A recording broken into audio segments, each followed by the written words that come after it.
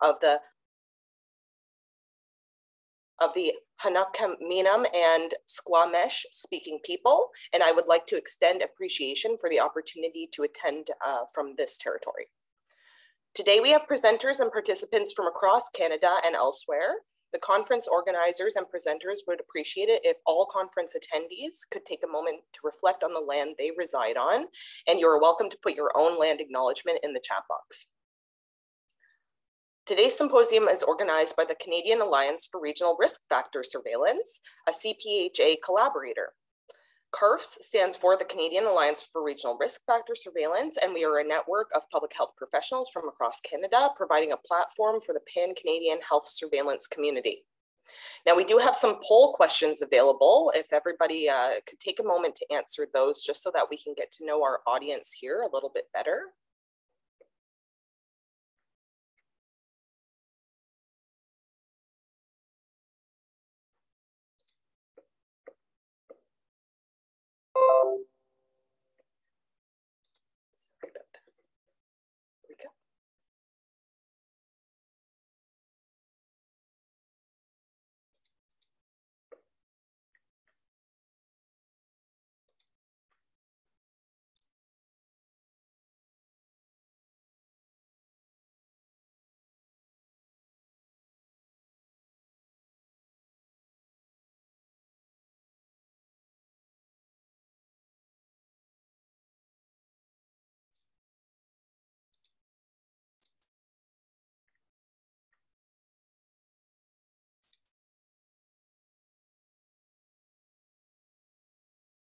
Wonderful. And I don't know if we have the results uh, for the poll just yet. Um,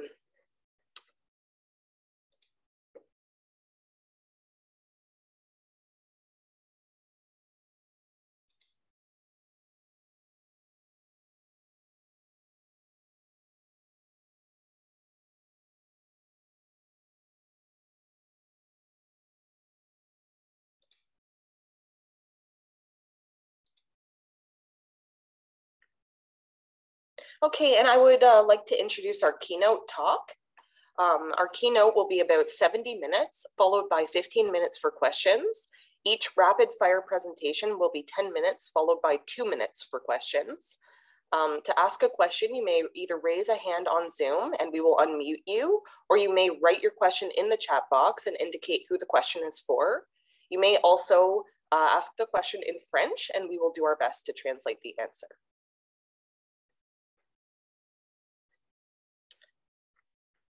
And it is now my pleasure to introduce our first keynote speakers from the Public Health Agency of Canada and the World Health Organization.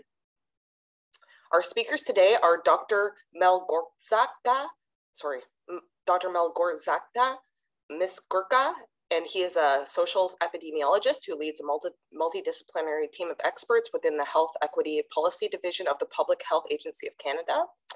Uh, they are a clinical assistant professor within the social and preventive medicine department at the University of Montreal, and they joined PHAC in 2009. Oops. Sorry, guys, uh, I just had the poll answers uh, popping up on my screen here. And I'll just go through those at the end after the introductions. Uh, and uh, they joined PHAC in uh, 2009, and they are currently advancing a collaborative pan-Canadian initiative on measuring and monitoring health and social determinants of health inequalities. Dr. Miszkurka's presentation is entitled Surveillance for Health Equity, Equitable Data Practices and Monitoring at Global and National Levels. We also have Dr. Julia Mazza, who is a senior epidemiologist in the Health Equity Policy Division of the Public Health Agency of Canada. She received her training in epidemiology from the Université de Montreal. She has conducted epidemiological research on understanding mental health and inequalities across the life course with a focus on children and youth. She joined PHAC in 2000, uh, 2018, working primarily on capacity building and knowledge translation initiatives in epidemiology and health promotion. Dr. Mazza's presentation is entitled Monitoring Health Inequalities in Canada, an overview of the Pan-Canadian Health Inequalities Data Tool. And we also have Dr. Ahmad Reza Hosseinpoor, who is a medical doctor and an epidemiologist working at the World Health Organization in Geneva, where he leads the work on health inequality monitoring. He has conceptualized and coordinated the development of resources and tools in this area, including the Health Inequality Data Repository, the WHO Global Platform for Disaggregated Health Data, and the WHO Health Equity Assessment Toolkit, which is also called HEAT, a software application to explore and compare health inequalities, and the WHO Handbook and step-by-step -step manuals on health inequality monitoring, resources to strengthen and guide the development of health inequality monitoring. Dr. Hosseinpoor's presentation is entitled, Whose Work on uh, Health Inequality Monitoring? I'm, uh, my apologies, that's WHO's Work on Health Inequality Monitoring. And I'm just gonna go back and see uh, if we have the answers to those poll questions here that I can, that I can summarize.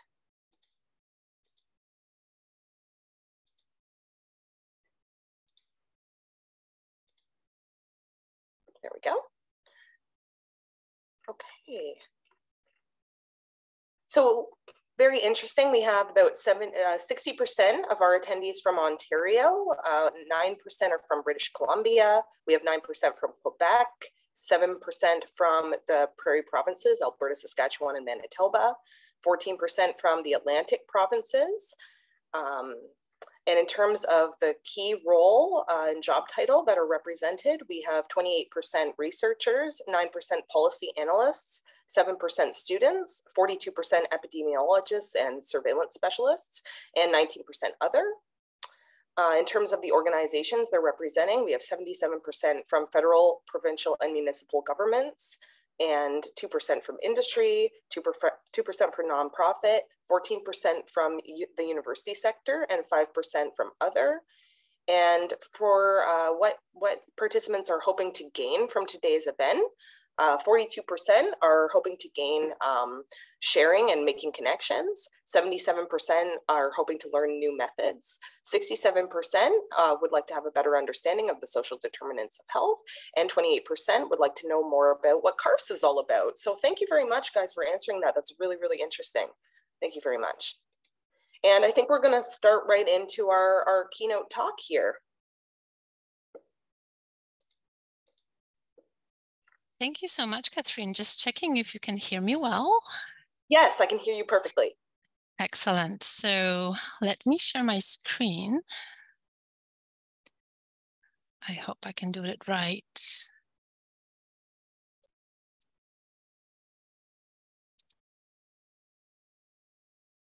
Here we go. You should be able to see my screen, just um, checking with. I, I can see it perfectly. Oh, amazing. So uh, thank you so much again for this wonderful introduction. I would like to begin by acknowledging that the land on which I'm presenting in Montreal is the unceded indigenous territory of the Kanien'kehá:ka Mohawk Nation.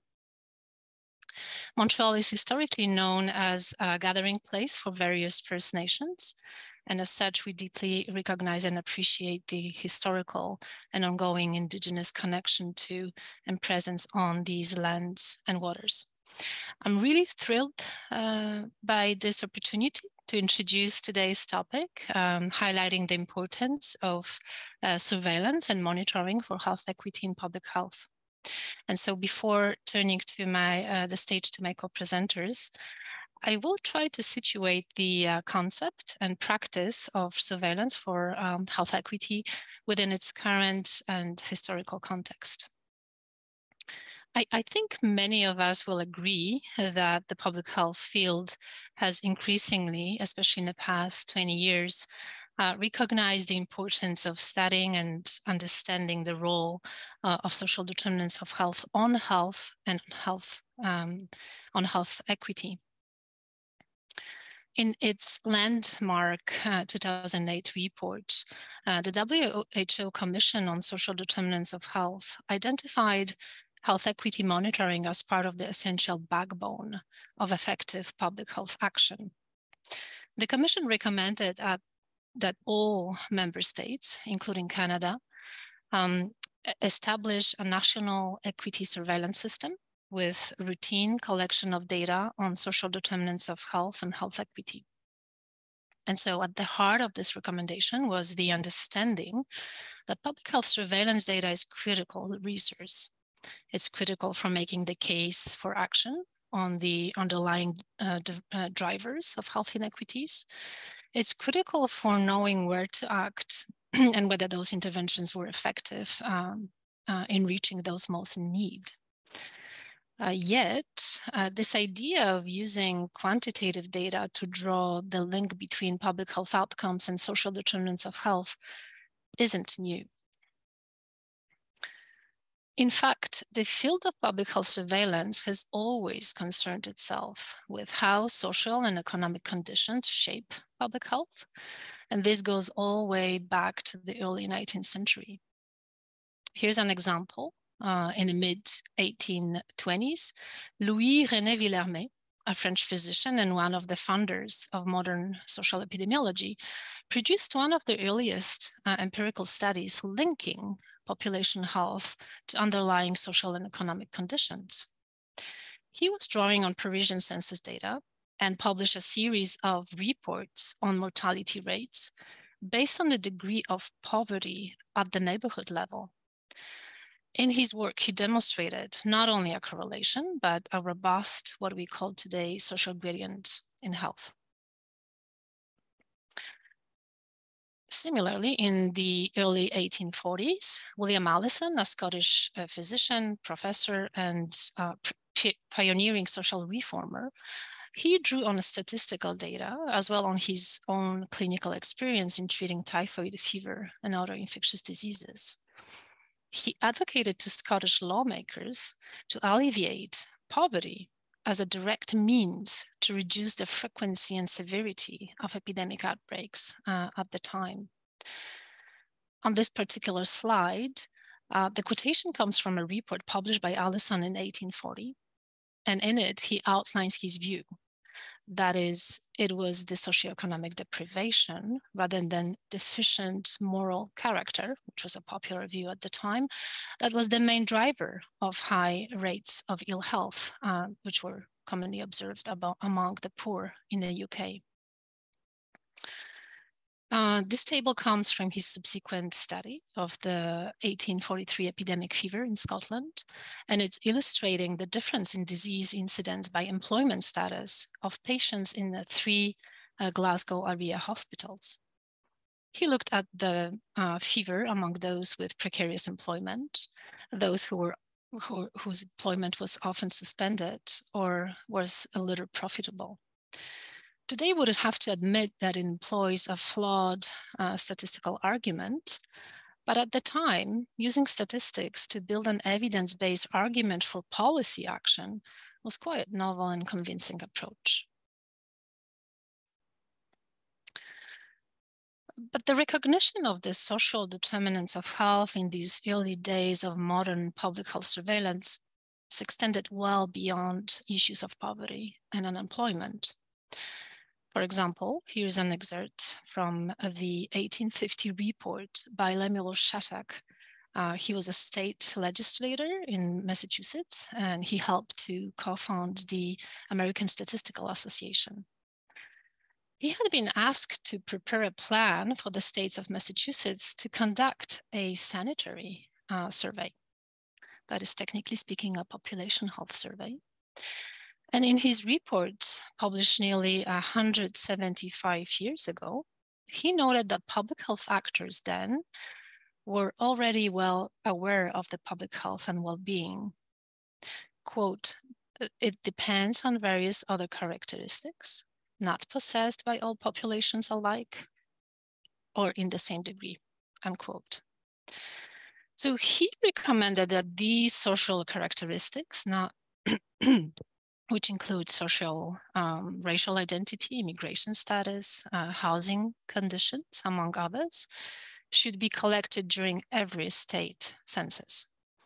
And he, and this would enable what we would call uh, today disaggregated data analysis and reporting to inform equitable uh, public health action.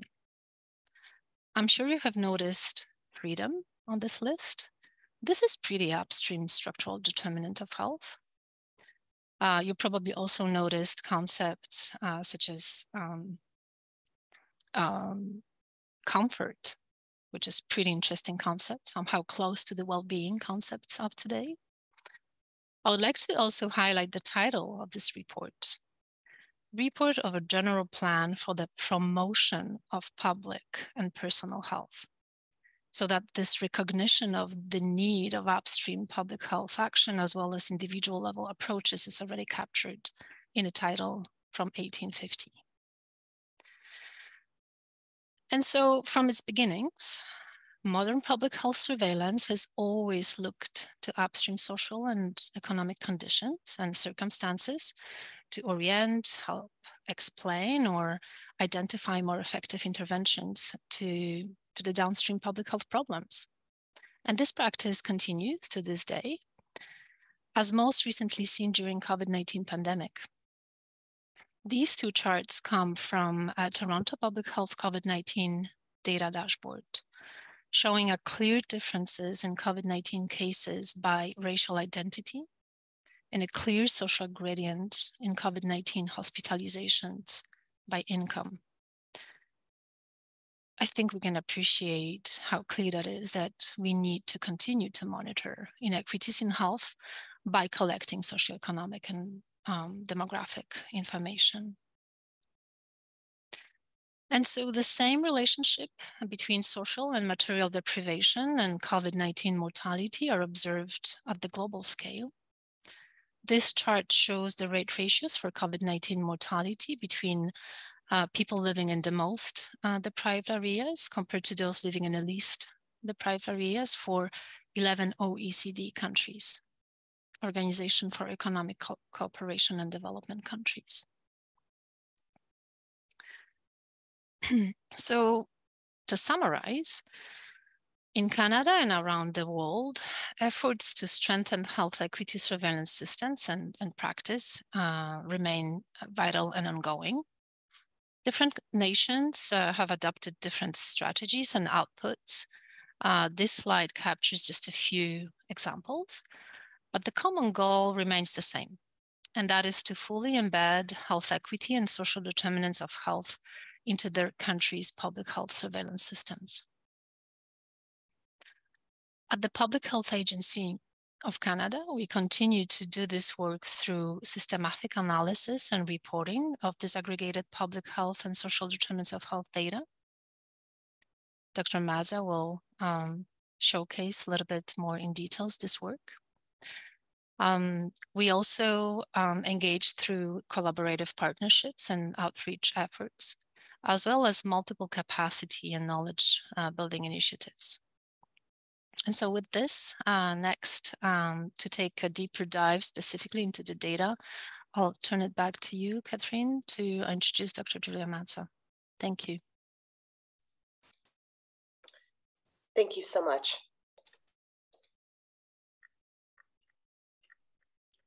And we will have uh, Dr. Julia Mazza, who is a senior epidemiologist in the Health Equity Policy Division of the Public Health Agency of Canada. She received her training in epidemiology from the Université de Montreal. She has conducted epidemiological research on understanding mental health inequalities across the life course with a focus on children and youth. Uh, and she will be presenting today on monitoring health inequalities in Canada, an overview of the Pan-Canadian Health Inequalities Data Tool. Thank you. Thank you, Catherine. Can you hear me well?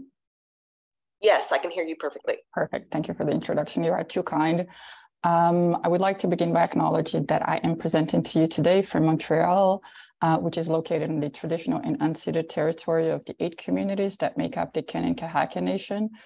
For those who have been to Montreal before, I am located along the St. Lawrence River and in proximity with the Lachine Rapid, Rapids, which is considered one of the island's um, largest archaeological sites where First Nations occupation can be traced back over 5,000 years, just showing that Montreal is a historically known place uh, for many First Nations.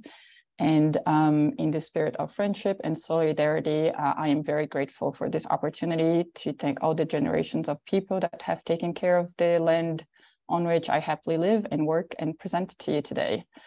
Um, I might just greet the audience by sharing that I am delighted to be here today um, and share our experiences and insights on health inequalities, monitoring and reporting activities um, in Canada. And with that, I'll start sharing my screen. I hope it works.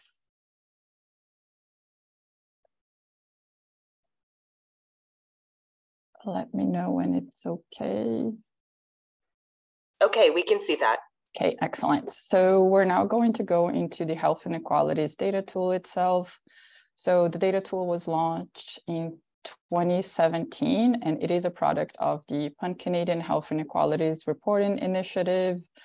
I will walk you through a few examples so you have you can have a better sense of the features, the indicators, the um, disaggregation dimensions that we have available, um, and some of the inequality measures as well to quickly sum up, it is our Pan-Canadian Health Equity Surveillance Platform, and it houses um, more than 160 indicators that are systematically disaggregated or stratified or organized, if you will, by up to 20 population groups that are meaningful to health equity. Um, so here is our landing page. Um, it is an interactive statistical resource that allows users to identify the inequalities across population groups at the national and at the provincial and territorial level, and in some instances at the regional level, and to determine the size of the magnitude of the inequalities being experienced. Uh, one can download, um, save charts in the data and uh, data files related to the inequalities being under investigation for further manipulation. So yeah, just keep that in mind as well um, as a user.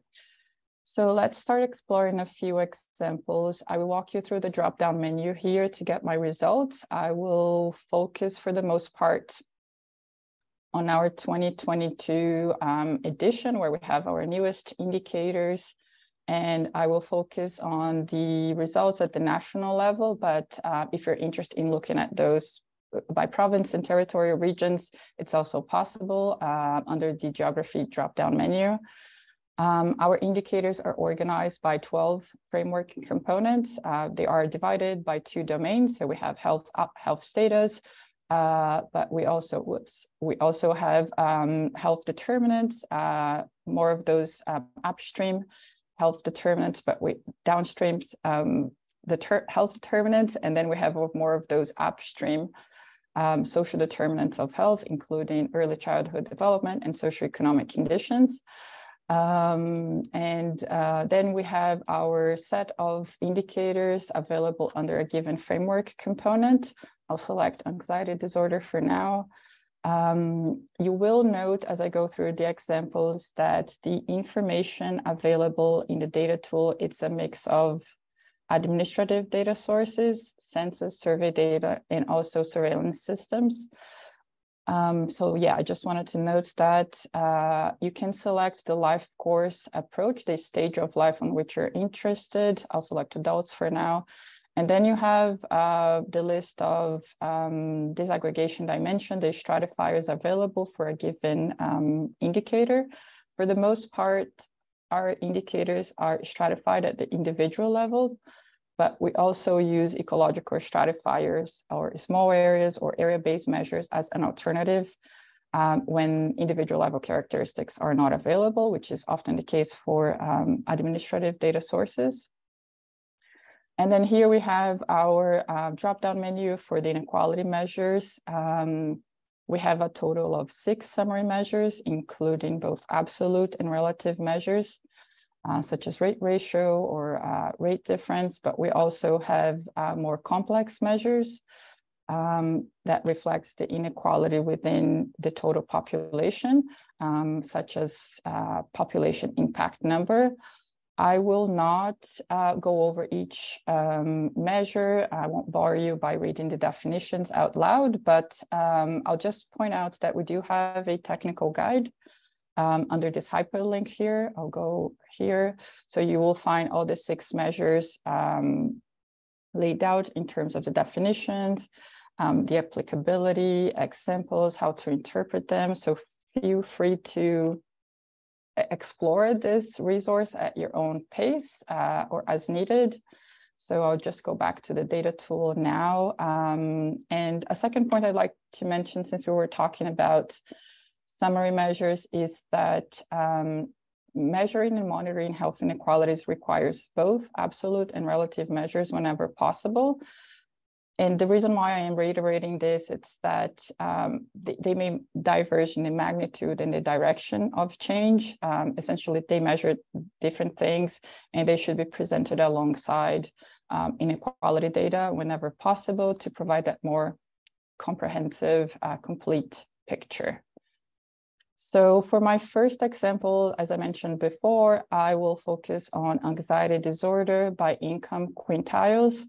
So here we ranked people's income into from lowest income to the highest income, and then we divided them in roughly five equal, equal groups of 20% of the population. So um, yeah, so we, we get our lowest income group and we have our highest income group, which is our um, reference group. So I'll just explore, start exploring a couple of basic measures, including the age standardized rate, because it is our building block for the inequality measures that I just alluded earlier. Um, and then now slowly moving to um, relative inequalities and um, absolute inequalities using uh, prevalence ratio and then uh, prevalence difference. So um, what I'm looking here is that uh, is that the prevalence adjusted by age, accounting for that distribution of age, and we can see that for both sex in yellow, um, the prevalence is highest among those in the lowest income group, Q1. I'll just select males and females for now to make this easier. Um, so what we're also seeing here is that there is a clear social gradient um, where the prevalence of anxiety disorder decreases as income increases, going all the way down to almost 6% in the highest income group.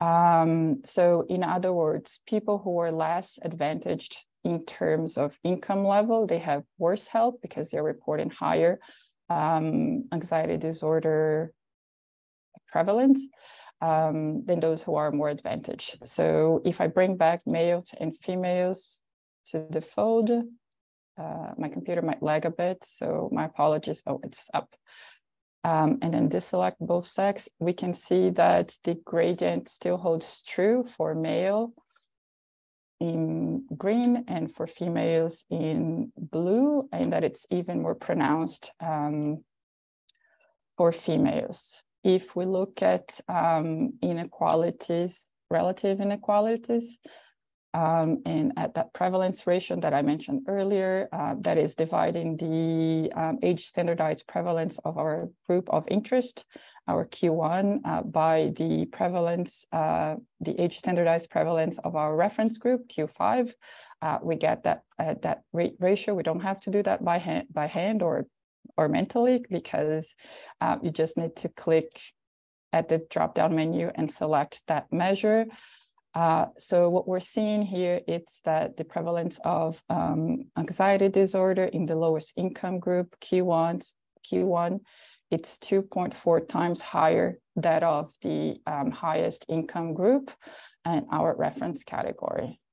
In terms of absolute inequalities, this translates into um, eight more individuals um, living with anxiety disorder per every 100 individuals in the lowest income group compared to the reference group, um, our highest income group.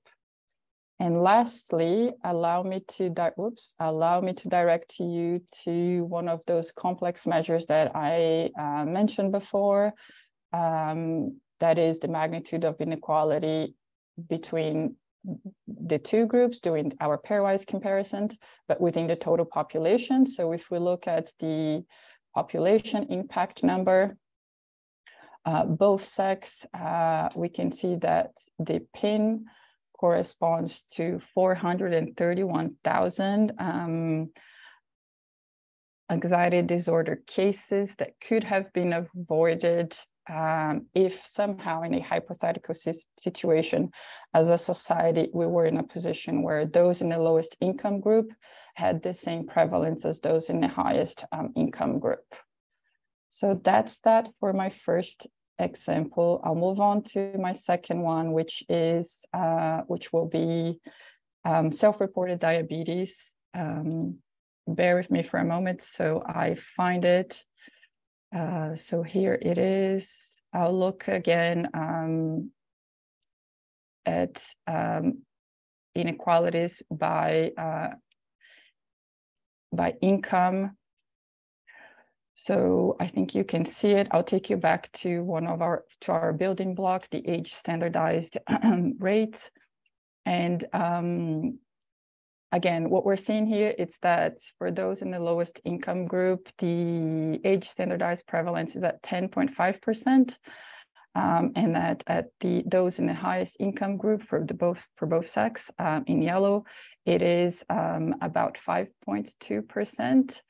If we do that uh, prevalence ratio and look into relative inequalities, um, what we will find out is that the prevalence it's two the prevalence ratio it's 2 two, which indicates that it is twice uh, as high in the lowest income group compared to that reference group. Um, and if I bring, if we look into males and females, we can see that um, the uh, the inequalities uh, when looking at the intersection between uh, sex and income, we see that the inequalities in diabetes are observed uh, are, are, are still holds true, for male and females, and it's even more pronounced now for, uh, for females. So let's see if we can find the same patterns with absolute inequalities in absolute measures. So in terms of the rate difference uh, for both sex, we this would translate into five more individuals in the lowest income group um, having um, diabetes compared to those in the highest um, income group for every 100 individuals living um, in Canada. Okay, for my third example, I will take you back in time and then go to our 2017 edition. I'll just wait a second for it to load. And I'll take you to um, look into absolute inequalities in terms of life expectancy by income. This time, however, we are going to look at income as an area-based um, measure. Uh, in other words, we basically classified individuals um, by where they live using postal code information and in terms of neighborhood socioeconomic characteristics, in this case, income. So I'll select my income quintiles, an area-based measure, and then I'll look at the um, um, absolute inequalities. I'll deselect male and female for now. Um, so in a nutshell, what we're seeing here is that in Canada, people living in the lowest income neighborhoods will on average die four years earlier than people living in the highest income group um, in our reference category. This is also telling us um, about a finally graded relationship between socioeconomic characteristics at the neighborhood level, um, again, in terms of income and life expectancy. Um, put it simply, people in the poorest areas, they die sooner. Uh, and if I bring back males and females uh, to the fold, um, we can see that the gradient once again still holds true and that the gradient is even steeper among uh, in, um, as we can see in the green bars. Um, again, I know I sound like a broken record, but I just wanted to reiterate that these findings apply to the dissemination area level, the neighborhood level, and not at the individual level.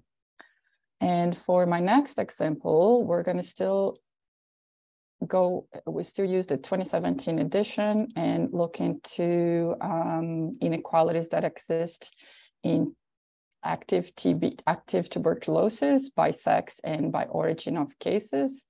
And in TB, it's a priority for Canada. So we, I thought it would be interesting to showcase this indicator. Um, So when looking at case reported information, what we're seeing here, it's that men, they have um, incidence rate of TB uh, that it's 30% higher uh, than females. And if we look at TB by origin of cases, so I'll just select origin here as my disaggregation dimension. And, um, and if we look at those complex measures, the population impact number, um, that is the magnitude of the inequalities between the two groups, but within the total population. Um, what the PIN is telling us is that if the rate of TB of tuberculosis was this among foreign-born individuals was the same as our reference group, that is Canadian-born and non-Indigenous individuals, there would be fewer uh, 1,043 cases annually. Um, and among all Indigenous groups, this would represent three, 319 cases, uh, fewer cases annually. In other words, uh, this reflects how many tuberculosis cases could have been avoided in the total population if somehow, as a society, uh, those two groups had the same um, incidence as the reference group. Um, before I move on to my next example, I just want to point out for a distinction-based approach, uh, please note that further disaggregation is available, uh, can be conducted for, um, for the indicators by First Nation, Inuit, and Métis um, individuals. So you just need to select um, here under the, the drop-down menu. Alrighty, so um, I will, I've been talking for a while now, and um, I will suggest that we switch gears. So far, um, the examples were mainly focused on health outcomes, and then the next step now is to look into the upstream approaches of health and well-being. In other words, just how can we stop people from falling into that river, falling to the cliff and becoming ill in the first place? So we really need to start thinking about um, the settings and the conditions in which people are born and live rather than the behaviors to contextualize the inequalities we just saw in terms of anxiety disorder, diabetes, life expectancy, and TB. So I am going to suggest that we broaden the scope of this exercise. And um, to do that, I will provide some findings from the social determinants of health indicators um, that can be used to advance um, upstream efforts and actions. So for my next set of examples, I will focus on inequalities in terms of food insecurity, inadequate housing, um, and um, children living in poverty, this time by racialized um, populations, by cultural and racial uh, background. So for my first example, I will take you to inadequate housing, living in core housing needs. It's the indicator. And then I'll take you back to, I'll go straight to relative inequalities. I'll deselect males and females for now. I hope it's loading. Yeah, I think so. Um, okay, so what we're seeing here is that in Canada, racialized communities are disproportionately impacted by inequalities um, in terms of um, inadequate housing compared to our reference category, which is white individuals. Um, more specifically, Arab, West, and Asian only, and Black communities are the most affected, as you can see. Compared to white individuals, uh, Black communities have 2.3 times um, higher um, prevalence uh, of inadequate housing. And uh, for Arab, West, and Asian um, individuals, that translates in almost three times um, a higher prevalence than the reference group. If I go to my drop-down menu and select rate difference for um, absolute inequalities, this translates, I'll just select males and females. This translates into um, 12 more Arab, West, and Asian adults and eight more um, Black adults living in inadequate housing per, one per 100 individuals in, in Canada. Okay, so I will take a look now at inequalities in terms of food insecurity. Um, perhaps food insecurity is one of the most commonly discussed um, social determinants of health in terms of um, in, in, in face of climate change and production disruption due to more extreme weather events. Um, and also it's an important indicator for um, in light of the rising cost of living in, in Canada. So um, I will deselect males and females. Um, what we're seeing here is that the pre prevalence of food insecurity um, among adults in Black communities, in Black communities and among First Nations, Inuit and Métis um, is the highest across all racialized groups in Canada. Um, both communities that have a 2.8 higher rate uh, compared to the reference group, white individuals.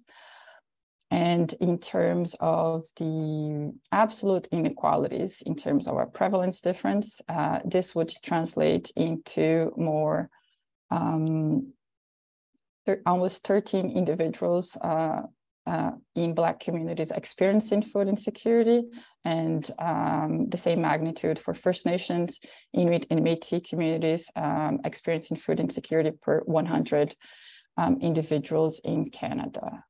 I will now move on very quickly to my last example and take you back to the 2017 edition. I'll put up um, childhood poverty according to the market basket measure, which is Canada's official poverty line. So here it is. Um, so I'll put up rate uh, the prevalence ratio. Um, so much like we saw with inadequate housing and food insecurity, this is telling us that um, racialized individuals in Canada are disproportionately um, impacted by uh, poverty during during childhood. Uh, First Nations, I'll scroll up a bit.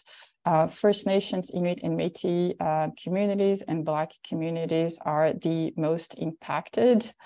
Um, I will note as well that um, the prevalence of uh, the, the, relative inequalities in, in childhood poverty was similar among males and females, as you can see here.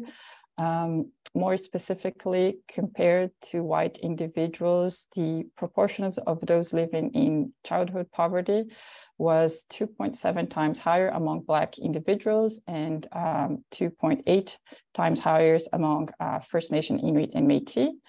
And if we look at the population impact number uh, and that to quantify that potential reduction in the total number of cases um, in a population, we can see that if the prevalence of childhood poverty among all indigenous uh, groups was the same as white individuals, this would translate into 97,000 fewer cases of children living in poverty in Canada. And uh, for um, Arab, South, and West Asian communities, this would represent almost um, 70, 71,000 fewer cases, struggling to get that out, um, of childhood poverty in Canada. And for Black communities, this would translate into 50,000 uh, fewer cases. Um, and just before wrapping up, I will use this opportunity to note that the inequalities we saw in TB in housing, food insecurity, and here with childhood poverty um, among First Nation, Inuit, and Métis population are a direct result of colonial policies and practices that included loss of lands, banning of indigenous languages and cultures, cultural practices, um, and also the creation of the um, residential school system. Okay, so I think so far we have produced some good evidence um, of the and good leads for measuring and monitoring health inequalities in Canada. But I will also um, encourage you to visit our publication tab, uh, housing other products from the Health Inequalities Reporting Initiative. There are a number of infographics, narrative report, checklist, Q&As. There's an overview of the data tool. So um, there's a lot of content there that could complement these findings and feed into your work. And um, with that, I believe that concludes my session. Uh, thank you for listening, and I'll pass it back to Catherine for um, next steps. Thank you so much. Thank you so much, Dr. Mazza. And next we have Dr. Ahmad Reza Hosseinpoor, who is a medical doctor and an epidemiologist working at the World Health Organization in Geneva, where he leads the work on health inequality monitoring. He has conceptualized and coordinated the development of resources and tools in this area, including the Health Inequality Data Repository, the WHO Global Platform for Disaggregated Health Data, the WHO Health Equity Assessment Toolkit, HEAT, and a software application to explore and compare health inequalities, and the WHO handbook and step-by-step manuals on health inequality monitoring, resources to strengthen and guide the development of health inequality monitoring. Uh, Dr. Hosseinpoor's presentation is entitled WHO's Work on Health Inequality Monitoring.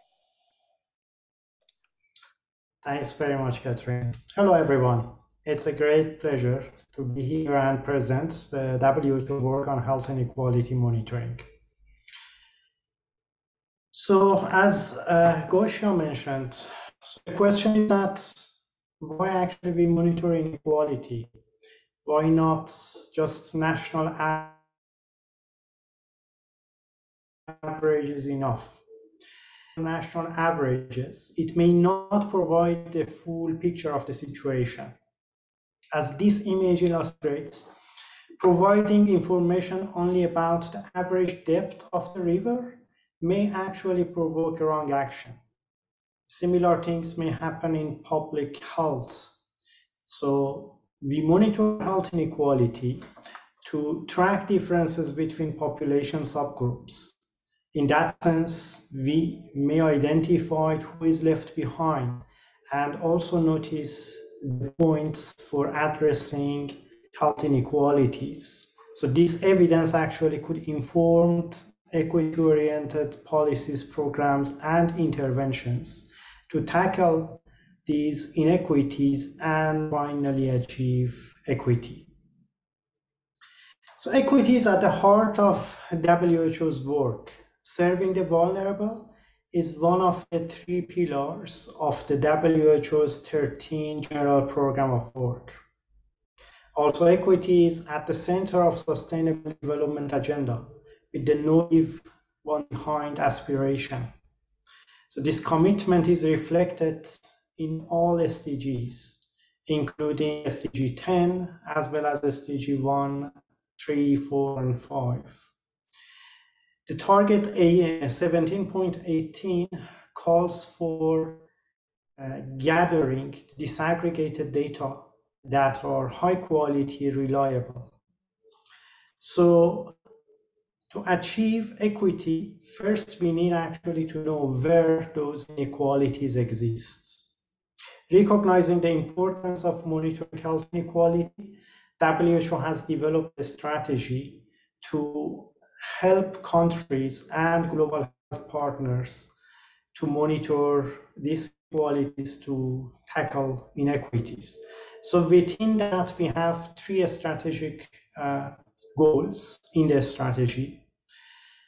The first is actually to provide capacity building for countries and global health partners. We also develop and disseminate the latest evidence on state of inequality, and we develop uh, tools, resources, methods for measuring and monitoring health inequalities. So regarding capacity building, we have developed a series of e-learning courses on the OpenWHO platform. So that includes a series on Health Inequality Monitoring Foundation, which covers the whole cycle of health inequality monitoring from defining the framework to obtaining data, to analyzing data, reporting, and to knowledge translation. We also developed several thematic uh, health inequality monitoring courses in immunization, HIV, TB, tuberculosis, and malaria, and also in sexual, reproductive, and maternal health. And very soon, in a month, we're releasing several courses on skill building using Excel, Stata, and R to allow users to do uh, health equity analysis with these tools. Also, whenever we get requests from countries and regions, we do training workshops. Uh, we used to do a lot uh, in person in countries. And since COVID, we shifted also to have online capacity buildings, online training workshops. And right now we started planning uh, a synchronous course that hopefully we are going to, to test and pilot by end of the year. We also develop uh, evidence on health inequality monitoring. Just over a month ago, we released WHO Health Inequality Data Repository, which is the largest global collection of disaggregated data ever. So it includes about 60 data sets and contains more than 200, 2,000 indicators disaggregated by up to 22 inequality dimensions. And apart from WHO sources, it covers 15 other public data sources that are global or regional. We also developed several global thematic reports on inequality and immunization, uh, reproductive, maternal, and child health, and two years back, also a global report on the state of inequality in HIV, tuberculosis, and malaria, and also several uh, national reports. One of the most comprehensive one was done in 2017 uh, in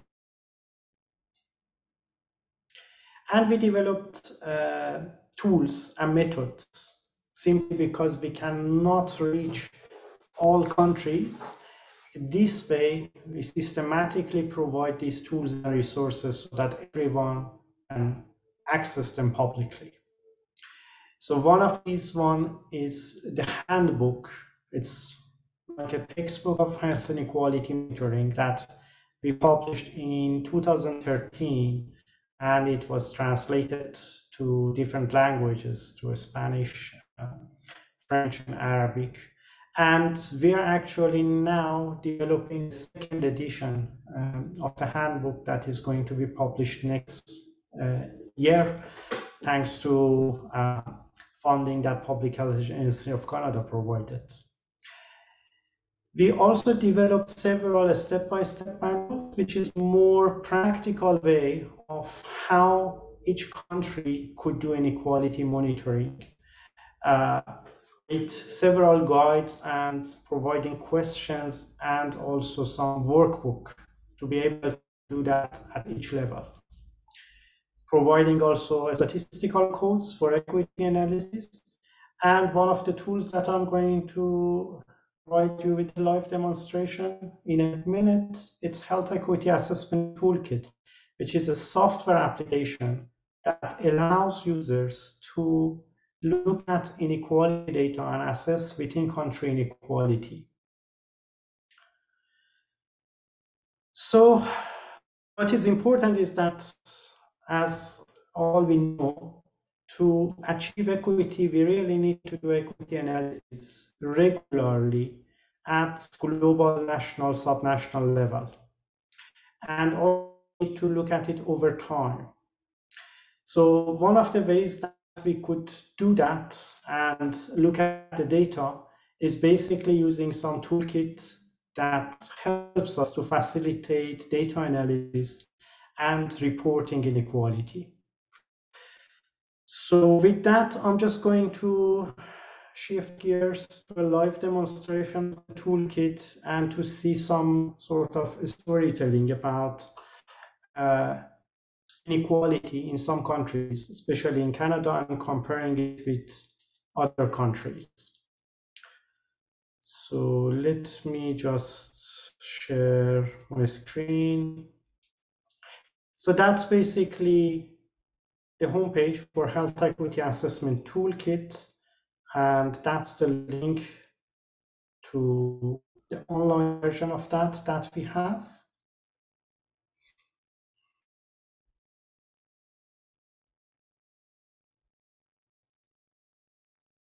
So here we can choose different data sets that we can have. So as I told you, we have 59 datasets here from where we can from which we can choose which data we want to look. Let's look at SDG dataset. And the tool uh, opens the dataset for us. Here, basically, as we can see, the toolkit is around two concepts, explore inequality and compare inequality.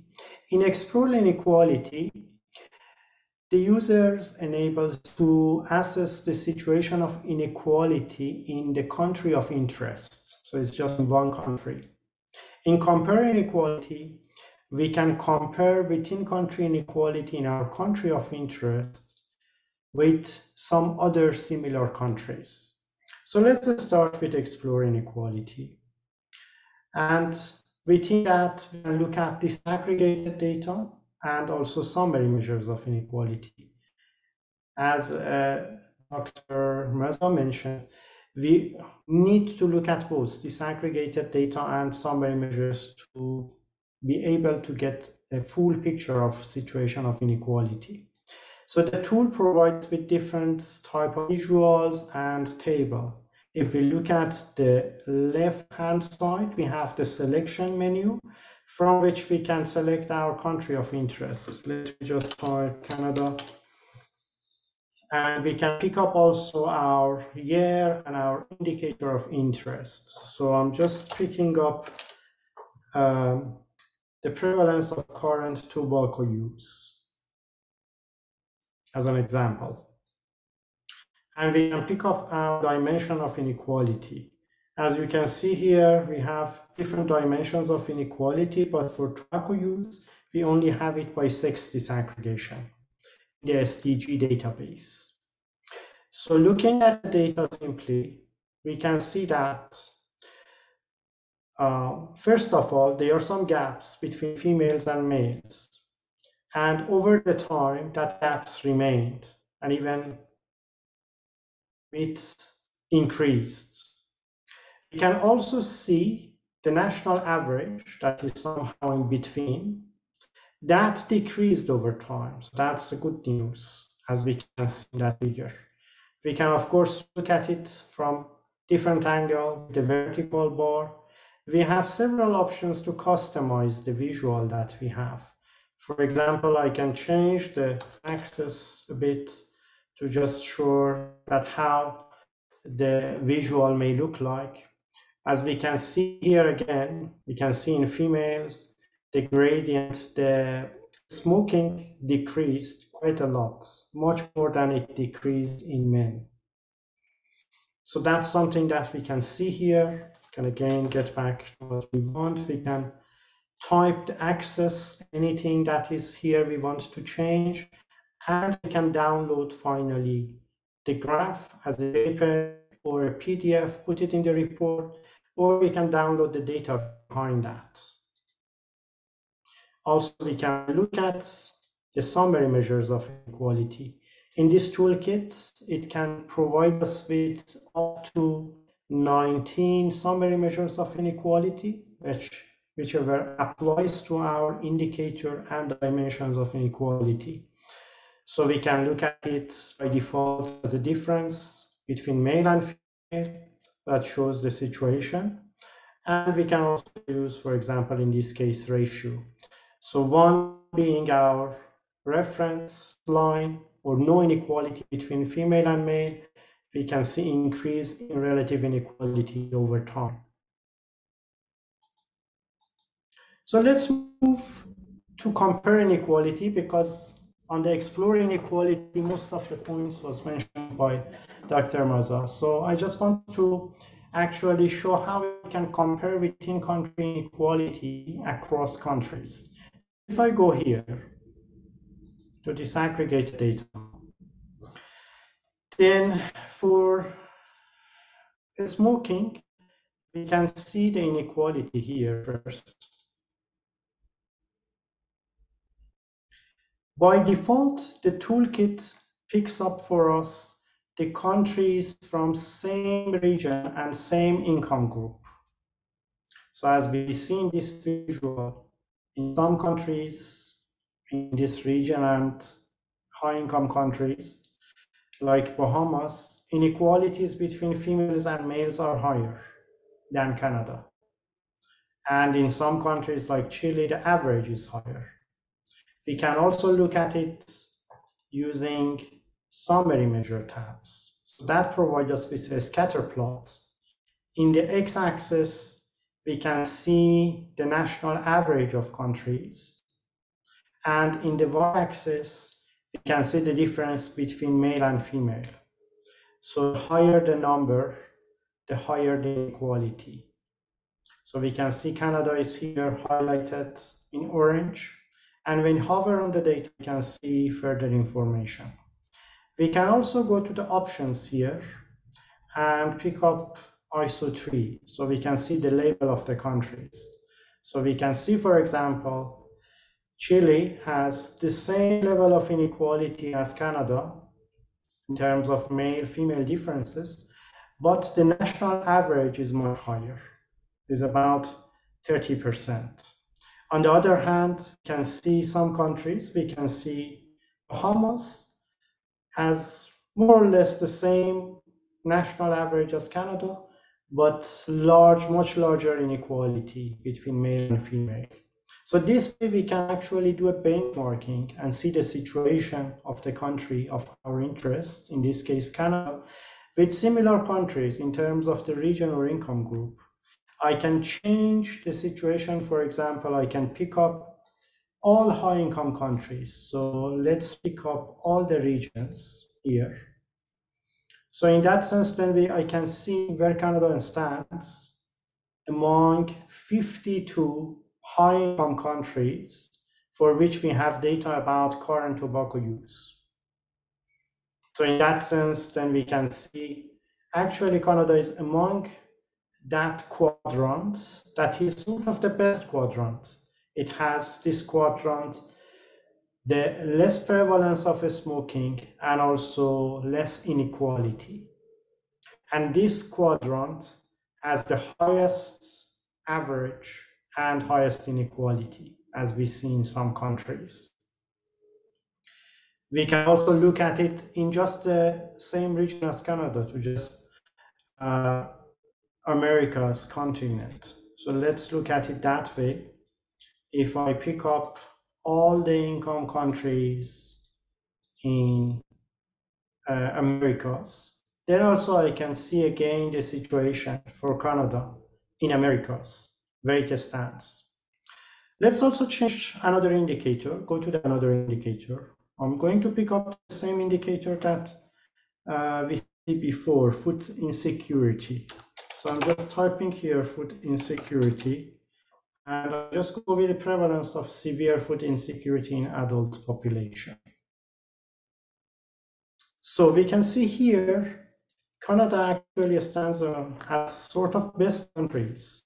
It has no inequality, almost, and very little uh, in terms of national average of severe insecurity, food insecurity.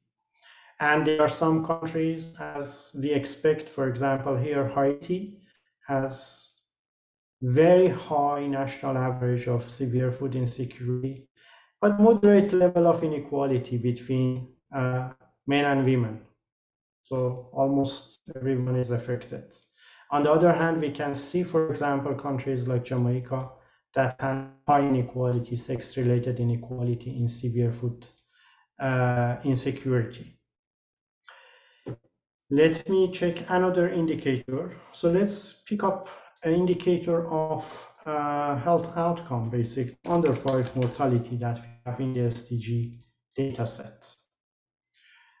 So again, Canada comes as one of the best countries with low national average, as we see here, and very little inequality. So zero is the best in terms of no difference between male and female or boys and girls.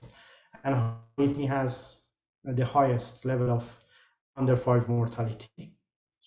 We can look at uh, indicators by other dimensions of inequality. I'm going to pick up uh, another indicator from SDG dataset that has data on other dimensions of inequality. So that's basically discrimination. So population reported uh, having felt discriminated against. And I'm just going to use disability status for that. So this is just five countries for which we have data in Latin America, in uh, Americas. Uh, let me add more countries to that. So let me actually pick up all the other regions for which we have data.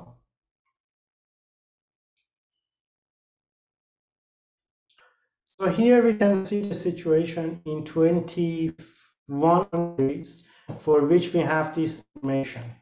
So feeling discriminated by a status of disability. And we can see here the situation is quite different in different countries. If we pick up Canada, Canada stays here. So lower than median value of these 21 countries in terms of national average of feeling discriminated. 13.3% of population feels that. And the inequality is actually 11% percentage points. So meaning that the people uh, with disability actually felt discrimination 11 points further than people with no disability in Canada. We can see some countries with great situation. In Denmark and in Georgia, the national average was quite low, 5%, and inequality was also quite low. In some countries, in Sweden, the inequality is in low, but the national average, the self-reported feeling on that was quite high. So this way, we can easily tell the stories on how is the situation of inequality within a country of interest, picking up different indicators and looking at them by different dimensions of inequality to really tell the story. And actually, we can also look at it over time to see how inequality has changed over time. And then we can do that comparison across other countries to do the benchmarking to see actually where our country of interest or setting of interest fits. So I'm going to shift again back to our uh, to the presentation.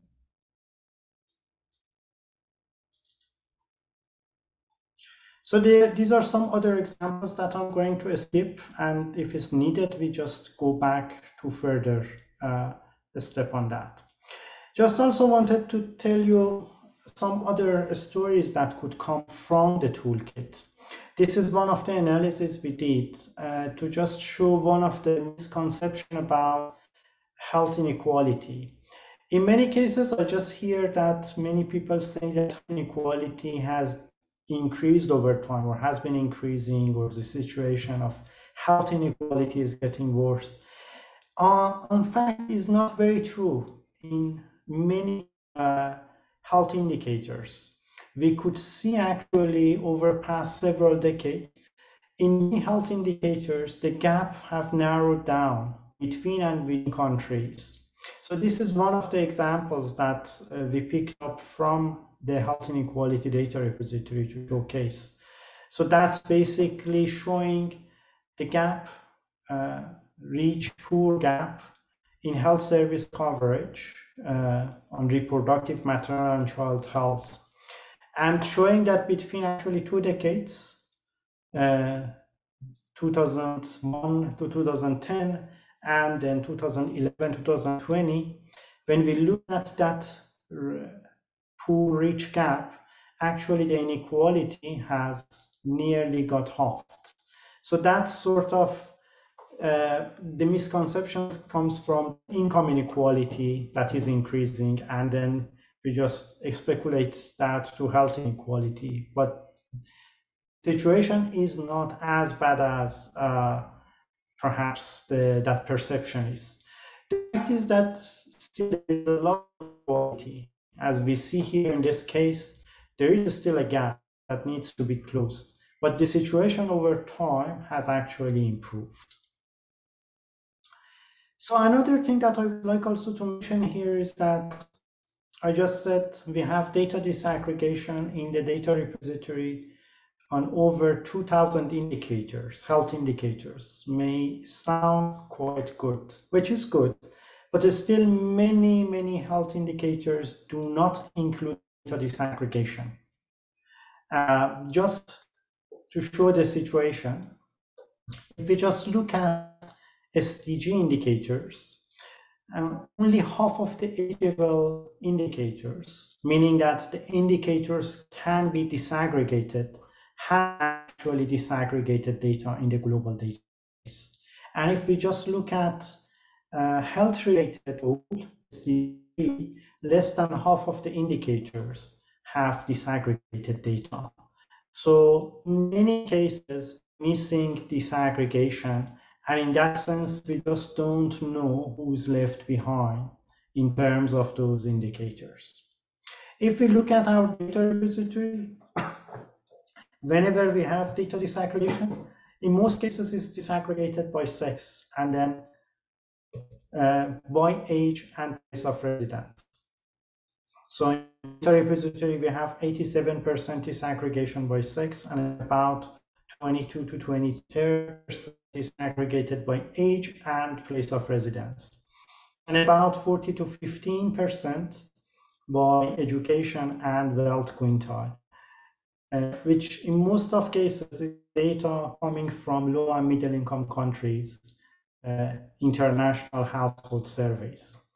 But the fact is that for many other dimensions of inequality that are important, we really have a scarce data.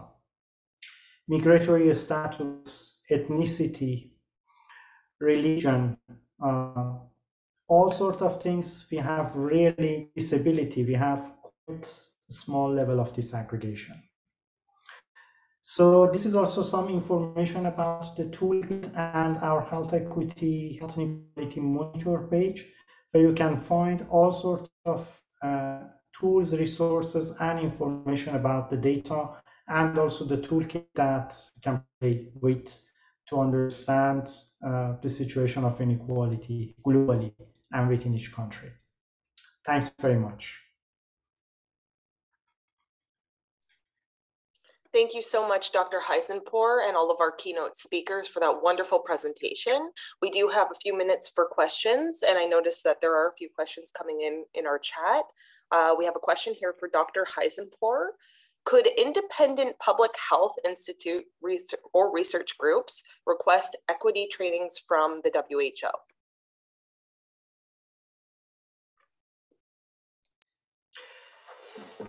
Normally we provide um, training for member states.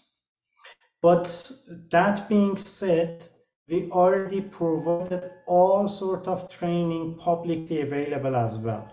So if, for example, go to the Open WHO uh, platform, which is the platform for all sorts of trainings, we have a special ch channel there on health inequality monitoring where we providing actually all the e-learning course self-paced and also anyone who pick up the, e-learning courses they could get a certificate out of it. But basically we would like to provide this in the context of building capacities that is sustainable in the countries. So if that's the way that it's shown that the institute is working with ministry of health and improving the and strengthening the health information system in the country, that's definitely a possibility. Wonderful, thank you. And we have another question here for Dr. Hosseinpoor. Do you have a standard protocol for measuring and qualifying the change in inequities over time that could be shared?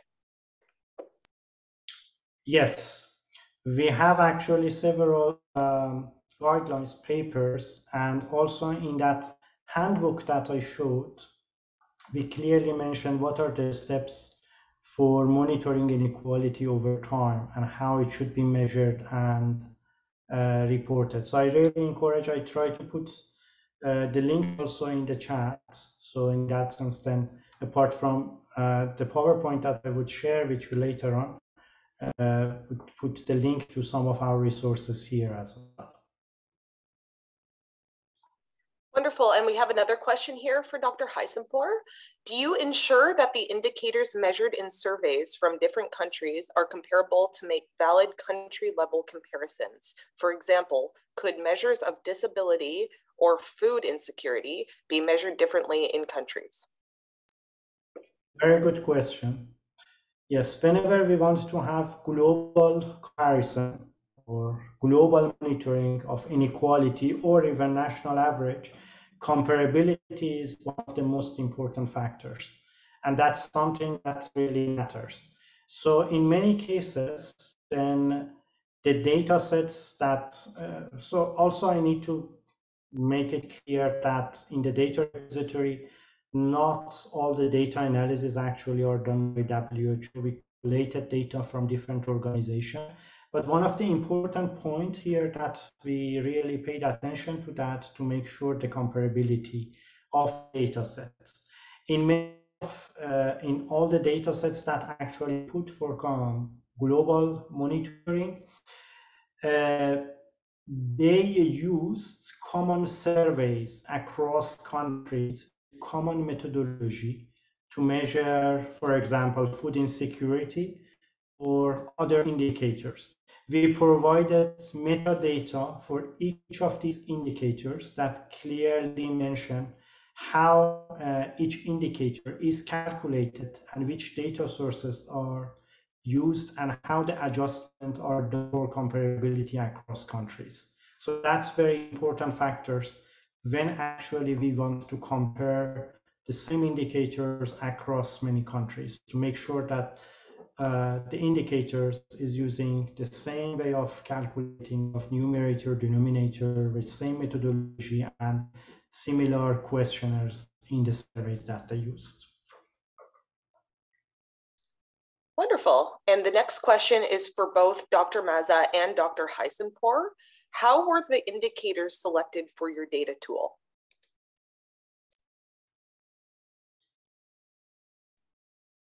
I can go first, I suppose. Um, yes, so I just wanted to quickly mention that the indicators housed in the data tool um, were selected based on recommendations from the Pan-Canadian Public Health Network, PHN. Um, there was a report in 2010 uh, recommending um, a list, a set of indicators. Um, and then um, some of you may already be familiar with PHN but I'll briefly note that the it is our formal public health government governance um, in Canada with federal, provincial, and territorial um, governments.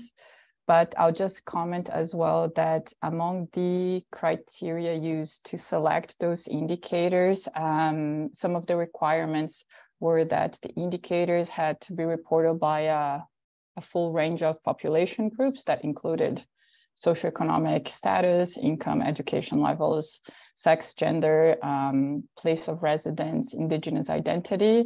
Um, it also had to draw on data sources that were either currently available at the national, provincial level, and regional level as well, and they could be developed, there was a feasibility about the indicators. And then lastly, I'll mention that um, indicators had to reflect federal, provincial, um, and territorial priority areas, um, policy areas of interest. Uh, so just, just to name a few of the criteria that were used to select um, those indicators. So uh, back to you, Catherine. Oh, I'm sorry, I'll pass it over to Ahmad. Yeah. Uh, for our data repository, we had several criteria. Uh, of course, some of them are obvious. The data should have disaggregation it should include health indicators or health determinant. But also we had in mind to have global perspective or regional perspective. So at this phase, we didn't include single country or limited number of countries in the database. So any databases that included were sort of global or at least regional level data.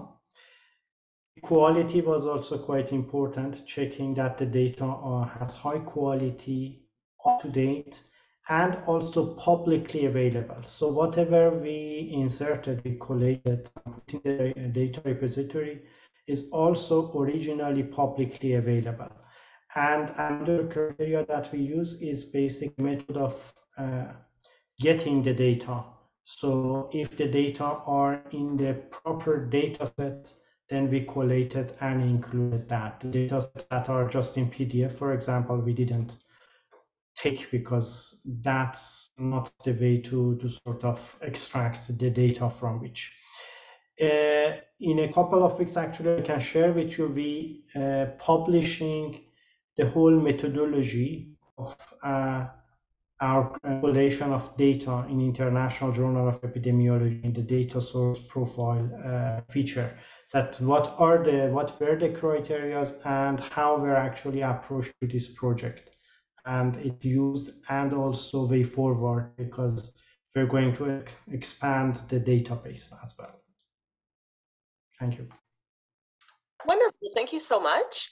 And we have another question here for Dr. Mazza. What kinds of expertise are required to develop the data tool? Epidemiologists, computer software engineers, etc. Um, that is that quite covered it. Yeah. So our team, it's uh, we have um, a very vast pool of talent. So we are a team of um, epidemiologists, um, policy um, colleagues. We also have um, a team that supports with the data visualization. So yeah, computer software engineers, and I think that's that's it. But yes, the yeah, Jing, you you nailed it. Wonderful. And we have another question here. Um, has the sex and gender-based analysis plus framework informed the development of the health inequities data tool? And this is also for Dr. Mazza. That's an excellent question. Um, I'll just start in by saying that, that the sex gender based um, analysis plus it's one of the domestic policy drivers for the Health Inequalities Reporting Initiative Enterprise. The data tool, it's one of the products, uh, but there are a number of other products, like I mentioned in that publication tab. Um, I shown I had shown in the data tool that um, the disaggregate the disaggregation dimension of our indicators can be done by sex, uh, male and female. But I'll note that as national surveys um, carried over usually by Statistics Canada's, you start to incorporate broader categories of gender. Um, we will ingest that data into our data tool uh, and make it available publicly. Um, at this time, for instance, in the 2022 edition, um, the data tool has indicators from the Canadian Housing Survey, um, and you can find disaggregation of the housing indicators by male, female, and other. Uh, so there's that other gender category. And for the most part, the housing indicators, they can be disaggregated by um, two-spirited, lesbian, gay, bisexual, transgender, queer, and plus identity. Um, so there's that additional um, disaggregation dimension as well. And um, I'll just end by saying that stratifying by sex and gender, along with other stratifiers, um, like income in one of the examples that I gave, um, will help will help and contribute to a more nuanced understanding of the inequalities and support um, SGBA plus um, analysis and um, intersectionality uh, in the federal health portfolio. Um, I hope that gives you a little bit of a flavor of the scope of that um, SGBA plus analytical approach in the data tool. And uh, yeah, I'll pass it over to you, Catherine, for um, our next question. Wonderful, thank you. And our next question is, how is this evidence uh, slash data being leveraged? In other words, how are the data tools being used to inform action and decision making? And this is for both Dr. Mazza and Dr. Hosseinpoor.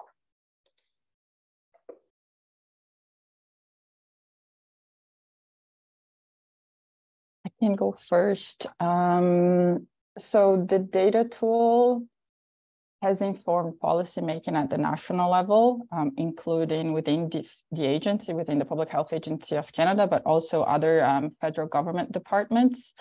A few examples that come to mind, um, I think it has informed uh, memorandums, memorandum of cabinet of food policy, enhancing food literacy, um, some of you may already know, but um, memorandums of cabinet are developed when a minister is seeking a cabinet decision on a policy proposal. Um, I will also note that data from information from the data tool and related products also um, were used for a policy on place-based strategies to engage with rural, urban, and uh, remote communities across Canada. And it has also informed the federal LGBTQS plus action plan. And so that was on the policy side. I will also note that the information from the data tool has informed public health um, programming um, in terms of design, implementation, and evaluation. Um, some of the examples that I can give is the Mental Health of Black Canadians Fund.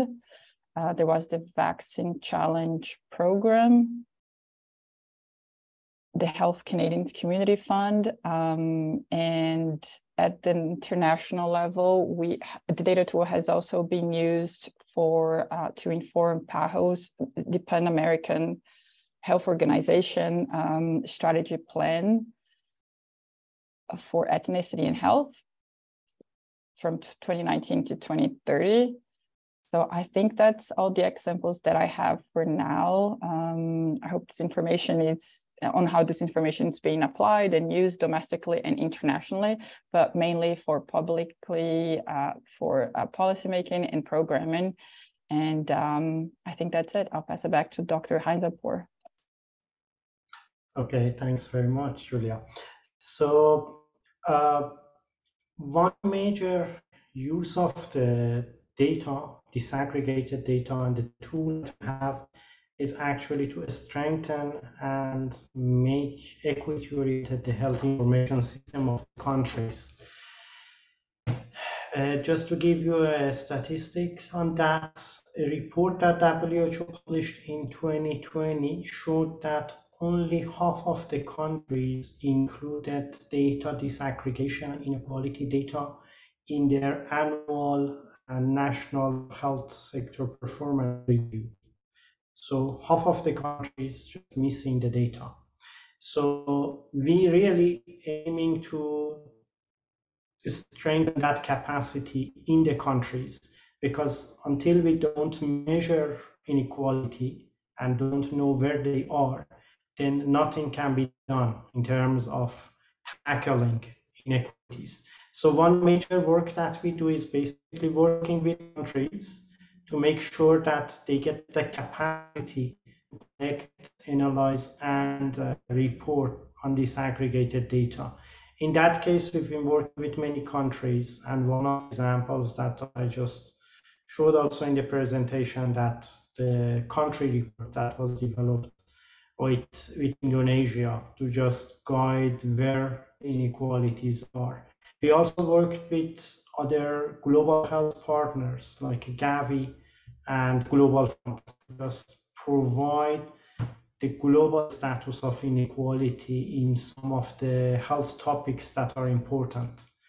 And mainly the data could we also use and is being used in countries to really track the interventions. So basically, I can provide one example.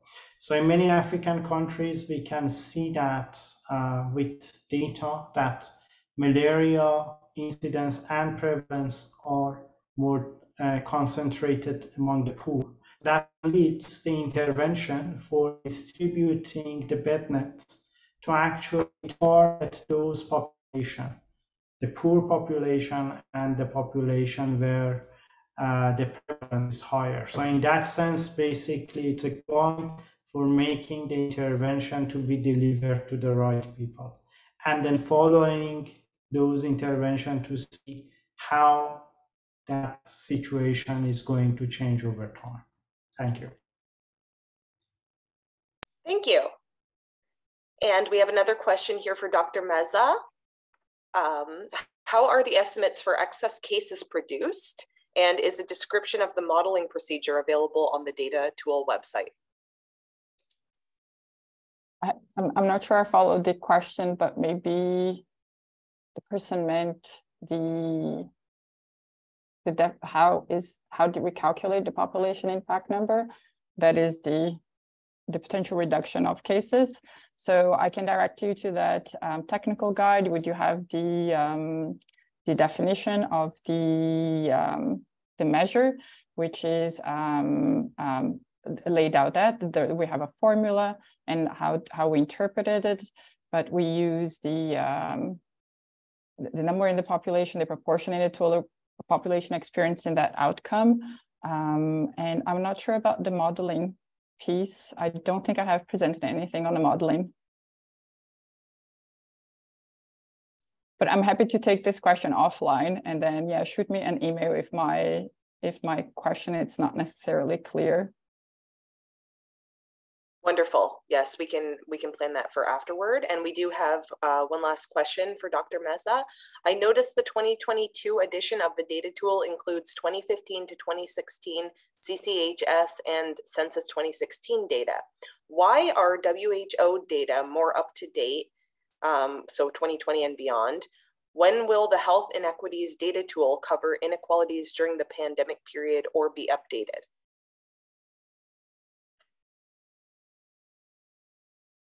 So I can go um, first. Um, yes, we do have a couple of indicators that will cover the pandemic period, and then they will be uploaded uh, this summer between um, the end of August, by the end of August, hopefully.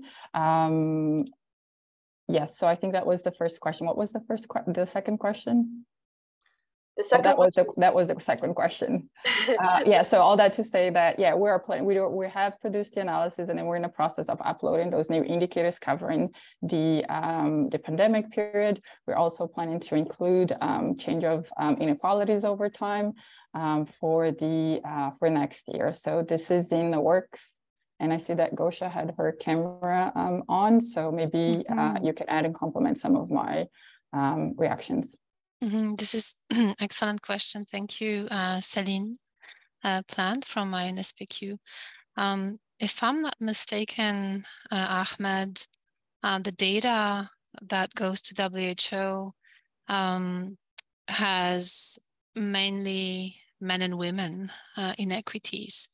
Uh, countries not necessarily provide health outcomes by income or race, ethnicity, or sexual orientation. So most of the data, at least that I looked at, is quite limited in terms of available um, disaggregations uh, for SDGs that you showcase.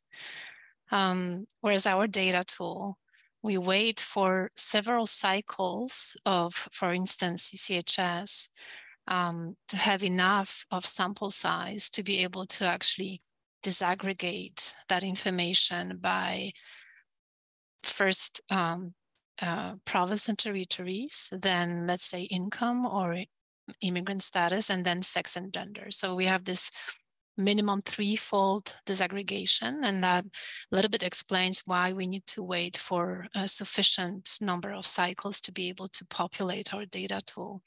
Um, so I hope that helps as well to, to clarify a little bit why we have a little bit of a jet lag um, compared to WHO platform. Thank you. And just to clarify, will these uh, presentations uh, be made available to the to the audience today? The slide decks? Yes. Wonderful. Certainly. Wonderful. Thank you so much. And it doesn't look like we have uh, other questions coming in. So I, I really want to thank our keynote speakers. That was a fantastic presentation. Thank you so much. And uh, we're going to move on to our first uh, rapid fire presentation. So thank you very much. Thank you. Bye, everyone. Thank you so much. Bye, everyone. And next we have our first rapid fire presentation and that will be followed by a, a, very brief question period. Our first rapid fire presentation will be by Menet Komiha. Uh, it's from Upstream, she's from Upstream Lab, which is the MAP Center for Urban Health Solutions at St. Michael's Hospital, uh, Uni Unity Health in Toronto. And the presentation is lessons learned from the introduction of robust socio socio-demographic data collection by Ontario Public Health Unit staff during the COVID-19 pandemic.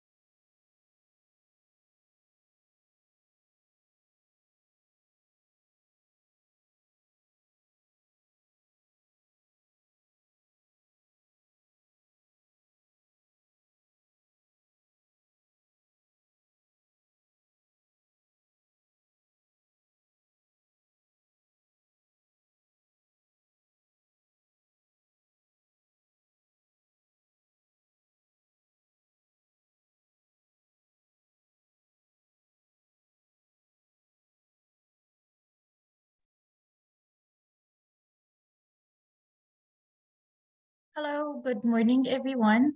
Um, so I will just share my screen.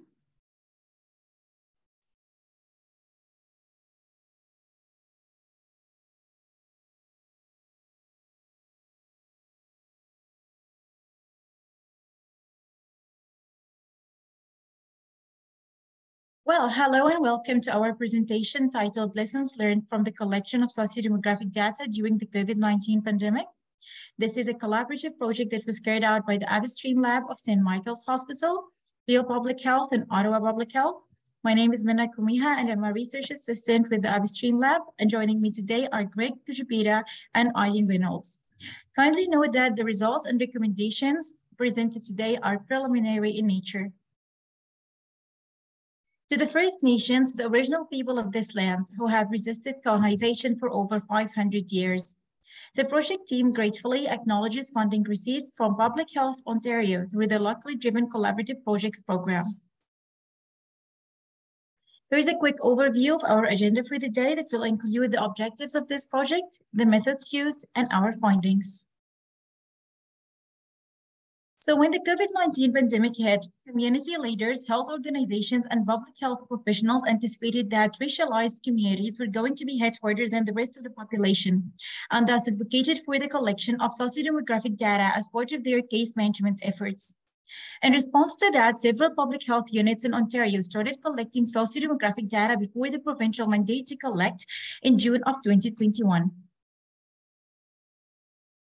Our objective was to better understand the existing disparities in the collection and use of sociodemographic data in public health in public in public health by examining the barriers and enablers that led to successful implementation and an observed high level of data completeness. We tackled our objective through investigating the following research question. So what public health unit-led practices enabled higher levels of data completeness during the collection of sociodemographic data for COVID-19 case management and vaccine administration? Our project was divided into two phases. In the first phase, all 34 public health units in Ontario were invited to respond to a survey consisting of multiple choice and open-ended questions. The survey achieved 100% completion rate, which was really amazing. To achieve this completion rate, we had some of the team members use the Association of Public Health Epidemiologists in Ontario directory to directly reach out to potential participants. In the second phase, a combination of focus group discussions and the one-on-one -on -one interviews were conducted, which allowed for deeper insights and perspectives.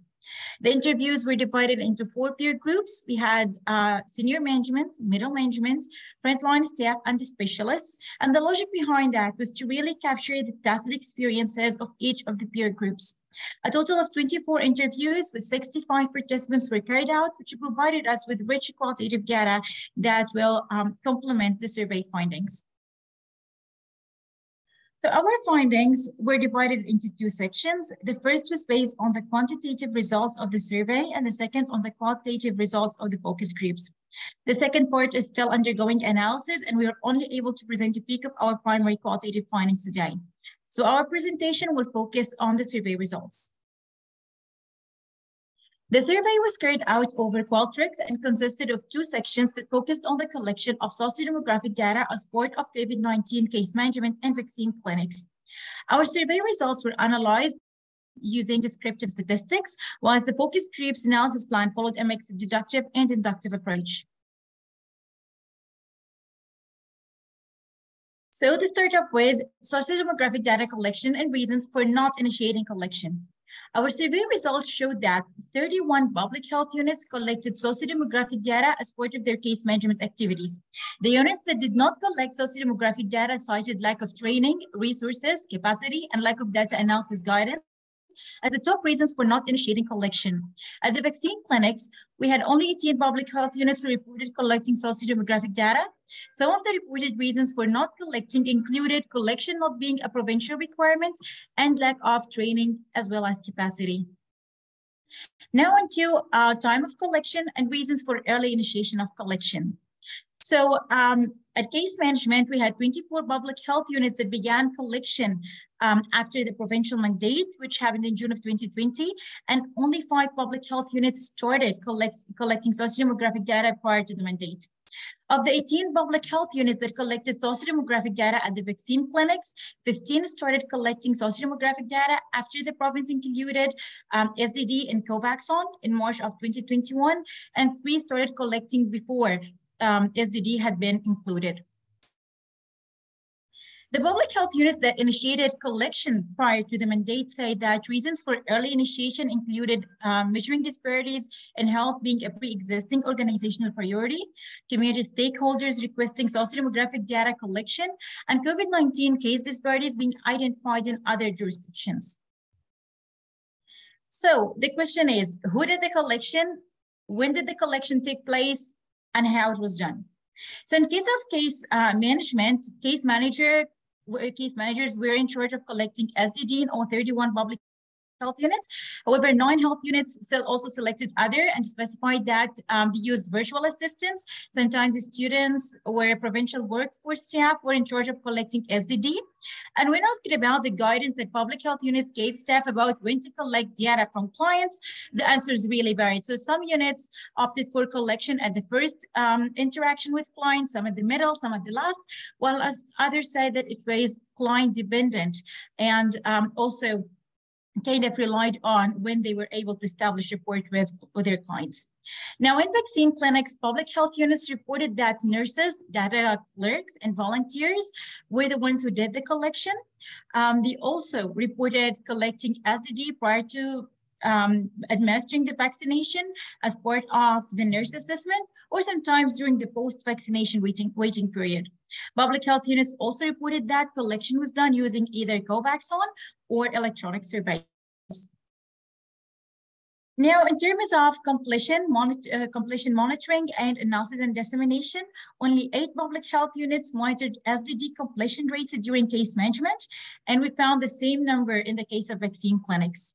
When asked about the proportion of clients for whom, for whom so, uh, social demographic data was collected, it is apparent that collection was lower in vaccination clinics when compared to case management. Out of 18 public health units, um, only 16 reported that you know, 0 to 25% of clients submitted their information. Whereas with COVID-19 case management, we had 13 public health units report collection from around 26 to 50% of their clients. So it was very apparent that in case of case management, they had higher completion rates. Now, in terms of sharing results from sociodemographic and uh, from their sociodemographic data analysis, only two of the 18 public health units that collected sociodemographic data in their vaccination clinics reported sharing their findings. Now, after the primary analysis of our focus groups and uh, one-on-one -on -one conversations, we found that participants identified several factors as having a direct enabling effect on their ability to prioritize the collection of sociodemographic data. These identified factors ranged from provincial enablers that included the CCM data management system and mandating um, SDD collection to organizational practices, like, uh, for example, making collection a priority and even building trust during staff and client interactions, and the client interactions through providing alternative privacy enhancing response methods, uh, response methods, sorry, and learning from, uh, as well as learning from the community and other jurisdictions. Now, on the other side, uh, our focus groups also gave us a further insight into some of the barriers that impeded the collection of socio-demographic data some of which had to do with organizational practices. So for example, lack of support from senior management or having competing priority. Sometimes it had to do with the environment. So for example, vaccine clinics environment was chaotic and noisy. There were time constraints. Um, sometimes the staff felt um, you know, uncomfortable with collecting private data uh, from clients. And sometimes it had to do with the provincial data systems not being user-friendly or maybe difficulties in navigating um, SDD fields within CCM and COVAX-ON. So to wrap it up, as mentioned before, we are in the final stages of synthesizing our findings, which will be followed by sharing our actionable recommendations. However, we are able to share the following preliminary key messages that include the enablers and challenges with SDD collection. So in terms of enablers, it was clear that mandating uh, socio-demographic data collection acted as a collection booster, as evident in the increase of public health units who initiated collection after the mandate. Public health units also played a role in enabling SDD collection by locally building um, their own collection systems that were user-friendly and also by creating their own training material. On the other side, challenges included lack of training and inadequate capacity. So um, I'd just like to highlight that it was noted that despite public health units efforts in terms of developing their own training materials, they often lack the time and resources needed to train SDD collectors. The recommendations for how this and other challenges will be mitigated will be published in our final report. And before bringing this presentation to an end, I would like to thank our team members who worked laboriously on this project. Special thanks to Dr. Andrew Pinto from the Upstream Lab, Monali Varia from Peel Public Health, and Aideen Reynolds from Ottawa Public Health for leading this work. And now to Q&A with Aideen and Greg.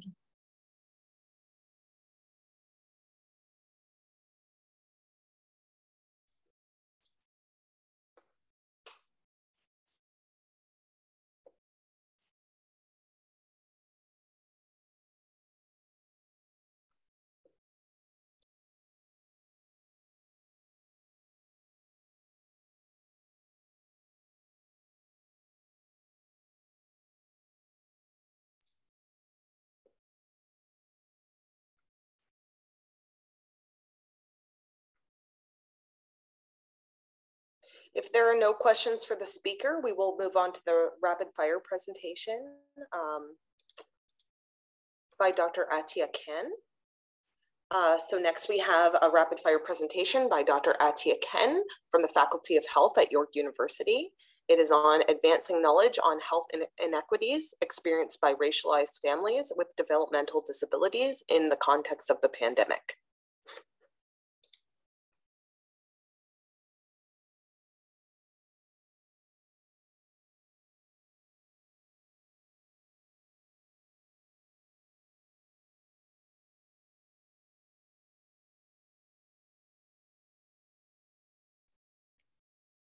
Are you able to see my slide? I don't see them yet. Okay, so let me just, uh, okay.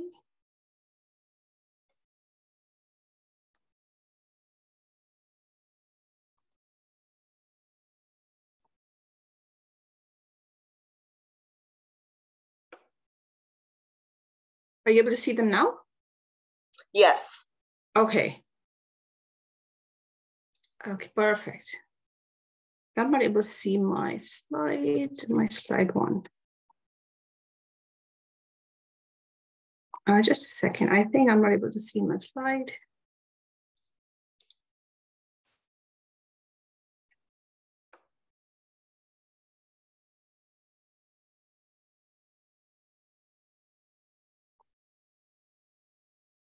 So, uh, so okay.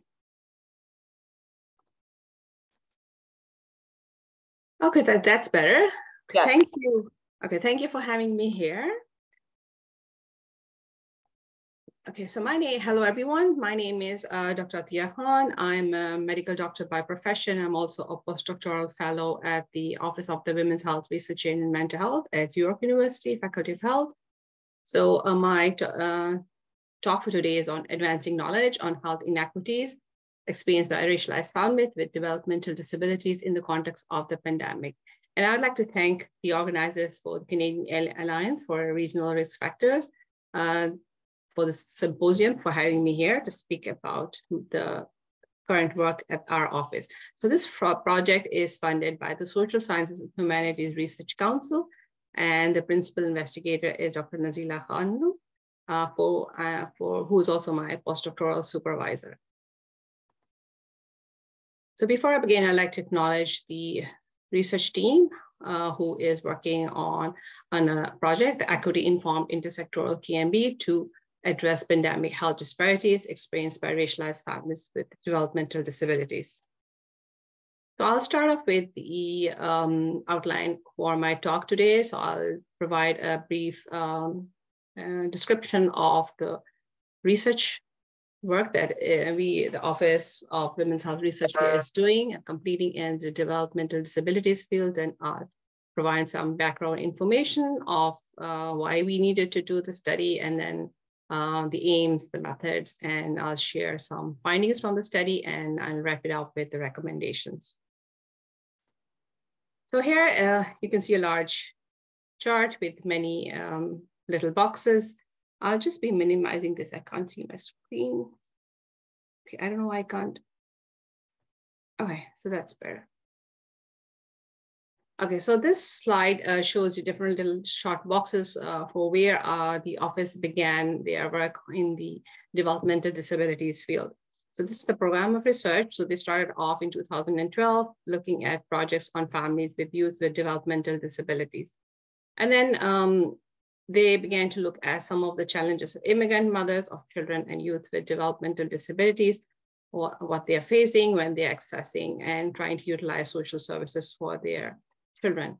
Uh, then they realized that um, there was also some missing data with regards to health promotion. And um, so the, the office began to look at health promotion, immigrant mothers, and then they realized that uh, there wasn't enough sufficient um, information about the experiences of racialized mothers who with children in developmental disability in Canada. Um, then, as you can see, this moves on. So I'm skipping some of those boxes. So we are here. And then somewhere over here, when the pandemic hit uh, the whole world and um, the unprecedented arrival of COVID-19 with over 50,000 COVID deaths in Canada and almost 7 million globally, um, the, the office decided to, you know, uh, go ahead with one of our studies.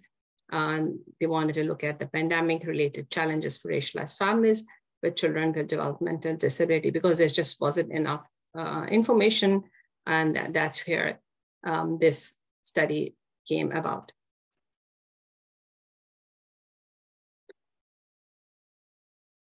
Research has shown that racialized people with developmental disabilities, they experience systemic disadvantages across their social determinants of health and interlocking barriers to care. Uh, for those who may not know what uh, development disabilities is, it's a diverse group of chronic conditions comprising mental or physical impairment that arise before adulthood. So this is um, a slide that shows what the situation was before the pandemic and what the challenges were during the pandemic. Uh, so I'm going to talk about the 2017 Canadian Survey on Disability. What the report, the, the report finds that um, those who are aged 15 and over who have a disability, um, about 5.1% of those individuals had a developmental disability in Canada. Um, and people with developmental disability, they experience uh, exclusion and inequality uh, with regards to um, income, education, employment, even um, social exclusion as well. Uh, so they are not, they excluded in many activities, uh, day-to-day -day activities as well. They also experience um, ex barriers to accessibility, such as attitudinal, uh, which means persons with disability, um, they are, um, you know, they, they report that they're being treated badly or differently because of the different ideas, beliefs, or attitudes that uh, the society or others have about disability. Uh, they also uh, experience physical communication difficulties. Um, about 50% of individuals with a disability experience barriers that limit their ability to move around public buildings and spaces. Um, with regards to communication barriers, persons with disability um, especially those with uh, uh, some of those with uh, developmental disability experience various communication barriers. They may not have access to information or in an or information that is accessible in an accessible format.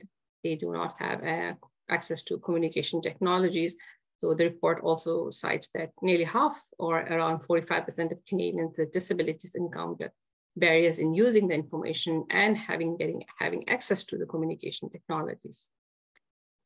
So the literature um, speaks about the pandemic related challenges for this um, uh, community, for this population, um, as there was disruption of um, services and supports that these uh, individuals need, um, may due to their uh, development disabilities, they could not um, access um, the prevention and response measures that were more accessible to individuals who do not have a disability.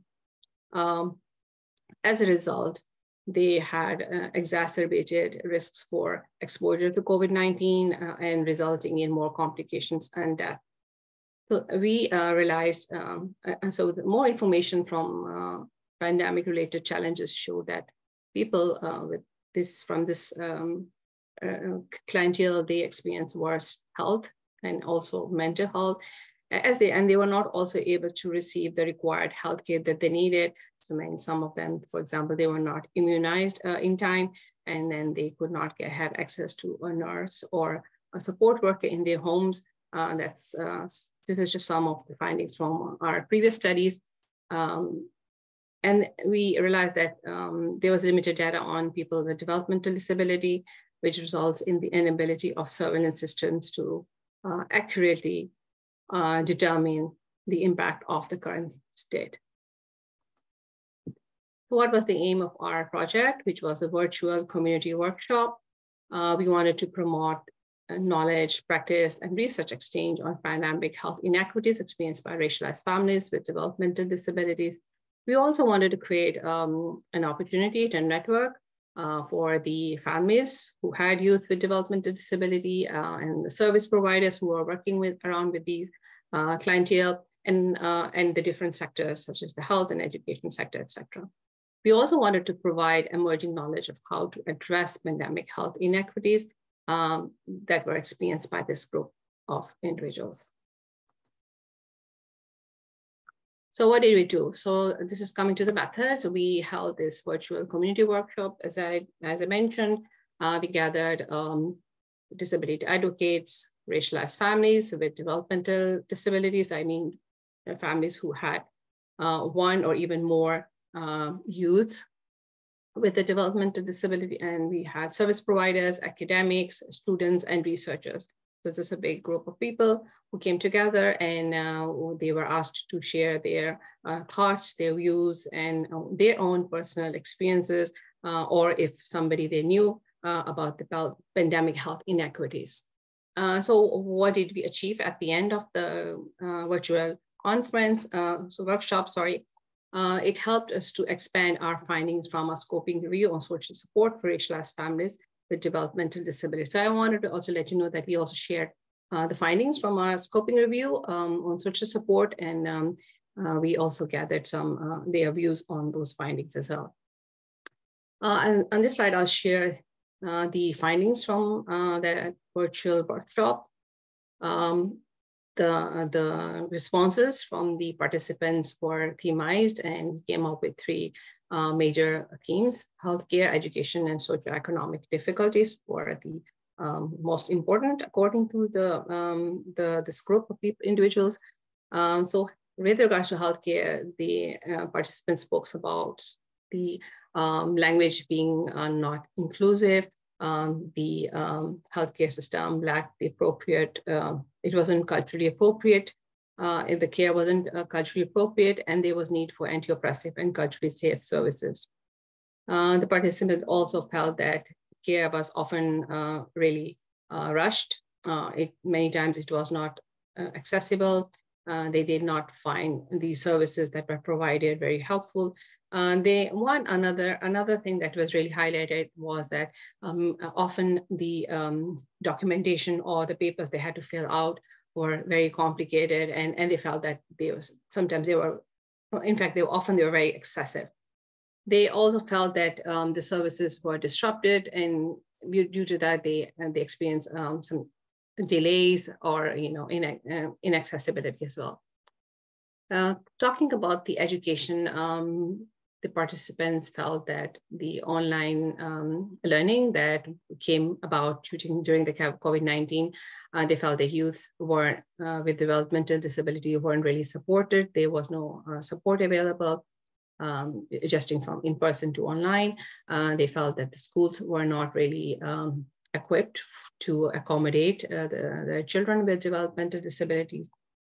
Uh, the participants also expressed um, socioeconomic uh, difficulties, facing socioeconomic difficulties. Uh, many spoke about um, having to juggle between uh, providing the care that the child need, needed in their homes uh, while also trying to work from their home. And some of them even mentioned that they uh, had to quit their jobs to take care, or at least one of the spouses had to quit their jobs to be able to take care of their child. And this is uh, almost uh, the uh, last slide um, before I share some other information, a short bit of other information. So in conclusion, uh, we found that racialized families uh, face additional barriers to accessing support and services for developmental disabilities care. Uh, service systems therefore need to be more sensitive to the intersections of um, the different identity markers that one holds for, in this case, individuals that have disabilities, they are racialized, and they may they may have um, uh, whatever the gender, or they some of them are even immigrants.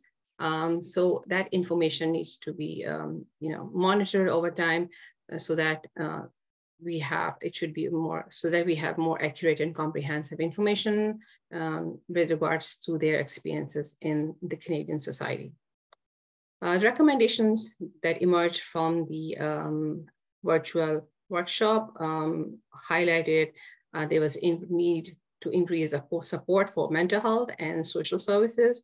Uh, there was also a need to increase the funding, uh, not just um, you know over and beyond the pandemic. So uh, some of them felt that you know they were they were supported during the pandemic. Others felt that the support was not available during the pandemic, but they felt that uh, funding needs to be increased. Uh, for example, um, many uh, talked about um, funding not being available for respite for the families, like families were exhausted and tired. Um, there was also need to um, increase funding for um, reducing the barriers to social determinants of health um, that these racialized families often experience. Uh, care needs to be more culturally relevant uh, and also um, they, they mentioned that um, family involvement in, is sometimes that can, um, families aren't allowed to be involved in the care uh, as much as they would like to. So those barriers need to be removed as well. Uh, so this is a- I'm, I'm, I'm, so sorry, but we've just uh, run over our time here. Okay. Um, but that was fascinating. Thank you so much. Uh, we don't have time for questions, but uh, that was a fantastic presentation, Dr. Khan, and we're going to move on to our next rapid oh. fire. I'm so sorry. Yeah, I'll just stop sharing. Okay, thank you. You're welcome. And next we have uh, Maria Santiago from the Herbert uh, Wertheim College of Medicine, and she is presenting on racial disparities in overall survival in patients with glioblastoma before and after 2010.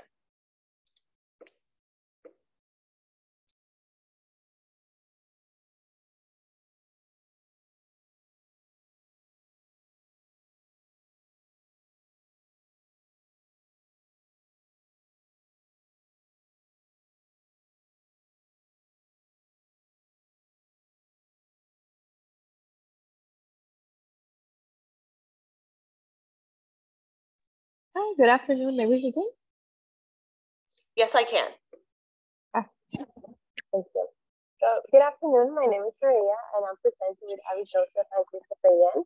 We are medical students from Florida International University, and today we'll be presenting our research based on racial disparities in overall survival in patients with glioblastoma before and after 2010. So why are we interested in glioblastoma? Glioblastomas are considered the most common and fatal malignancy of the brain, accounting for 45.2% of all malignant brain tumors and 16% of all primary brain tumors. Glioblastomas can arise de novo or from astrocytomas, as you can see on the graph.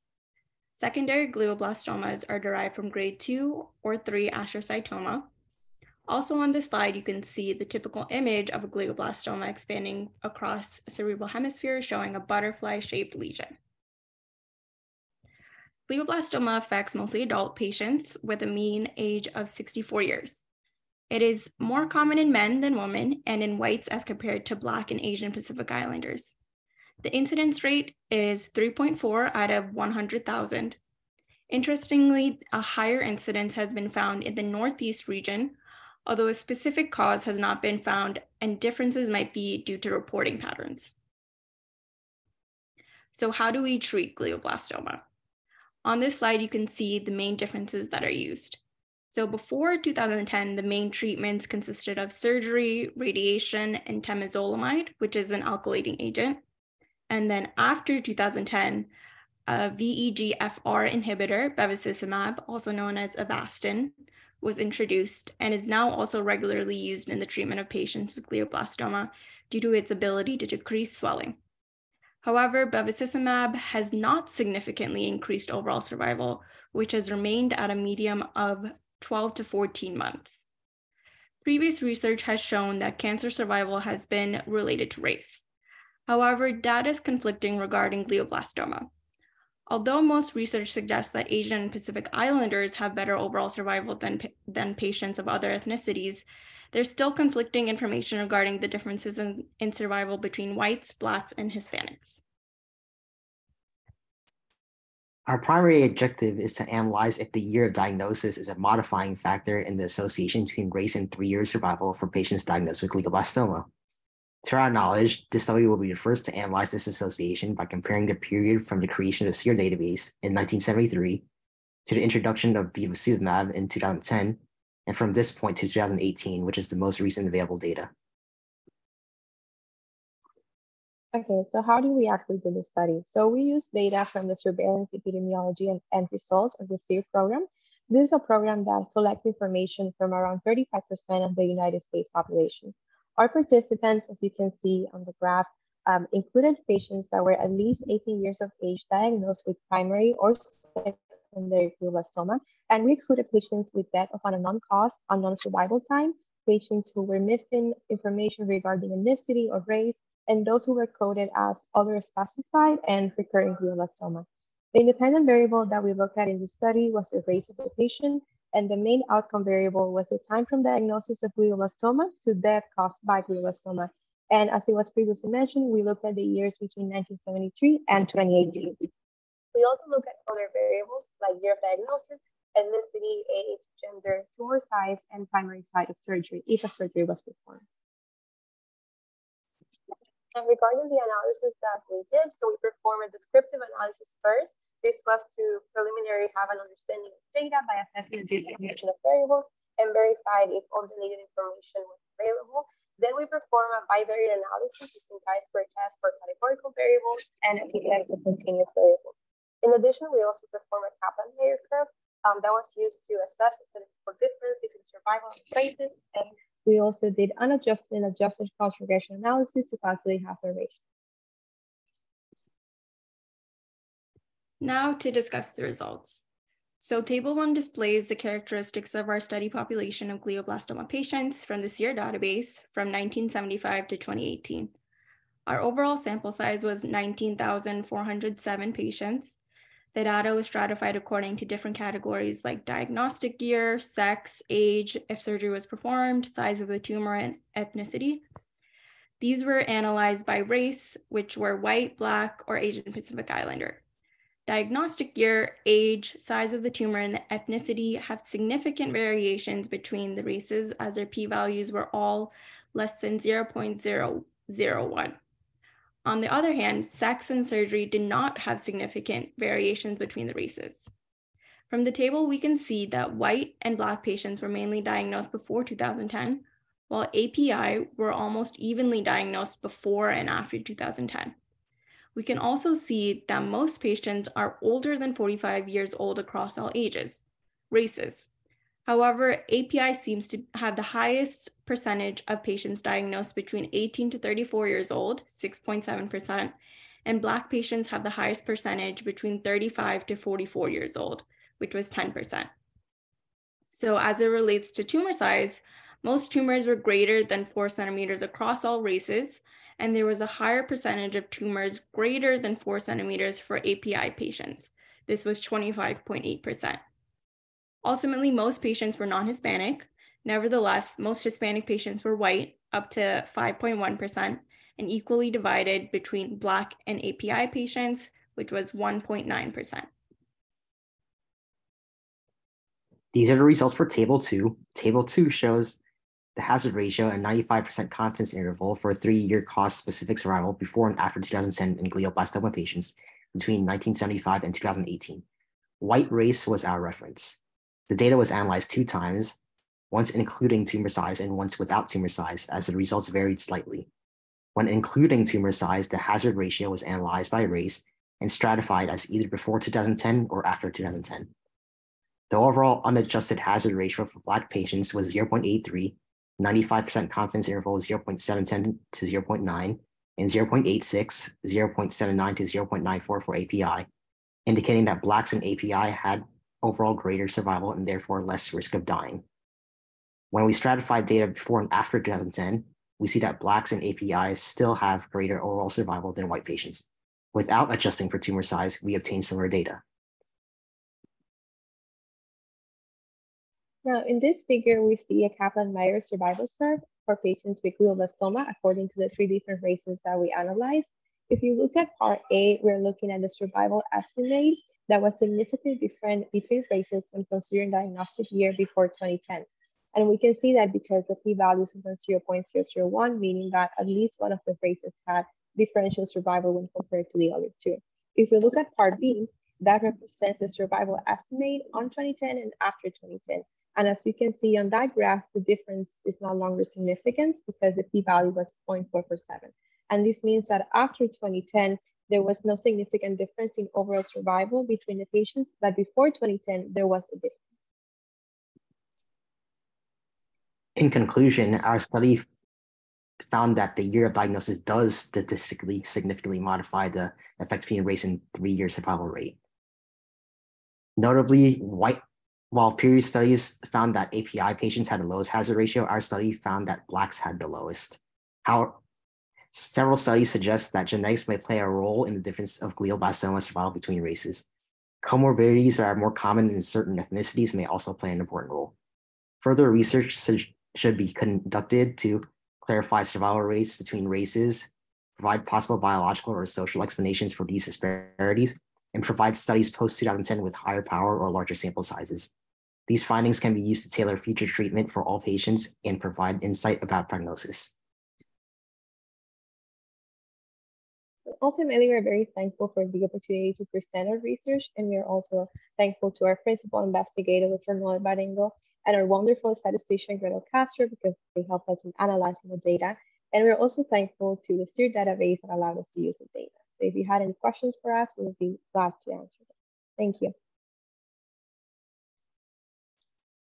My apologies, but I think we have to jump right into our next rapid fire presentation. Thank you so much, Maria, Christopher, and Abby. That was fantastic. And our final rapid fire presentation for the morning is from Subramanian Karthikeyan.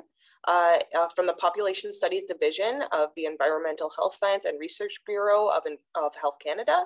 And uh, they will be presenting on the opportunities for the analysis of chemical exposures in racialized populations in Canada.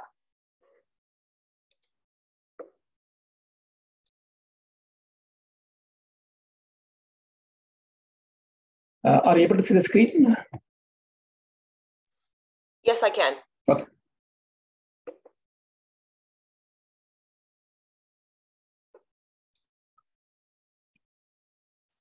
Okay. Um, yeah, thanks, uh, Catherine, and uh, good afternoon, everyone. Uh, today, I will talk about some of the work we recently conducted using the data collected as part of the Canadian Health Measures Survey uh, looking at the opportunities for the assessment of chemical exposures in racialized populations of Canada. Um, as we all know, uh, racial background is a known modifier of chemical exposures uh, for various reasons like uh, uh, varied dietary habits, genetic factors, or socioeconomic status. Um, a systematic exploration of race as a modifier of chemical exposures is, uh, is, is a, a, need and priority in, in the Canadian context for a, couple of uh, key reasons. Uh, one is, uh, you know, as CIHI identified recently, there is a dearth of race-based data in the health sector in Canada.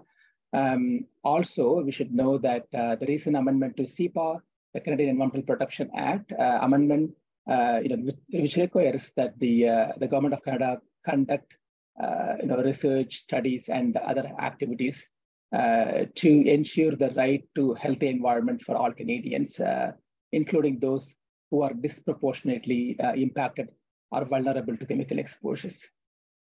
Uh, so the work uh, we did, um, or which, which we're currently conducting, is looking at uh, you know how exactly or uh, um, you know how appropriately we can do this type of analysis using the data collected as part of the Canadian Health Measures Survey.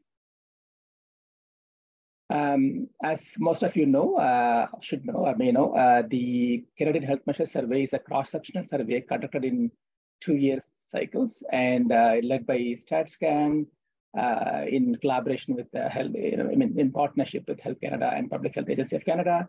Um, it samples approximately 5,000 to 6,000 Canadians across, you know, uh, people of Canada uh, of ages uh, 3 to 79 um, per cycle. And uh, over the past six completed cycles of the survey, the CHMS has sampled more than 35,000 people uh, for uh, approximately 250 chemicals. So the key questions that we had as part of this analysis are, is the CHMS sample representative of the racial populations of Canada, just so that actually we can confidently say that the analysis we do is meaningful. And secondly, um, if we uh, are proceeding with analysis, um, what type of constraints uh, that the CHMS sample may pose uh, for any race-based analysis. Uh, our first question again was, uh, was a CHMS sample, or CHMS, is a CHMS sample representative of the Canadian population? Um, we compared the data collected as part, uh, as part of the, the CHMS cycle four in 2016-17 to the uh, the, the, the, the, the, Canadian census data from 2016, uh, the corresponding time frame. And we noticed that uh, the CHMS sample fairly uh, closely aligns with the Canadian census for the proportion of um, uh, visible minorities, um, including a, a, number of uh, visible minority racial groups sampled across Canada. Um, I mean, only the exception actually to this would be that uh, the CHMS does not uh, include persons living in the three territories and on reserves and other indigenous settlements. So the, the, the, representative, the representativeness of the CHMS for the indigenous populations of Canada, um, you know, is not, uh, is not good. So Um, I mean, obviously, actually, the uh, you know the indigenous populations of Canada actually are, are sampled more effectively um, through various focused surveys such as the NCP projects and uh, FNBA, etc. And for the second part of the question, which actually was like, are there any statistical constraints uh, or what type of opportunities that uh, the CHMS provides for racial analysis of chemical exposures? Um, for this purpose, we, you know, obviously we didn't, we could not go through all the different chemicals. We chose uh, five different chemicals which are currently risk managed by Canada. Um, I will actually give you the example of the lead only uh, for the sake of uh, time. Um, and for the grouping of racial subpopulations, we use the CIHI's standard, uh, the minimum, sta minimum standard for the race and indigenous identity data collection. Uh, so essentially, we group the, the races within CHMS into this uh, uh, eight groups for the purpose of this analysis. Um, one question that we had was um, using CHMS data, are we able to uh, produce uh, um, meaningful estimates uh, for example, the averages or the percentiles for various racial populations. Um, indeed, actually, uh, you know, using the current sample size in CHMS, uh, we are able to produce the, the geometric means uh, at the national level, uh, both by age and sex uh, for the, the different racial groups we uh, assessed. Um, in some cases, when you're trying to do the the the the, the estimates, the, the, such as the, the upper percent, percentile estimates, like the 95th or the 90 percentile estimates, uh, we may have some difficulties because of the uh, the sample size, which may not allow, um, when, when the sample size is actually smaller, uh, according to the confidentiality requirements of the Statistics Act, uh, you cannot actually release those estimates. So when you actually go for the some of the higher percentiles, uh, there is that uh, constraint. you know, for example, like you may need actually at least 100 participants in a sample to be able to produce a 90th percentile so which may not be possible uh, when you, for certain racial groups, um, uh, especially when you divide by age or sex. So this is a constraint. However, when you combine multiple cycles of data from CHMS, that's not an issue. So again, um, the single cycle, you may have some constraints, but then actually when you combine multiple cycles of data, that, that constraint is not uh, is no longer there for most racial groups. And we also did uh, some comparisons of the of the racial groups uh, for the concentrations of various chemicals. Uh, we, did, we, did, two, two different types of comparisons. We compared uh, uh, the different racial groups to the to white as a reference group in this particular case, um, or um, we also attempted a, you know another type of comparison where each racial group was compared to the rest of the Canadian population. Um, in either of those scenarios, when you when we actually had a, a single cycle of data um, you know, we were able to, you know, find out, for, depending on the chemical, uh, certain types of contrast. For example, like for the lead concentrations here, um, the, there was a significantly higher concentration of lead actually in the South Asian population compared to the rest of Canada.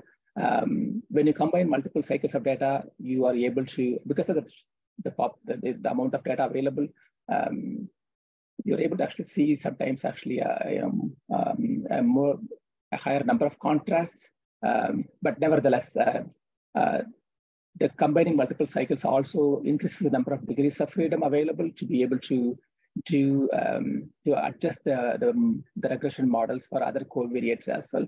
So essentially, I think it allows for more robust analysis. But the only thing that you need to consider when you combine multiple cycles data is that actually now are the uh, are there any specific trends in the in the concentrations over the cycles or uh, other method variations that may uh, preclude the possibility or preclude the appropriateness of combining multiple cycles of data. data. Uh, the data from the CHMS also allows uh, the calculation of um, uh, trends uh, in the concentrations for, for various chemicals. Uh, again, actually, they, you know, the, this type of analysis actually will give us some clues as to if the overall population trends that you see for certain chemicals like lead and cadmium and so on, uh, are they also present actually for various population groups uh, by race. Uh, you know, are, are, we are we seeing any, any, any kind of disparities in the, in among the racial populations? Uh, so certainly, this you know CHMS allows such type of analysis. Uh, overall, um, um, the, some of the work, the preliminary work we have done so far shows that the CHMS provides a good representation of the racial populations in Canada. Um, that allows us to be able to conduct race-based uh, analysis of uh, uh, chemical exposures. Um, and then the, essentially the sample sizes actually are generally sufficient to produce uh, geometric mean estimates for the races, uh, even by age and sex. Um, however, when combined, when you're able to combine multiple cycles, um, it increases the sample size to be able to do certain upper percentile estimates, like the 95% percentile, 90 percentiles um, for certain racial groups. Um, it also actually increases the degrees of freedom available to be able to do uh, um, a more robust um, adjustment of various factors in the model. Um, and then the, we can also actually do the trend analysis um, with the type of data available in, in CHMS. Um, so overall, I think the CHMS data, data set provides a very invaluable tool for race-based assessment of uh, chemical exposures. Uh, in terms of what we where we're proceeding next, we uh, one of the things we did not do uh, is like for the chemicals we looked at, um, we did not actually uh, do any kind of uh, um, further assessment to see like where the differences where the differences among races are coming from. Um, and then we may also actually expand the analysis to more of a screening type of analysis where we can look at multiple races simultaneously for a large number of chemicals. Um, uh, that's one thing that actually we're considering. Uh, and similarly, like essentially, you know, we also want to be able to associate the, the differences in the chemical exposures to uh, to and um, to, to, health outcomes also based on uh, CHMS or through data linkages. Um, and we also actually hope that any of the constraints, any of the you know the constraints we find um, may allow us to identify or further develop um, methodologies uh, or even actually sampling strategies for the future cycles of CHMS or through targeted samples um, focused on specific groups uh, to be able to uh, better assess the racial populations um, of Canada. Thank you. If you have any, questions, please let me know.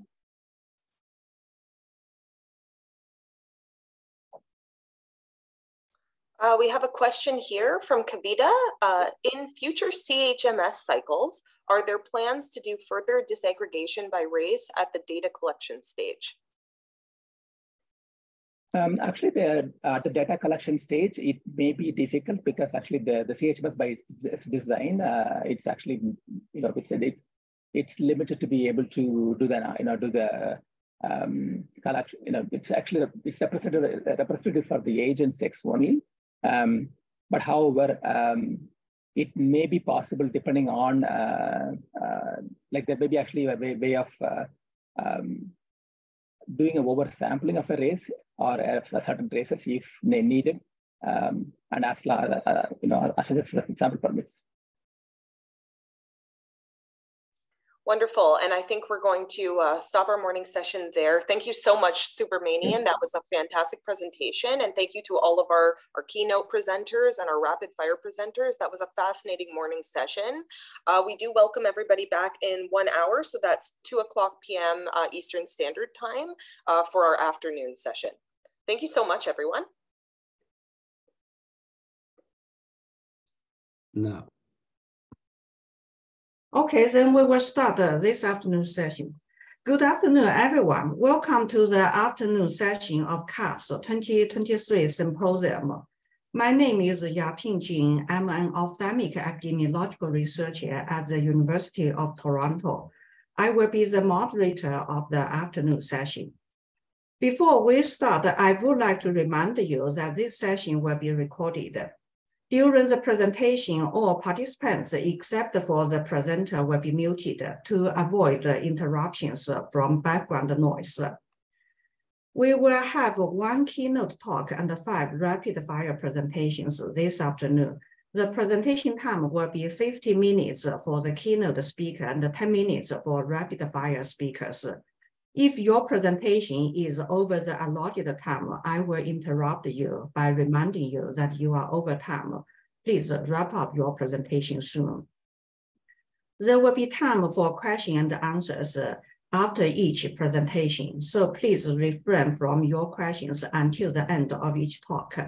The question and answer period is 10 minutes for the keynote talk and two minutes for the rapid fire presentations. There are two ways to ask questions. One is to use the raise hand function on Zoom, so we can unmute you or you can actually unmute yourself and state your questions. The other way is to type your questions in the chat box. We will read your questions to the speaker and the audience. Now, it is my great pleasure to introduce our keynote speaker, Dr. Carlos uh, Quiñonez. I'm hoping I pronounce your name correctly. Dr. Quiñonez is a dental public health specialist, professor, and vice dean and director of dentistry at the Western Schulich School of Medicine and Dentistry. Dr. Quiñonez' research centers on the politics and the economics of dentistry with a special focus on health and social equity. He is the author of The Politics of uh, Dental Care in Canada, published by Canadian Scholars Press. And he is uh, regularly called upon by government and non-governmental agencies to provide advice on issues of dental care policy. Today, Dr. Quiñonez' presentation title is Addressing Inequities in the Social Determinants of Health Through Public Health Surveillance, the Case of Oral Health and the Care. Dr. Quiñonez, go ahead, please. Thank you, Dr. Jen. So uh, everybody can hear me okay? Just give me a thumbs up. If I don't hear anything, I'll assume that I'm okay. So I'm just going to share my screen. And we should be good to go. Okay. Yeah. So thank you again for inviting me uh, to present um, at at, uh, at, your group's uh, presentations. I, I, have uh, never pronounced the whole the, the whole name, so I'll say the acronym CARRFS. I hope CARRFS is okay. Um, I'll begin my presentation by stating that I have no conflicts of interest to declare. Um, I'm not going to go over the learning goals because you should have them in the program, and the learning goals essentially reflect the CARRFS uh, uh, goals for for uh, or objectives for the conference. Um, but I hope to help you understand inequity in oral health and access to dental care and how that affects population oral health in the healthcare system, uh, moving through exploring best practices for data analysis, uh, presentation, and dissemination of results. And this last bit will really be about just giving you, you know, just pay attention to how I'm presenting the information because that has proven successful in, in our efforts to sort of drive change in, in the oral healthcare system. So where are we today?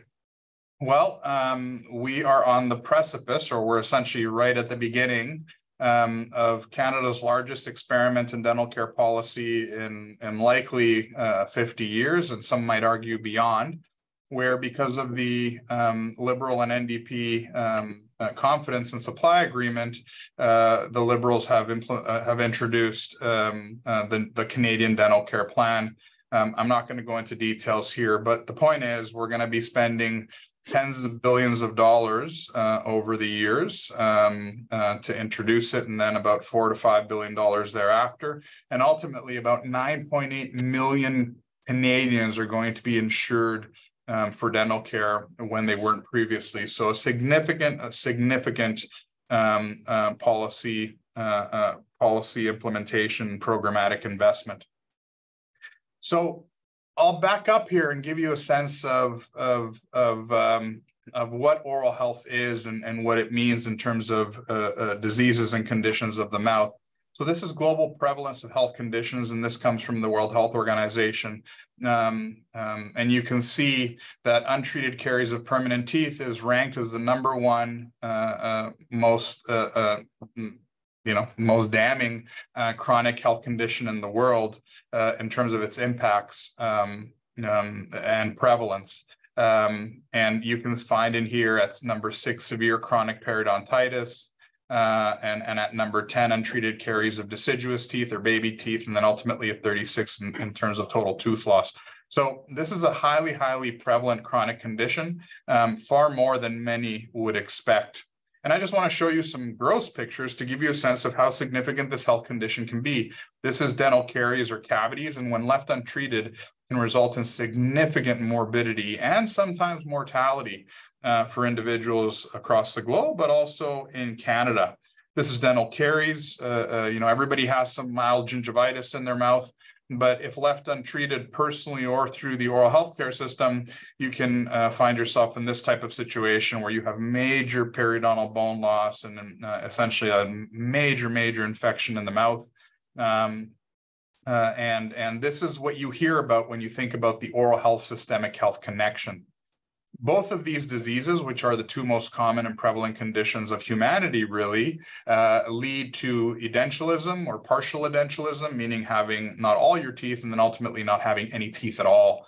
And this uh, influences everything from uh, chewing, speaking, um, uh, digestion. Uh, uh, there's links to cognitive decline, for example. But you know, at, at, a, at a certain point, you're not going to be able to function effectively in society in terms of uh, uh, getting a job. You know, you're not even going to get a job at a at, a, at low wage work if you don't have um, if you're missing your front teeth, for example. And then, of course, there's oral cavity and oropharyngeal cancer. Far less prevalent, but um, you know, not often diagnosed as quickly as we would want it. And, and the five-year mortality rate of these cancers now is at about 50%. Um, it, it used to be lower, uh, but significant morbidity and again, mortality. So these are the, the general conditions that, and diseases that we would be worrying about with respect to oral health. So how do we spend money uh, uh in terms of health and dental care in Canada?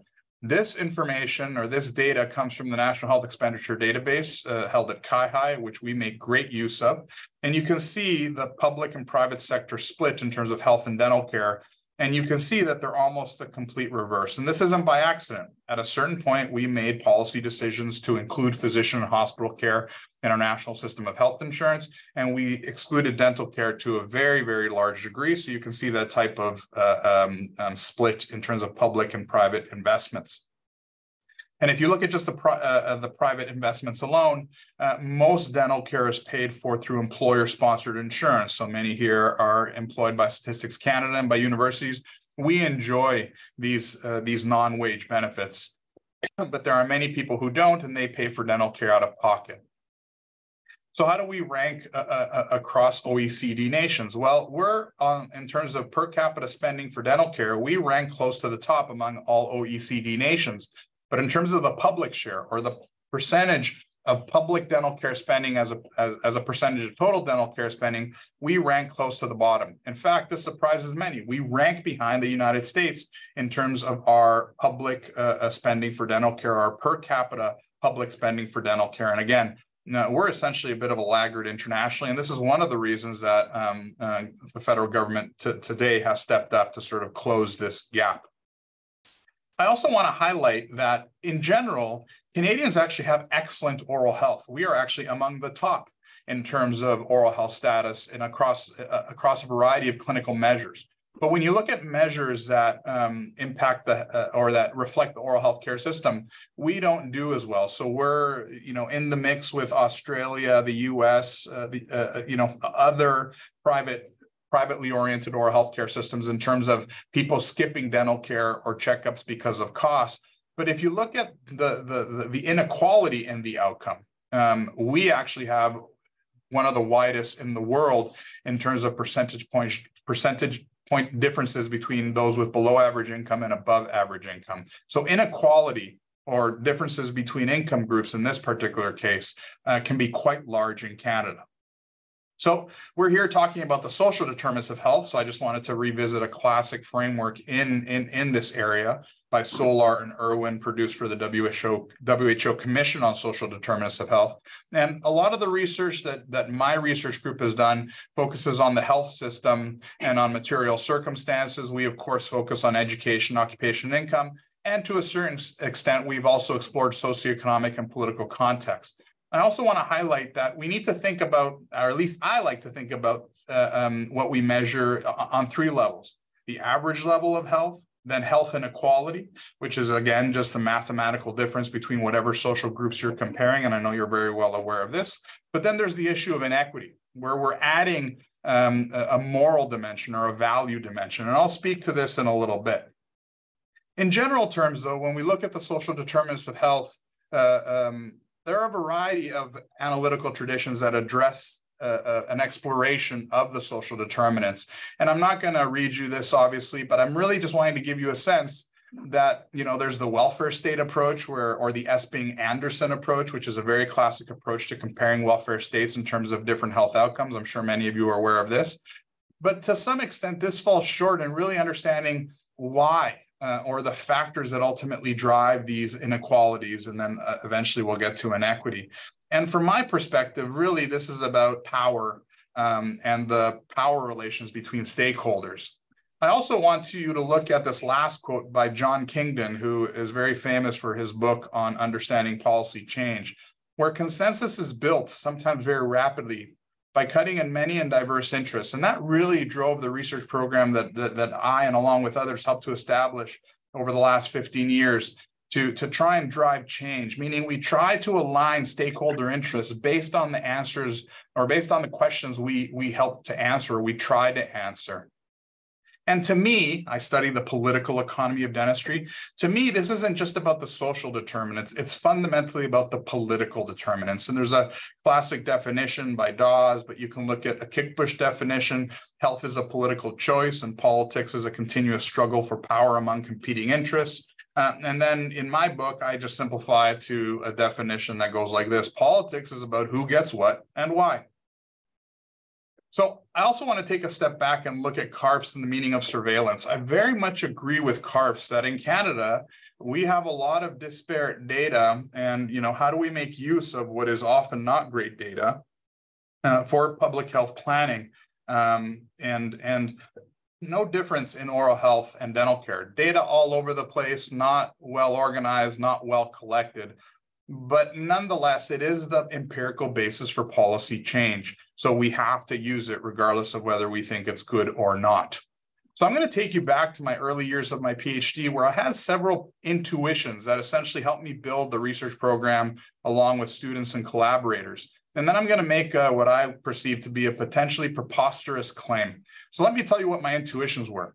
Uh, people love to hear about themselves dentists love to hear about themselves. So uh, through historical work and all the research that I subsequently did, um, I wanted to tell them their story. I wanted to feed back the world to them or the world they live in um, uh, to help align interests, as I said before, because again, we are trying to address the social determinants, not just describe them.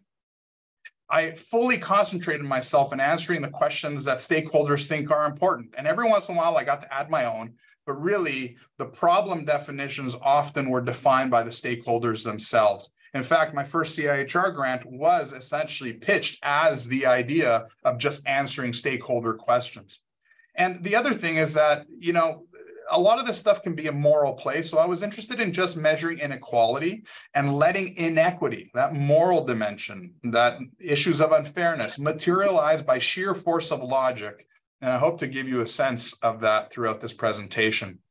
And my preposterous claim is that over a 15 year period, along with my students and collaborators, our research program uh, using existing Canadian data sets uh, helped to successfully argue uh, for change in Canada's oral healthcare system. I would never make the claim that we are responsible for what is happening today, but if you look at the major policy documents that are being produced today by the federal government, provincial governments, and even some international bodies, you will find our work in there, and that's very satisfying to me. And hopefully, we have made some, um, we played some positive role in making change.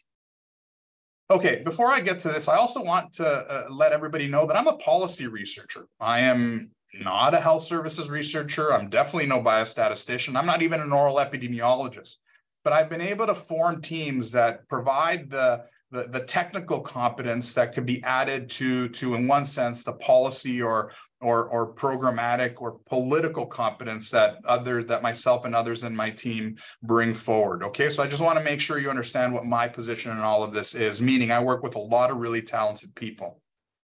So again back to the national health expenditure database this is total dental care expenditure in, in Canada per capita from 1926 to 2010 in constant dollars. And this is sort of like the basic framework that we worked on, meaning we started telling Canadian dentists and policymakers the, their story based on this expenditure curve. What was happening in the 30s and the 40s, 50s, and so on? Why did we get this big bulge in the 70s in terms of um, um, expenditure, Canadian expenditures for dental care? Um, so we told a very, very rich uh, policy history in relation to this expenditure curve. We also told every single jurisdiction, province or territory, their same story. This is private dental care expenditure per capita by province. Um, and we literally traced out a policy history for all of these areas. And I'll speak to why that's important later. And we also told uh, governments the exact same thing and, prof and professional stakeholders the exact same thing with respect to public dental care. And we'll explore um, um, the this curve in a little bit. This is disaggregated, obviously, but we'll we'll explore it for Canada in a little bit. So, okay, this is total dental care expenditure in Canada from 1975 to 2021, and it shows you that for the most part, we spend private dollars on dental care. Again, all of this coming from NHEX uh, and CIHI. And you can see that most dental care is paid for privately. That's that red line that follows that total blue line. And you can see the effects of COVID-19 at the end. And then you can see how publicly we spend so little, as I said earlier. Now, what's important about this is that it shows there's this tension in Canadian dentistry between public and private dentistry, between public and private roles and public and private responsibilities. And here you can start seeing the issue of inequity arise out of a, a, sheer, a simple descriptive assessment of inequality. So now let's look at public dental care spending. Um, so we're looking at that green curve much in much in much greater detail. Governments did make investments throughout the 60s and 70s, but then there has been a general decline. And in the sociology of, of health, this is, tends to be called government uh, uh, welfare state retrenchment. But we see a little bit of a kickback uh, into more recent years, and that's because governments have been reinvesting in dental care, and then comes ultimately the huge investments that the federal government is now is now engaging in. Now, this is work that I'm very, very proud of that helps us understand how the, the public have responded to changes in policy over time. I'm not going to, again, go into much detail into all of the data that I show you, but I wanted to show you what we could do, for example, with the, the family, uh, um, uh, the survey of family uh, expenditures, uh, and then ultimately its successor, the survey of household spending. Um, this is work that I did with Paul Grootendorst, a colleague of mine at U of T, a pharmacoeconomist where we uh, calculated um, Engel curves, essentially household budgetary shares for dental care over time.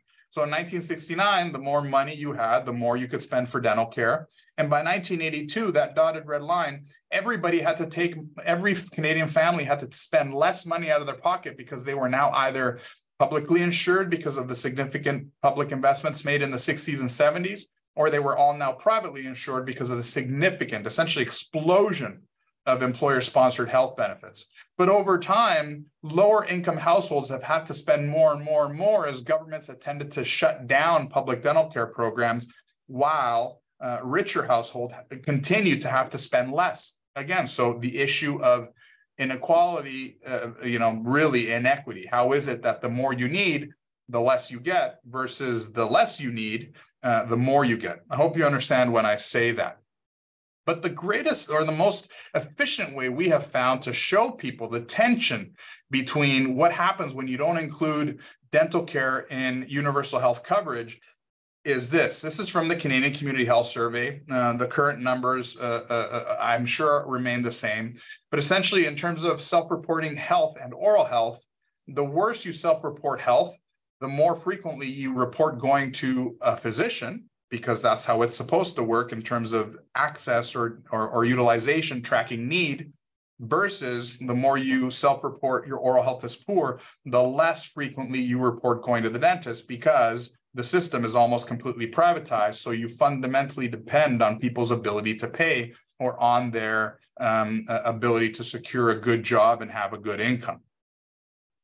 So the Canadian Health Measure Survey was an opportunity for us to actually get clinical measures. The first time in about 30 years, the last time we collected clinical measures of oral health was in the early 70s through the uh, National Nutrition uh, uh, Health Survey, and we'll revisit that survey later on. But the point is clear gradients, income gradients in terms of decayed teeth and missing teeth. Clear gradients in terms of self reported dental pain and self reported difficulty eating food again, all relatively new information for us as as uh, um, as provided by the Canadian Health Measures Survey. And thank goodness we are now about to embark on a new In fact, we're already in the field with a new Canadian Health Measures survey that is collecting oral health data and more. So again, no surprise when we start looking at cost barriers to dental care, again, using CHMS data. People who avoid the dentist and people who declined recommended treatment tend to have more decayed teeth, tend to have more missing teeth, um, um, and, and even more filled teeth. Okay, so again, we don't need to go into the details here, but just to give you a sense of the descriptive type of work that we've conducted in this area. Now, if you look at clinically determined needs, this is an area where I want to highlight the average level of health. Most Canadians don't require any major dental care, 67.2% as per the Canadian Health Measures survey in 2007 and 9. No major dental care needs. But when you look at the, the, the, the distribution of, of, of these uh, needs. You can see that low low income uh, clearly is related to having a major dental care need as is not being able to uh, afford dental care in the past. And similarly, uh, uh, if you look at uh, uh, um, those that will require treatment, you are more likely or you will more frequently require uh, treatment if you avoided the dentist because of cost or if you declined recommended treatment because of cost. So again, clear, clear inequality. And hopefully we're now starting to get a sense of the inequity in this system. And ultimately for us, this was an issue of who has dental insurance and who has a good income. So the older you are, the less frequently you report having dental insurance, and the lower your income, the less frequently you report having dental insurance. No surprise. And by the way, this is also CHMS data that was analyzed for our work for the Canadian Academy of Health Sciences report on improving access to oral health care. And again, clear gradients when you start looking at self-reported cost barriers to dental care over time. So this is Canadian Community Health Survey data again, and over time, or at least these three time points, you see that Canadians are with greater frequency reporting cost barriers to dental care. Now, if you track this, the rate of change, I don't, I'm not showing this data today, but if you track the rate of change of these uh, self-reported cost barriers to dental care, the greatest rate of change is actually among low and middle income Canadians, not the lowest incomes, and obviously definitely not the highest incomes. And why is that? Well, because if you're middle income or if you're that, that group in the middle, you tend to not have jobs that will give you good benefits coverage. Um, um, or you are underinsured, meaning the benefits coverage is actually not good at all. Uh, but you but you make too much money to be able to uh, access public dental care programs within the provinces and territories. And here you can see that over time, um, we're starting to see a, a, signal develop that by 2009, those in the lower uh, uh, lower middle middle income groups um, were the were the groups that were the least insured in the country. And if we expand this in the context of Ontario, again, still using CCHS data, you can see that over time in Ontario, um, greater frequency of those that are uninsured uh, are reporting these cost barriers to dental care. All right. And I'm having to jump between Canada and Ontario in certain cases because of the incompleteness of the data. And we will discuss that later as well. So why have self-reported cost barriers to dental care uh, increased over time? Well, because private employers or sorry, private insurers or employers, um, because the, the insurers really represent uh, the employers. Um, they've been paying less and less of the dental bill. You know, in the early 2000s, for a whole host of reasons, which we won't talk about today, uh, private insurance was just paying less and less of the dental bill. Now, I was very lucky to be able to access this data.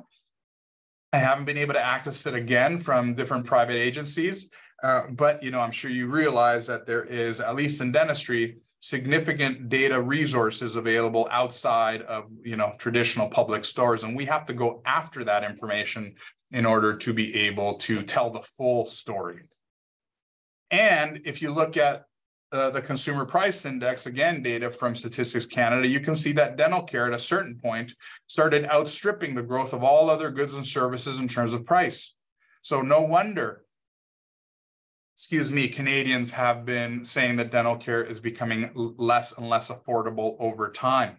In fact, if you look in Ontario, uh, uh, if you if you exclude tobacco, dental care has had the greatest rate of inflation compared to all other items that are included in the consumer price index. So we're really at a, at a crisis point. And in one sense, this is why Canadian governments and specifically the federal government most recently has, has, has felt the need to step in and correct what is essentially a failing market, right? We're no longer efficiently distributing resources, especially if we are trying to distribute resources based on need and not simply demand. Okay, so this has implications not just on individuals, but also on our healthcare system back in 2004 or so, as I began my PhD, um, we, we, we, and along with others uh, uh, at the Institute for Clinical Evaluative Sciences, um, started exploring um, visits to dental, uh, to emergency departments and hospitalizations that resulted from those visits uh, with respect to oral health problems. And what we found is that those age groups that don't tend to have public programs available for them within the provinces, in this case, Ontario, this is Ontario data, by the way. They tend to have to go to the emergency department when they can't access dental care for a whole host of reasons. Um, uh, in terms of neighborhood income quintile, the lowest uh, uh, neighborhood income quintile areas obviously go with more frequency. And then ultimately you're at an emergency room and you're given a, a painkiller and an antibiotic and you're told to go home because there are no dentists in hospital emergency rooms. And then ultimately, if you do get hospitalized, uh, it's incredibly, incredibly costly.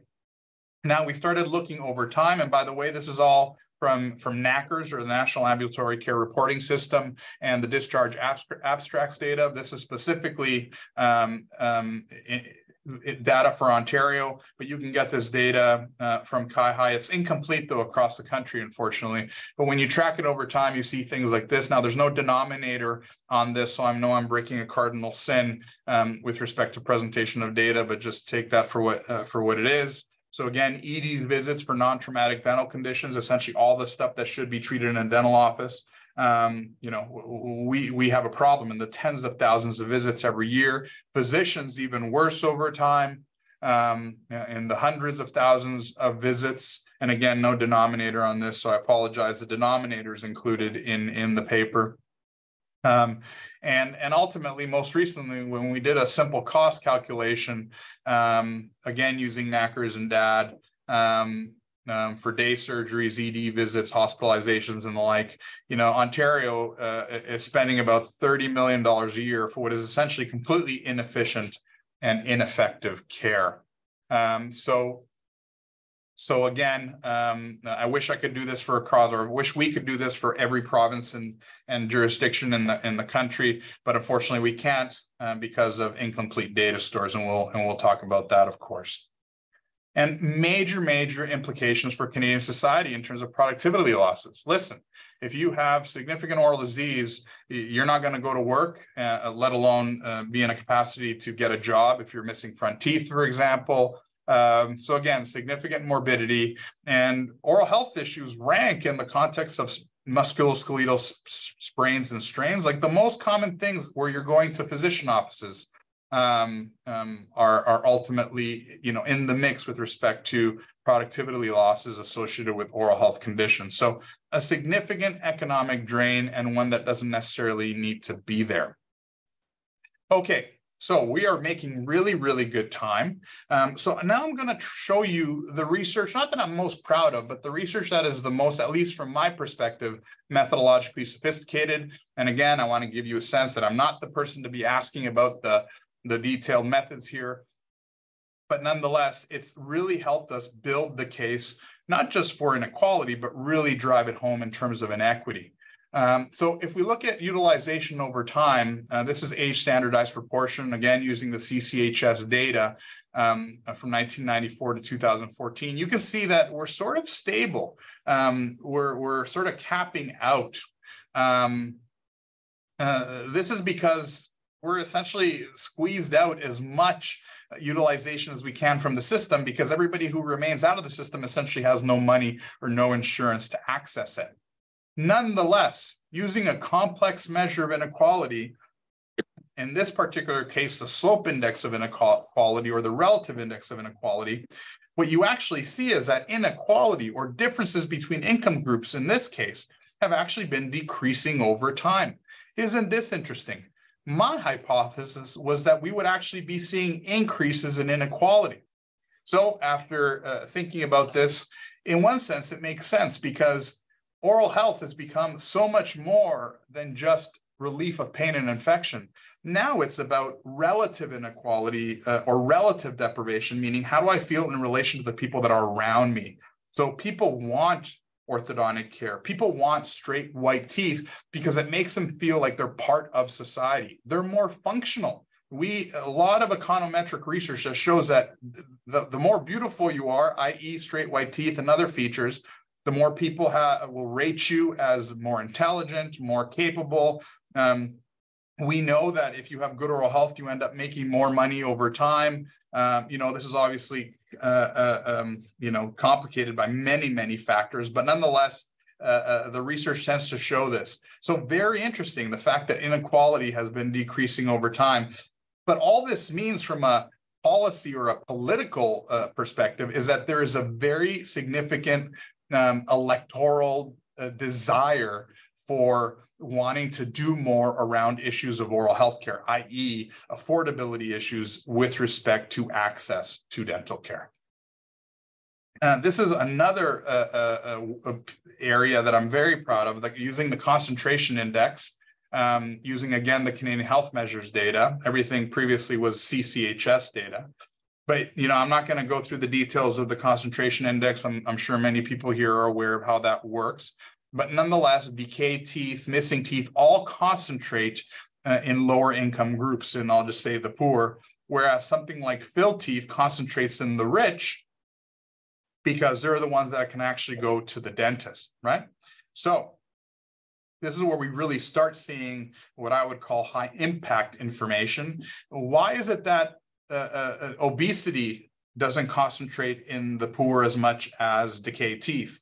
Or why is it that high blood pressure doesn't concentrate in the poor as much as missing teeth? Well, uh, uh, there's a much greater magnitude of concentration of oral health related outcomes in, in lower income groups because of the nature of our oral health care system, or at least that's the claim. All right. Because if you're obese or if you have high blood pressure or at risk for those things, you get to go to the physician uh, uh, to get um, either treatment or information to help you improve your health. Okay. But you don't have that luxury when it comes to decayed and missing teeth because you're shut out of the system.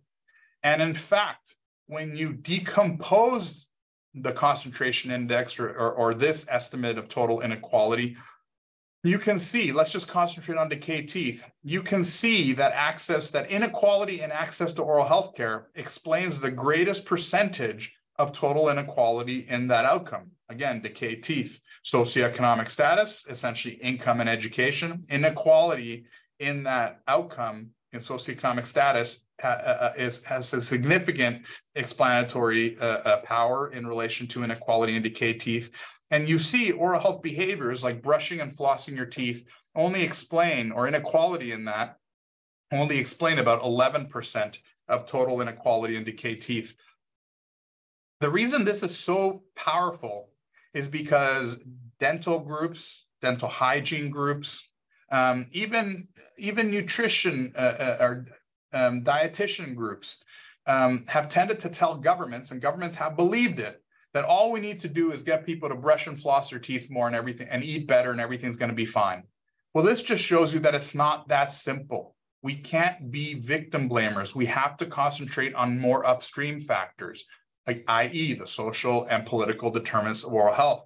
Because if you really did want to reduce inequality in decayed teeth, for example, you would likely find your greatest answer in things like access to oral health care or improving social and economic conditions. So again, this is a very, very powerful slide to me, to me and has allowed me to make very significant stride or inroads with policymakers of all kinds. Um, and again, uh, data from the CHMS, and we're going to be able to compare it with the new data in the CHMS, which should be available to us in about four to five years. And we've done some descriptive work to look at the impacts of, of, um, of provincial public dental care programs and territorial public dental care programs. And it's never a real clean signal, but this is again just qualitative assessment of, of, of this graph. Um, but this is the odds of not visiting a dentist uh, among Canadians uh, 12 to 17 years old, uh, um, shown in relation to provinces that have adolescent programs and provinces that don't. So provinces like Manitoba, Alberta, BC, New Brunswick, they don't tend to have public dental care programs or at least province-wide programs for adolescents. And what you see is a general trend towards um, if you have poor oral health, not going to the dentist in those jurisdictions. Now, I'm not going to show you the rest, but we've done this for adults, we've done this with seniors, and you tend to see the same general um, um, um, um outcome that in those provinces that have robust public dental care programs, or invests more on a per capita basis for public dental care, you tend to see lesser rates of not going to the dentist um, if you have poor oral health. This was a marginal effects analysis for, uh, for dental insurance uh, and its effects on yearly dental visits and only visiting for emergencies in Ontario, uh, uh again using the CCHS. And again, you don't need to look at the, the figures in any detail or the table in any detail. But what you'll see is that um, in terms of the marginal difference, uh, the greatest impact would be seen among lower income groups. So one could imagine a world where if you provided dental insurance to the population, you'd get more dental care utilization among the lowest income groups, at least for some time because of, of a pent up need or pent up demand.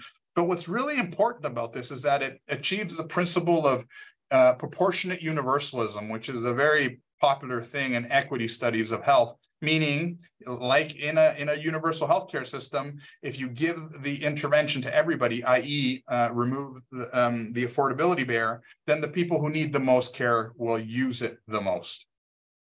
Um, we've also been able to look use the CCHS to look at the connection between self-reported oral health outcomes and chronic disease outcomes. And you can see here that you are at a greater odds of experiencing a variety of chronic conditions. Again, all self-reported information, um, if you self-report your oral health as poor. Um, and the signal becomes much more precise once you're past age 60. So what we're what we what we know is that poor oral health isn't going to uh, erode your health in a span of a year or a span of five to 10 years. It takes a lifetime. But by the time you're older and you've experienced poor oral health for 30, 40, 50 years, you really are at risk. Now, I'm not going to get into the pathobiology. There's a lot of people that actually think that this is too too complicated by uh, uh, uh by uh, socioeconomic status, et cetera. Um, nonetheless, when you do the work to try and tease out the signal as best you can, you still see these things. And now we're starting to get more of a greater biological understanding of why something like this might be. Um, I'm very proud of this. This is work where we used the Canadian Community Health Survey and linked it to administrative data in Ontario um, to create a retrospective cohort to look at diabetics in this case and whether those diabetics that had poor oral health um, and tended to have worse diabetic outcomes than those diabetics with good oral health. Now, the reason we chose diabetes is because the strongest evidence of a bidirectional link between oral health and a health condition is in diabetes. And what you see here is that after adjusting for every possible thing that we could that we could adjust for, um, you're at a higher likelihood of having a chronic uh, diabetic outcome um, if you if you were a diabetic with poor oral health compared to a diabetic with good oral health. And these are not minor issues: myocardial infarction, stroke, foot ulcers, limb amputations, kidney failure, dialysis, retinopathy. So this is not nice, nice stuff. Um, this is the latest. Uh, again, we linked CCHS data over time, uh, cross-sectional uh, uh, uh waves of it to, uh, to administrative data, health administrative data. And we were looking here of the relationship with chronic, with heart disease and cardiovascular outcomes, because that's another place where the data or where the data on causality is strong. Essentially, the story here is that the worse you rate your, your oral health, the greater um, um, the incidence of you experiencing at least ischemic heart disease and stroke, or depending on the measure, things like coronary heart disease and stroke. Now, what is most interesting, and this is where really I am nowhere nowhere to be found in terms of the analytical component. Uh, I had a student work with uh, with individuals at the Lana School of Public Health using a competing risk, competing risk analysis here, competing death. And what was most interesting is yes, poor oral health, however you want to measure it, self-rated oral health, uh, uh, self-reported inability to chew, will result in a greater uh, uh, incidence of of uh, of whatever outcome you're looking at um, um, if you if you have poor oral health compared to if you have good oral health. But what's most interesting is that poor oral health is actually much greater at at at at, at predicting. Um, if I could use that term, uh, competing death, meaning you are going to die for from all causes at a much greater rate than you are for any cardiovascular disease outcome, for example. So what this tells you is that it's not that poor oral health can be conceived of as a risk factor. You can do that, and there's people trying to figure that out. But we should be thinking about poor oral health as a risk indicator, as something that physicians, for example, can pay attention to if they're interested in averting uh, premature death, for example. I'm almost done here, so we're making good time. Um, we've also been able to use uh, uh, CHMS data and Nutrition uh, Canada survey data from the early 1970s to compare with other countries. Here, I'm just showing you comparisons between Canada and the US over time. And this is the issue of monitoring inequality. And don't worry about the details here, but the story is that in in absolute terms, things have gotten better in Canada, meaning there's less oral disease across the population. But relative differences in that experience of oral disease have actually gotten worse. Um, and there's a lot of detail here, and it's all hypothesis testing or hypothesis uh, generation. It's not hypothesis testing work. But nonetheless, what's interesting about this is that things tend to still be worse in the United States, even though they fund more public dental care. So what this tells you is that it's not just about access to dental care. Um, that's a big portion of it, but there's a whole bunch of other social and living condition issues that we need to consider if we really are interested in not just improving the average level of oral health, the average level of access to dental care, but reducing inequality, or I hope by this point I can say inequity in these outcomes. Um, I'm going to leave, uh, I'm not going to discuss this because I think I've really made my point. So what's my take home message?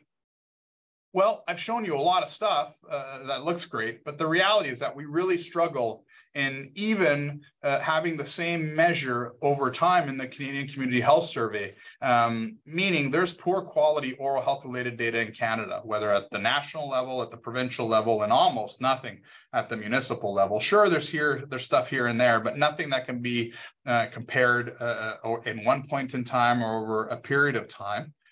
The thing is, though, I want to stress that you can still make lemons out of, you can still make lemonade out of lemons. And, and hopefully we've been able to do that. What's really important today, though, is that the current federal oral health investment provides us a significant opportunity to create a new and strong data infrastructure for oral health, one that spans the public and private sphere. The other stuff that I haven't shown you today, and I could speak to you for a whole day, obviously, about this, is that there's a lot of primary data collection occurring in this research program over time. There's a lot of other quantitative and qualitative research that is brought all together to tell a story, right? Um, and it's not a moral play. It's just these are the facts, at least as we see them, or at least as we've been able to tease them out. And it's about letting policymakers uh, decide whether there is, in fact, inequity, but you can really drive that perspective in the context of addressing the social determinants of health. And you can drive that perspective with good data and good analysis and good communication of that data. Surprisingly, though, the best way to communicate I have found is the simple descriptive information, not necessarily the, the, the, the more statistically complex uh, uh, presentation of findings. So I want you to ultimately think of survey as surveillance as action research. You know, we wake up in the morning and we do a lot of good work, but we want to do it in the service of others so that we can have a, a stronger and better Canada. So thank you very much. Thank you very much and for a very interesting presentation. Now it's uh, time for questions and answers. Once again, you can ask questions in two ways. One is use the raise hand function on Zoom.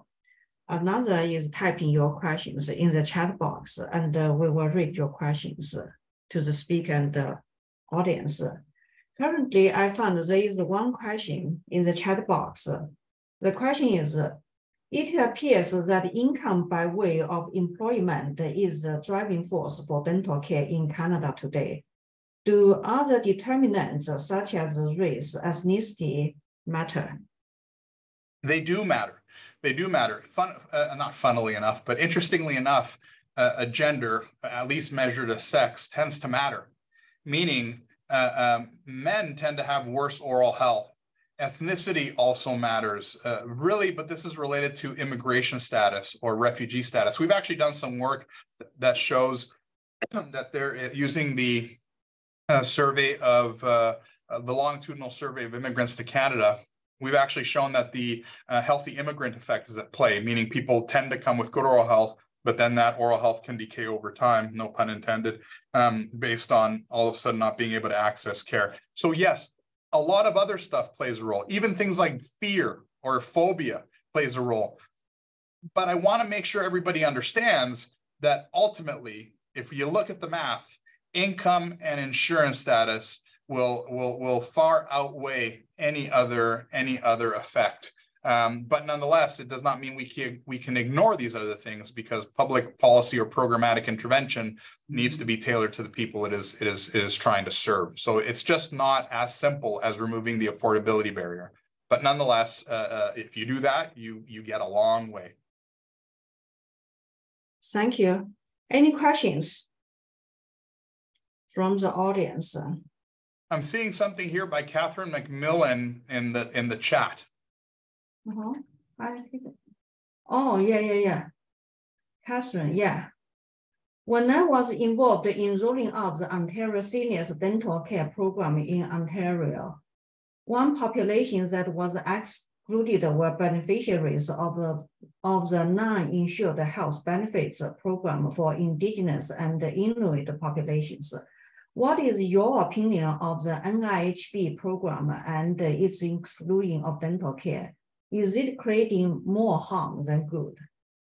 So really, really interesting question. And I will say this, um, having done a lot of research in this area as well, especially during my master's, um, that the non-insured health benefits program is actually the most robust dental care program in this country, and it far outspends any other public dental care program. In fact, when you add up all federal expenditure, it's about federal dental care or even uh, uh, Canada-wide public dental care expenditure, it's about two-fifths of those expenditure for a, for a small portion of the population.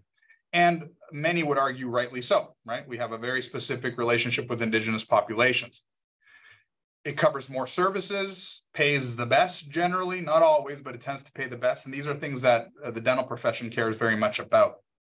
Where I think it causes problems, though, is that it confuses issues around what should be covered, right? Uh, uh, it, it, tends to cover so much that other public health programs feel that they need to be like the NIHB, uh, um, even though everybody tends to dislike the NIHB program.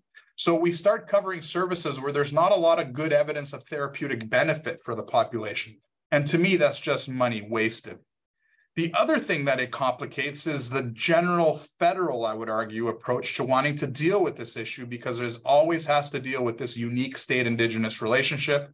Um, um, I'm not going to get into those politics per se, but it unfortunately muddies the water. And it doesn't have to, but it unfortunately muddies the water from a policy and, and political dynamic as we try to solve the issue of inequity in access to oral health care and inequity in oral health. Thank you. Any question or even comments? So if not, I just ask a naive question. I heard of this uh, dental care program for children and seniors in Ontario. Is that only the program for Ontario and all other pro Canadian provinces have the similar programs? So there's a variety of public dental care programs in Ontario. The two biggest ones that you're highlighting are on uh, the Healthy Smiles Ontario and the Ontario Disability Support Program. Uh, sorry, the uh, uh, um, Ontario Seniors Dental Care Program. But there's also a major program for people with disabilities called the Ontario Disability Support Program, and another major program for people on social assistance called Ontario Works.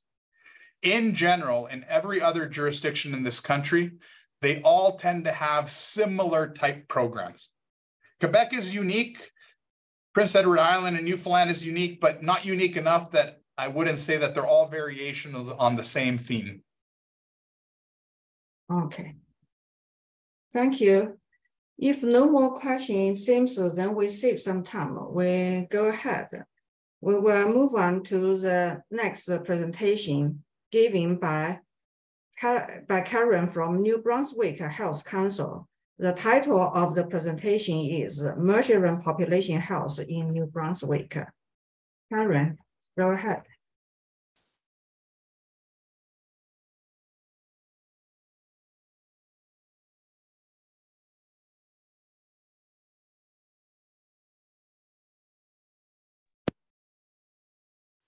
Uh, hi, can you hear me? Yes, we can hear and we can see well. Perfect, thank you. Um, well, my name is Karine Leblanc-Gagnon. I'm an information analyst here at the New Brunswick Health Council. I'll be talking to you about some tools we've created to help measure, monitor, and inform on population health in New Brunswick. Um, first, the agenda. So basically, who's the New Brunswick Health Council and what are some of the toolkits we're trying to create here to measure population health? And I'll give you a brief uh, tour of our website. So first, the New Brunswick Health Council is a provincial crown corporation that has a dual mandate. So the first one is public reporting on the health system performance. This includes population health reporting to ensure the services meet the population's current need. The second one is engaging citizens in the improvement of health services quality. The current structure of the council is 12 council members and we're uh, 17 staff. At the NBHC, we have designed a variety of tools to help develop a shared understanding of the unique realities of each communities and health zones in New Brunswick. On our websites that I'll be showing you at the end, you can find a few complementary ways to understand population health uh, in our communities. This is the model we use at the Health Council to measure, monitor, and inform New Brunswickers on population health in combination with demographic context. This model regroups determinants of health that can be influenced by programs and policies. The determinants of health have been grouped to show their general influence on the health outcomes.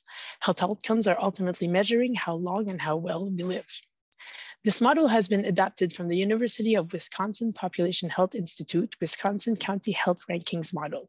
It was chosen after reviewing many frameworks and literature review on the de determinants of health. It's a model that's to having a good approach to health reporting.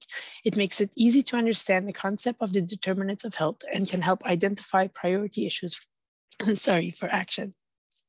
The Health Council has been using this model for quite a number of years. We realized very quickly that this model was a catalyst to be able to have a wider reach to population health information a stronger user base from various government entities and non-government entities, as well as a general understanding from citizens.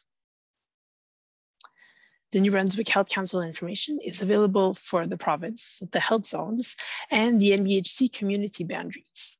On the map, you can see the dark purple lines representing the seven health zones in New Brunswick, and the light gray lines, which are the 33 New Brunswick Health Council communities. These community boundaries are based on the catchment areas of healthcare service establishments. These communities vary from roughly 7,000 people to up to 90,000 people.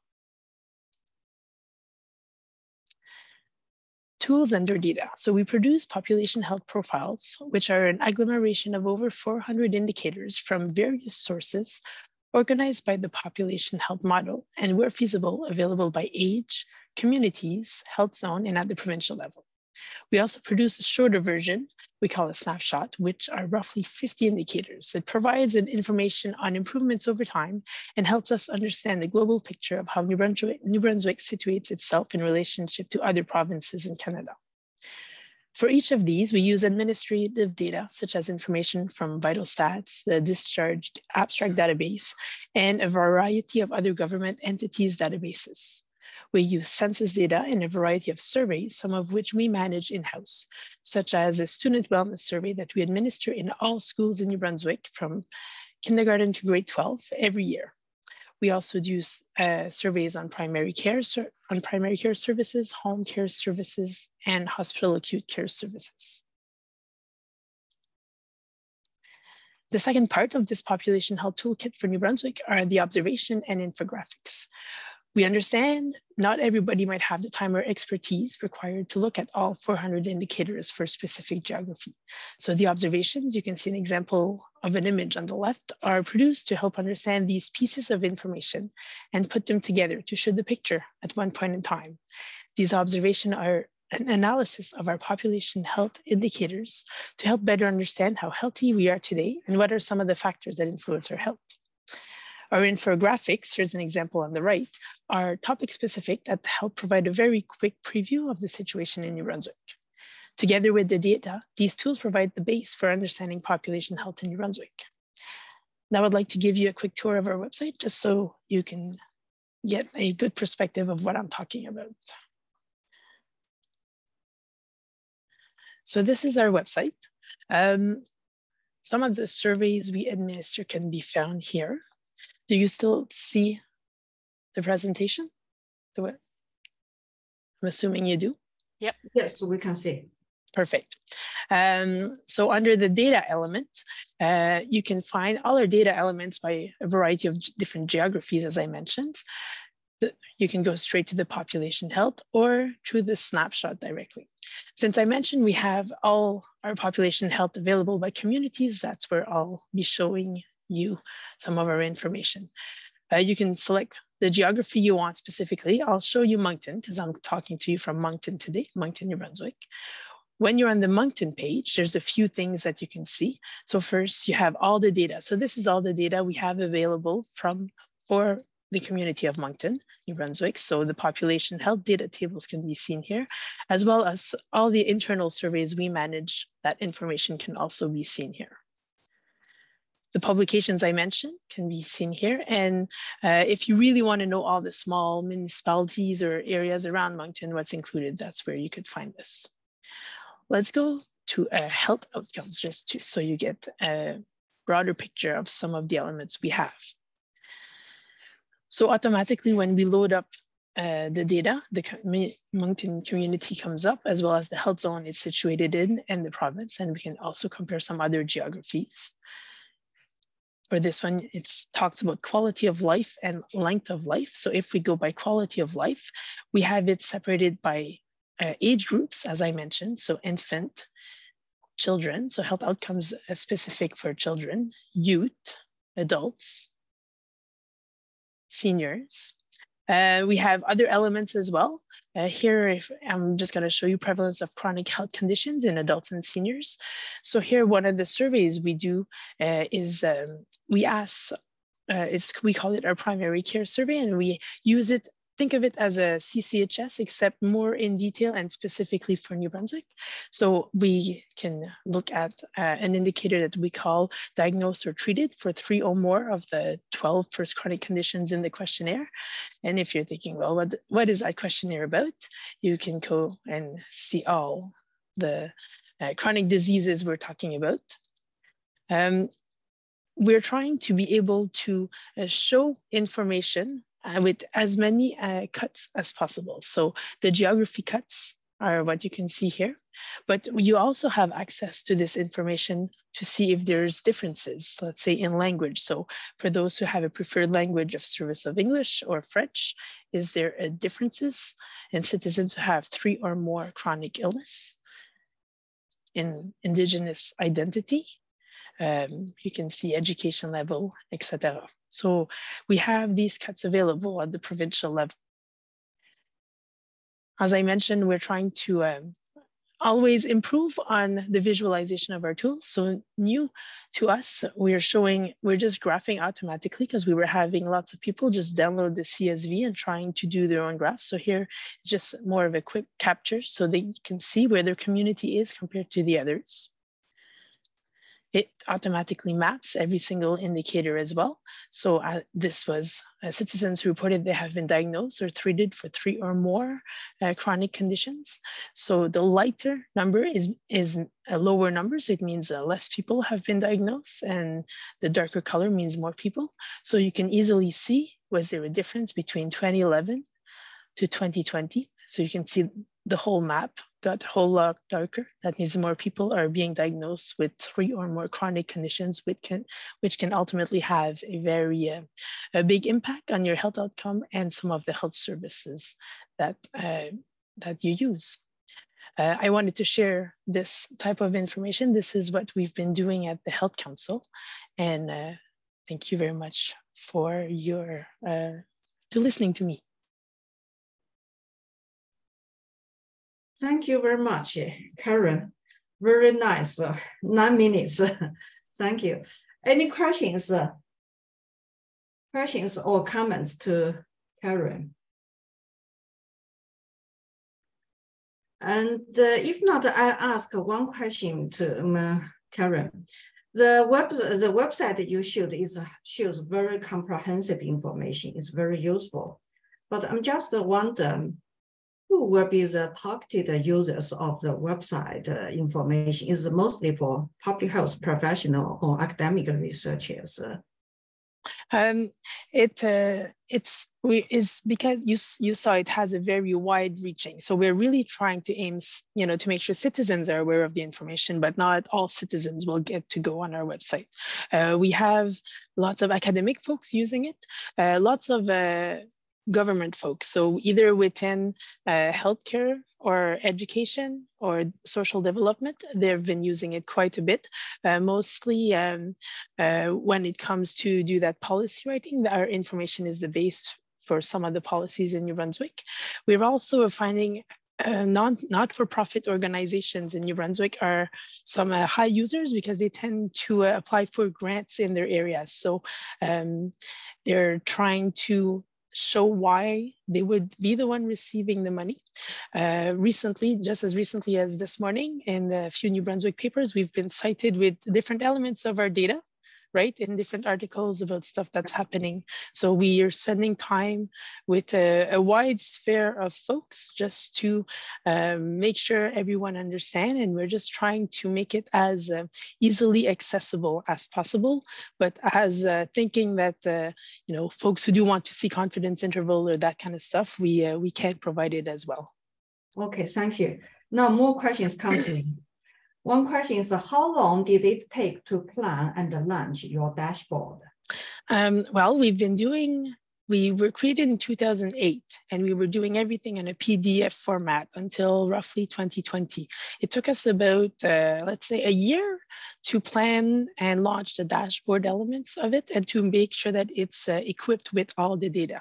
Uh, we didn't really have a choice because we were finding uh, in the data wheel, sometimes with all the data elements we have, uh, we were at times uh, making small errors, not you know by anyone's fault, but errors would happen, and to always go back in all the PDFs and having to uh, fix these errors was not a, a, effective way, or even to extract data from some of our partners. So I'd say probably about a year to have it all uh, up to date. Uh, but uh, I say that it, it's a constant evolution right? Like we were, the maps and uh, the charts have just been added last year, or yeah, not even. Okay, and thank you. The next question, and do you have any nutrition data on your dashboard? And if you do, what is your data source? Uh, we have data regarding uh, kids nutrition. who go to school. Uh, uh, basically, so kindergarten to grade five and grade 6 and 12.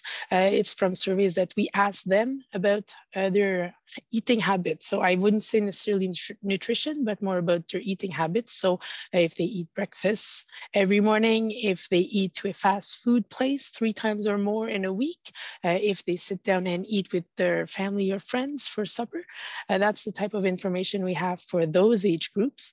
Uh, also, we've added if they eat a processed food, so that could be you know, the closest to nutrition we have, or, you know, uh, fruits and vegetables as well. Uh, we have information for adults and seniors from our primary care survey, and it's uh, very basic to the, you know, how many fruits and vegetables do you eat? So that's that's more all on those eating habits and might, maybe not nutrition, but uh, that's the closest we have. Okay. The next question, how do you measure the usefulness of the dashboard with your stakeholders? Ah, that's a big question.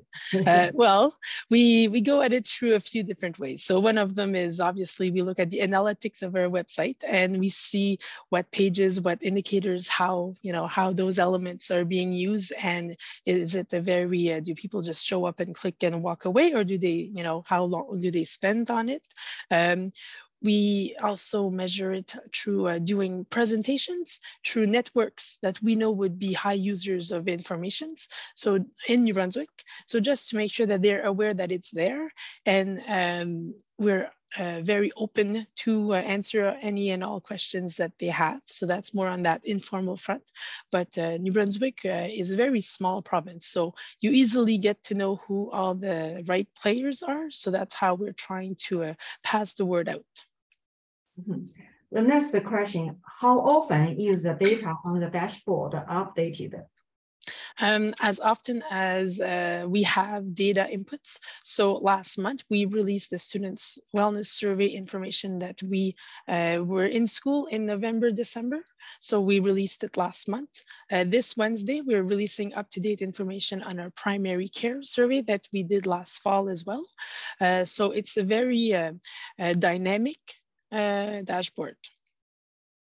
Okay, thank you very much, Karen, for a wonderful presentation. Thank now you. we move on to the next presentation given by Kiko from the Institute of Medical Science, University of Toronto. Kiko's presentation title is Unequal Access to Routine Eye Examinations in Canada, a systematic review of government-funded coverage policy. Kiko, go ahead, please.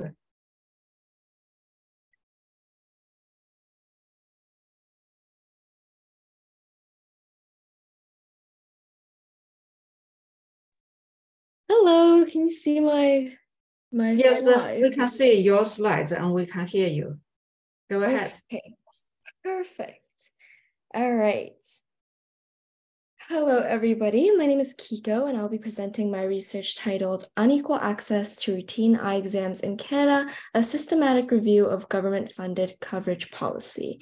In this presentation, I aim to delve into the availability of routine eye exams and the impact of disparities in government coverage policies on the vision health of Canadians.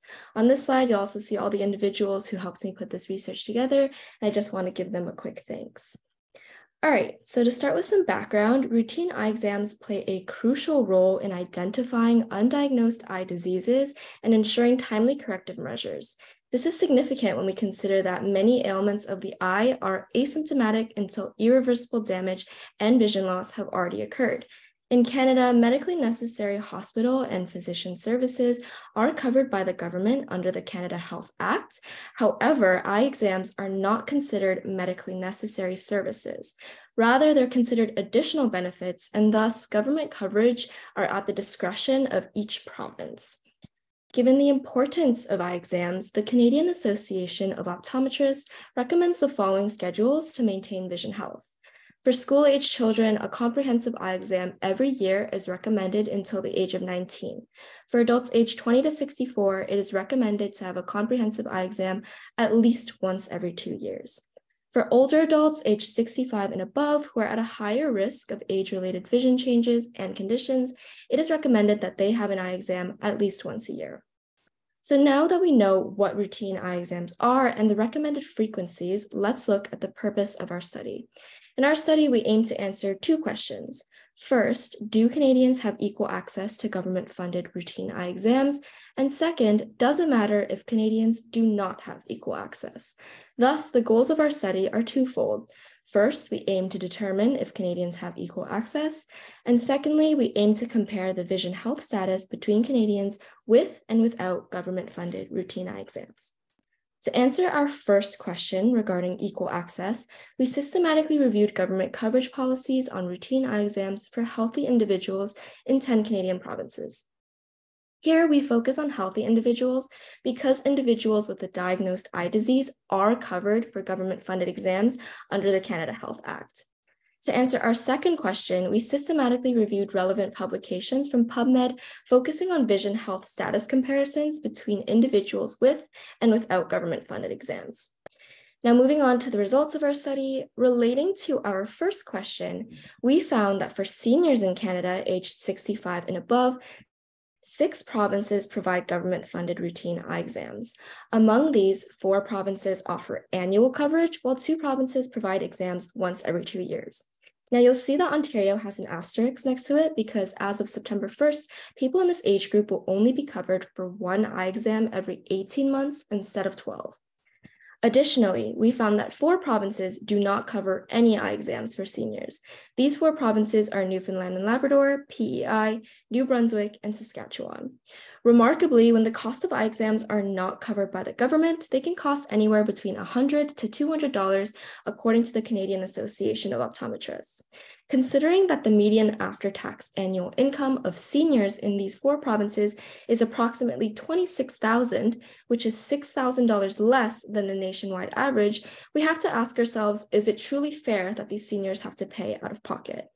Moreover, in these four provinces, 18.3% of seniors have an after tax income that lies below the low income measure. So it becomes more and more clear that affording routine eye exams may be an issue for seniors when they are uncovered. Moving on to Canadians under the age of 20, we found that five provinces offer annual coverage, while two provinces provide exams biennially. However, if you take a closer look, you'll notice that Nova Scotia only covers until the age of nine, whereas Manitoba covers to the age of 18. Lastly, three prov provinces provide no coverage for eye exams. So we can conclude that children are not covered equally despite the fact that regular examination helps detect and address any vision issues that may be impacting their learning and overall well-being. Now, for our final age group, our study reveals that for Canadians aged 20 to 64, there are no government funded routine eye exams in any of the 10 provinces. Now, to look at results relating to our second study question, in one study, which looked at the incidence of self reported glaucoma, cataracts, and vision loss, it was found that the incidence of glaucoma was lower in uninsured provinces than in insured provinces, a starking 8.1 versus 12.8. The reduced self reported incidence of glaucoma was likely due to reduced detection of these diseases. In other words, individuals simply did not know if they had glaucoma because they did not go to get their eyes checked. Similarly, the incidence of self-reported cataracts was also lower in the uninsured versus the insured provinces. However, the incidence of vision loss was higher in the uninsured provinces. The increased incidence of self-reported vision loss was likely due to poorer access to eye care, late diagnosis, and late treatment of these blinding eye diseases, which resulted in poorer vision health outcomes. Following this pattern, another study found that the prevalence of non-refractive vision problems was higher in provinces with uninsured eye exams, with 8.5% of individuals compared to 6.4%. Other studies which look directly at the effects of delisting show similar results as well. For example, in this one study by Curon, Ontarians were studied before and after delisting of routine eye exams in 2004. Prior to 2004, all Ontarians, irrespective of age, were covered by government for routine eye exams. After 2004, however, Ontarians aged 20 to 64 were required to pay out of pocket, which provides us a natural experiment to determine the role of government funded exams. So despite the fact that Ontarians with diabetes remained covered after delisting in 2004, there was an 8.7% decrease in eye exams among individuals with diabetes. There was also a decrease in the administration of ophthalmologic exams. From these results, it was determined that the delisting of routine eye examinations for healthy adults in Ontario's had the unintended consequence of reducing publicly funded retinopathy screening for people with diabetes. Another unintended consequence of delisting routine eye exams in Ontario was a decrease in new glaucoma diagnoses. It was found that after delisting, new glaucoma diagnoses were reduced in all age groups.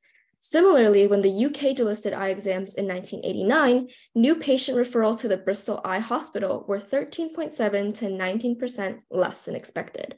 From these two studies, we can see how the introduction of fee-for-service models similarly affects two different geographic locations. We see reduced administration of eye exams and thus reduced detection of blinding eye conditions. Lastly, it has been shown that the costs associated with routine eye exams contribute to reduced utilization of eye care providers. In one study, which looked at the utilization of eye care providers by Canadian adolescents, it was found that the utilization rate was highest in provinces with insured eye examinations and almost 10% lower in provinces without. In another study, which looked at the acceptance of diabetic retinopathy screening, it was found that when screening was free, 94.7% of participants accepted. However, when there is a spot co-payment fee of just 8 USD associated with screening, acceptance drops to 91.2%. And from these findings, it can be determined that lack of government funding and cost provides a significant barrier for individuals in accessing necessary eye care. So these findings lead us to our conclusions and implications.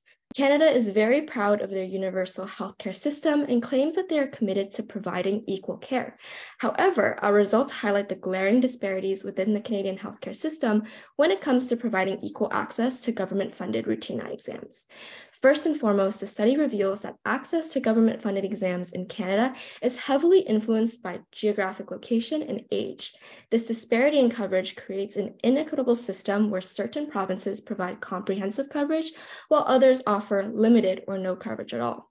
Secondly, the study demonstrates that a lack of government funded exams as the result of delisting is associated with reduced detection of blinding diseases and a reduced utilization of eye care services. In light of these conditions, several implications arise. Firstly, there is a pressing need for policy change to ensure equal access for all Canadians, regardless of age or geographic location. And furthermore, additional research is needed to explore the short term and long term costs associated with government coverage of routine eye exams. A cost effective analysis could help us guide policy in the future. And that brings us to the end of my presentation. Thank you for listening. Thank you, Kiko. Any questions uh, or comments to Kiko?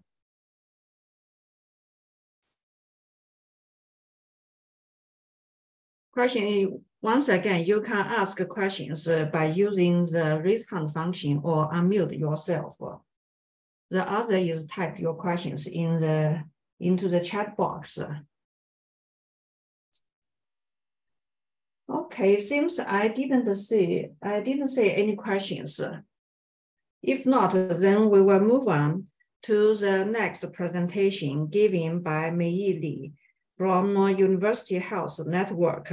The presentation title is Disparities in Healthcare Outcome Measures Following Elective Surgery for Osteoarthritis from 2004 to 2018 in Ontario, Canada. Go ahead, Mei Li. Thank you. And thank you everybody for uh, giving me the opportunity to present our work today. so I'm presenting on behalf of my colleagues from the Schroeder Arthritis Institute at the University of Network here in Toronto. And just to give you a little bit of background, osteoarthritis is a common chronic condition that is associated with increased pain, disability, and, and high healthcare resource use it's estimated that about between 20 to 30% of adults have osteoarthritis in at least one joint, mainly the knees and the hips.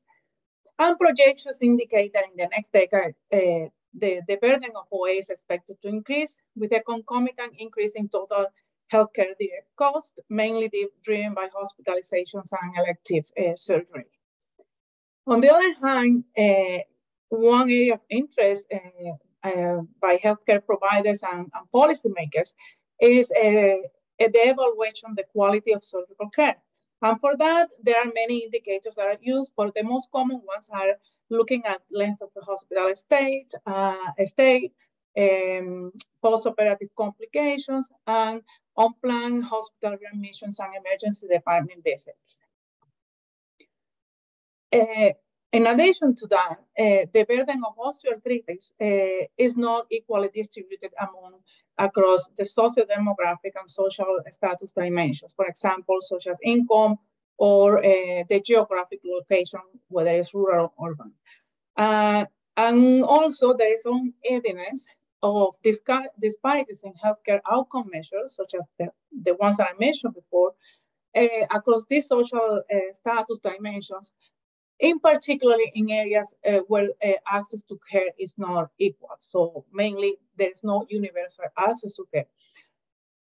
However, in jurisdictions with universal access to care, the, the findings are mixed. Some studies from some European countries uh, show no major uh, income or or SES difference in general, while some studies in Canada show, show some uh, income this. So with this in mind, and in the, in the Canadian context of uh, universal access to care, we wanted to look at um, healthcare outcomes following surgery for osteoarthritis and compare them across social status dimensions, and also to look at time trends in these disparities uh, and see whether they have changed or not over time. So to do that, we conducted a retrospective population-based cohort study in Ontario, Canada, from 2000, uh, in which we look at patients that underwent elective surgery for OA from 2004 to 2018. Uh, and we capture uh, healthcare uh, use data that is uh, routinely collected. So mainly we use three big databases, the discharge abstract database that collect information of in, inpatient hospitalizations and surgeries. Uh, the National Ambulatory Care Reporting System that collects information on outpatient surgeries and emergency department visits. And the Persons Register Database, which is the, the, the database that co contains the socio-demographic characteristics of all the patients, uh, of all the population of Ontario. Our two main uh, variables looking uh, to measure social status uh, were neighborhood income quintiles and the residential location, that is where patients live in rural or urban areas. And we focus on four uh, healthcare outcome measures, as I mentioned before, extended length of stay, adverse events or complications that occur during the hospital admission or within 30 days of discharge, and 30-day unplanned emergency visit, department visits, and 30-day hospital readmissions. In addition to that, we have a set of various, uh, like the surgical joint, age, patient's age, sex, the surgery type, comorbidities, healthcare use in the year prior to surgery. This is an indicator uh, used to represent pa patient complexity. And then we have hospital type uh, and surgeon volume as well. So for analysis, we just conducted a, we just uh, fit Poisson regression models where, where, patients were clustered within hospitals uh, to compare uh, the outcome measures by the social status indicators and the year of surgery. And we control for the variables that I already uh, defined. We also look at interactions between the social, social status indicators and year of surgery just to test whether uh, these uh, changes uh, have changed or not over time. And we also examine an interaction between income and rural urban residents just to, to test for evidence of some intersectionality between these dimensions. So just to give you a little bit of background, um, over time, just this is the number of patients with surgery for OA from 2004 to 2019. And we see that the number of surgery increased over time, which is not surprising because this mirrors the aging of the population. And generally, uh, uh, surgery for OA, OA is more common among women than men, which is not surprising as OA, generally speaking, is a disease that is more common among women than men. And the majority of these patients were 65 years or older, which again OA is a, is a disease that is more common uh, in the older population. Not surprisingly, the majority of the surgeries were, were on the knee and the hip, which are the most common joints. When we lo look at the number of patients with surgery over time um, by the income neighborhood, neighborhood income quintiles, we see that there is a slightly higher proportion of patients with OA uh, among the top income, which is the, the dark blue line, uh, compared to the uh, bottom quintile. If all things were equal, we should be we should have equal like uh, proportions in each of these groups. The other thing interesting to note here is that from all studies, OA SADC that is more common among low SES and rural populations. So this is this this graph here is telling us that despite OA be, being more common among low-income individuals, we see that those getting surgery are more likely to live in, in the high-income individual. And the other interesting uh, result is that we see that the, the, this, the proportion is, is pretty stable over time. When we look at the proportion of patients living in rural areas having surgery for OA, overall, uh, it was approximately 16%, which is uh, about the, the percent of the rural population in Ontario. So it looks like uh, in terms of uh, rural urban uh, differences, these are not that big. And again, the proportion seems to be relatively stable over time. So in this figure here uh, is showing the four healthcare outcomes over time and by income quintiles. Again, the, the mustard color is the low, the bottom income quintile, and the blue is the top. Generally speaking, we see that those living in, in the lowest income quintile tends to have generally worse outcomes. So this is higher proportion staying longer in the hospital after surgery, higher proportions of uh, having complications, and a higher proportions uh, having hospital readmissions and emergency department visits. And another interesting thing is that generally speaking, these differences were relatively stable over time. And once we adjusted for uh, the patient's also demographic, clinical characteristics, hospital and surgeon uh, characteristics, these differences didn't change. They remain the same. This figure here shows similarly the outcome distribution by comparing urban and rural residents. The, the mustard uh, bar here represents the rural residents and the blue represents the urban residents. With the exception of length of stay, generally speaking, people living in rural areas tend to have um, uh, worse outcomes, especially higher proportions have unplanned emergency department visits.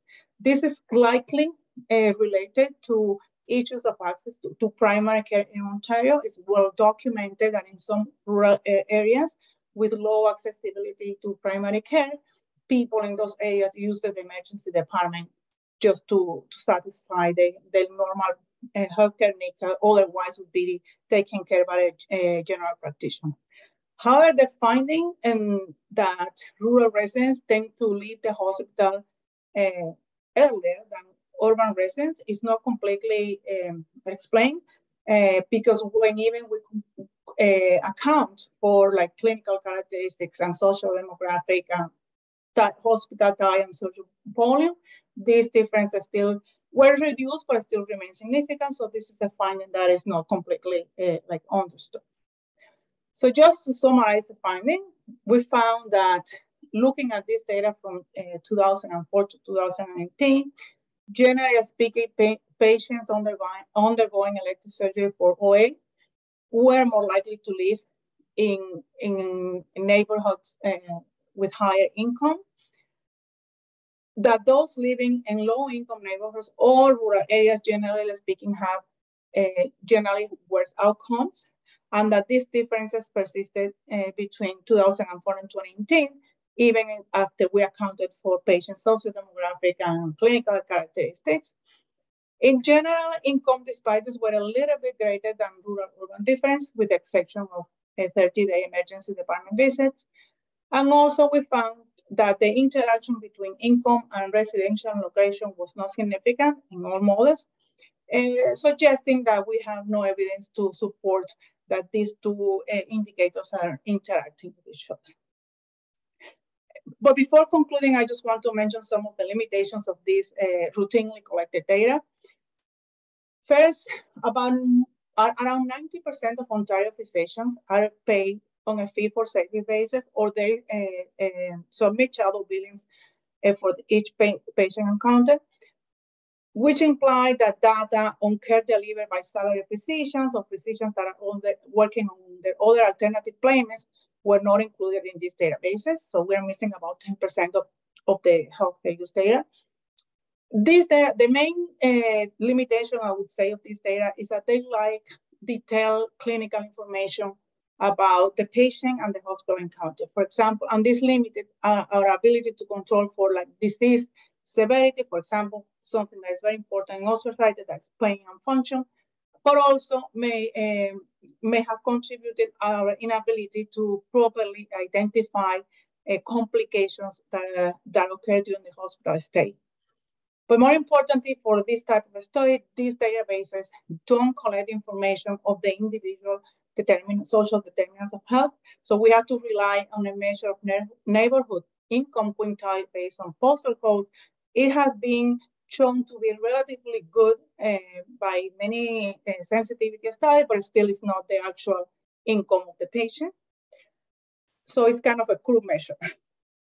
but with these limitations in mind, uh, we found that even using these crude measures of income, we found that even though universal coverage in Ontario has eliminated many obstacles to accessing care, there are still barriers remaining. Mainly that low-income residents with OA are less likely to get surgery despite they having the highest burden of the disease. And secondly, once even if they get the surgery, they are more likely to have worse outcomes than their uh, counterparts living in, in, in higher income uh, neighborhoods. We think, given the lack of uh, detailed information, that further attention to factors such as the patient's care-seeking uh, behavior, treatment preferences, the availability of services, and referral practices may uh, help to explain some of these disparities. And this is all. Thank you. Thank you very much, Meili. Any questions or comments? Questions and comments to this wonderful presentation. Uh, I have a question to ask you, Meili. Mm -hmm. the, your study presents um, so many comprehensive data to show that uh, people in low income quintiles have less uh, possibility, less likelihood to go to to get this surgery. I think this may be explained by this um, hesitance to get the surgery. But for the worst outcome, surgery outcome in low income or rural residents, a little bit, for me, a little bit difficult to understand. What is the potential explanation for this uh, worst outcome, surgery outcome? Well, I mean, I can only speculate because I don't have data. Yeah based on literature, I think there are two issues here. Um, people with low income, so like elective surgery for osteoarthritis is a big surgery. So it's mainly joint replacement. So this is a big surgery that requires that people take relatively longer time off work. They also will recover faster if they have access to like physiotherapy after the surgery. And many people don't have support at home, like people, you know, to help them uh, cook meals, to buy groceries and stuff like that. So people in low income, I think what happened is people of low income, first they delay the surgery because of these factors. So as long as they can function, even with pain and taking pills or whatever, they delay the surgery. But the problem is if you delay the surgery, then your case is more complex. And so perhaps your recovery is going to be uh, like slower. And then perhaps that will contribute your complications, stay longer in the hospital because you have other complications and stuff like that. So, so I think that the problem start earlier and then start to compound because of uh, this fact. Unfortunately, the databases that we have are very cool, so we cannot really tease out these uh, these issues. Okay, thank you. Any questions uh, or comments? Uh, um, the, oh, yes, I think I found one question. Is there any data on inequalities related to rehabilitation or access to medications post-surgery? Yeah, Well, that's the issue. Like here in Canada, uh, rehabilitation services were listed in 2005.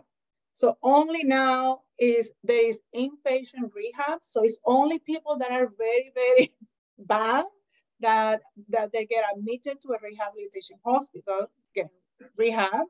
Most of the population having surgery for like a joint replacement, after two or three days are sent back home. The surgeon will say, you know, it would be good if you can get a, a physiotherapy. Many people don't have, it's similar to the dental care issue, right? Like most people, if you get it through work, then you might be able to, to, you know, to go and then your recovery period will be faster and less likely to get complications and stuff like that.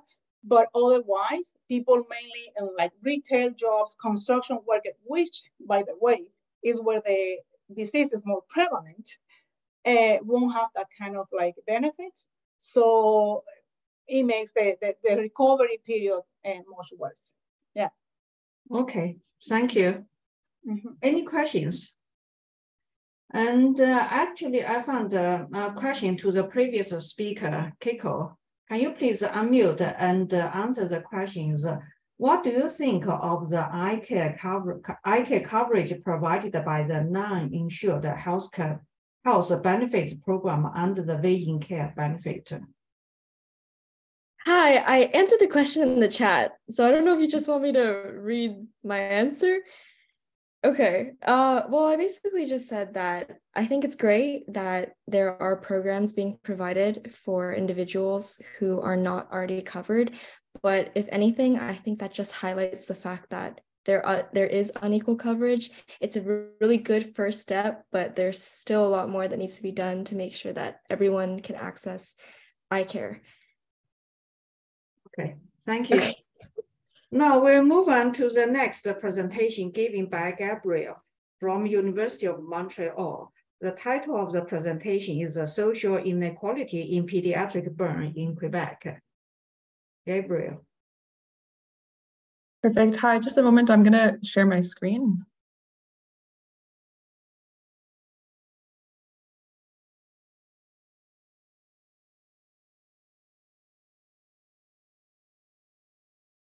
Okay. So, um, hi everyone. Uh, just a second. So I'm going to give a presentation about social inequality in pediatric burns in Quebec. So I just want to thank, first of all, my supervisor, Emina, um, one second. Okay, so just a quick disclaimer. Our study was funded by the Canadian Institutes of Health Research, but there's no other competing interests.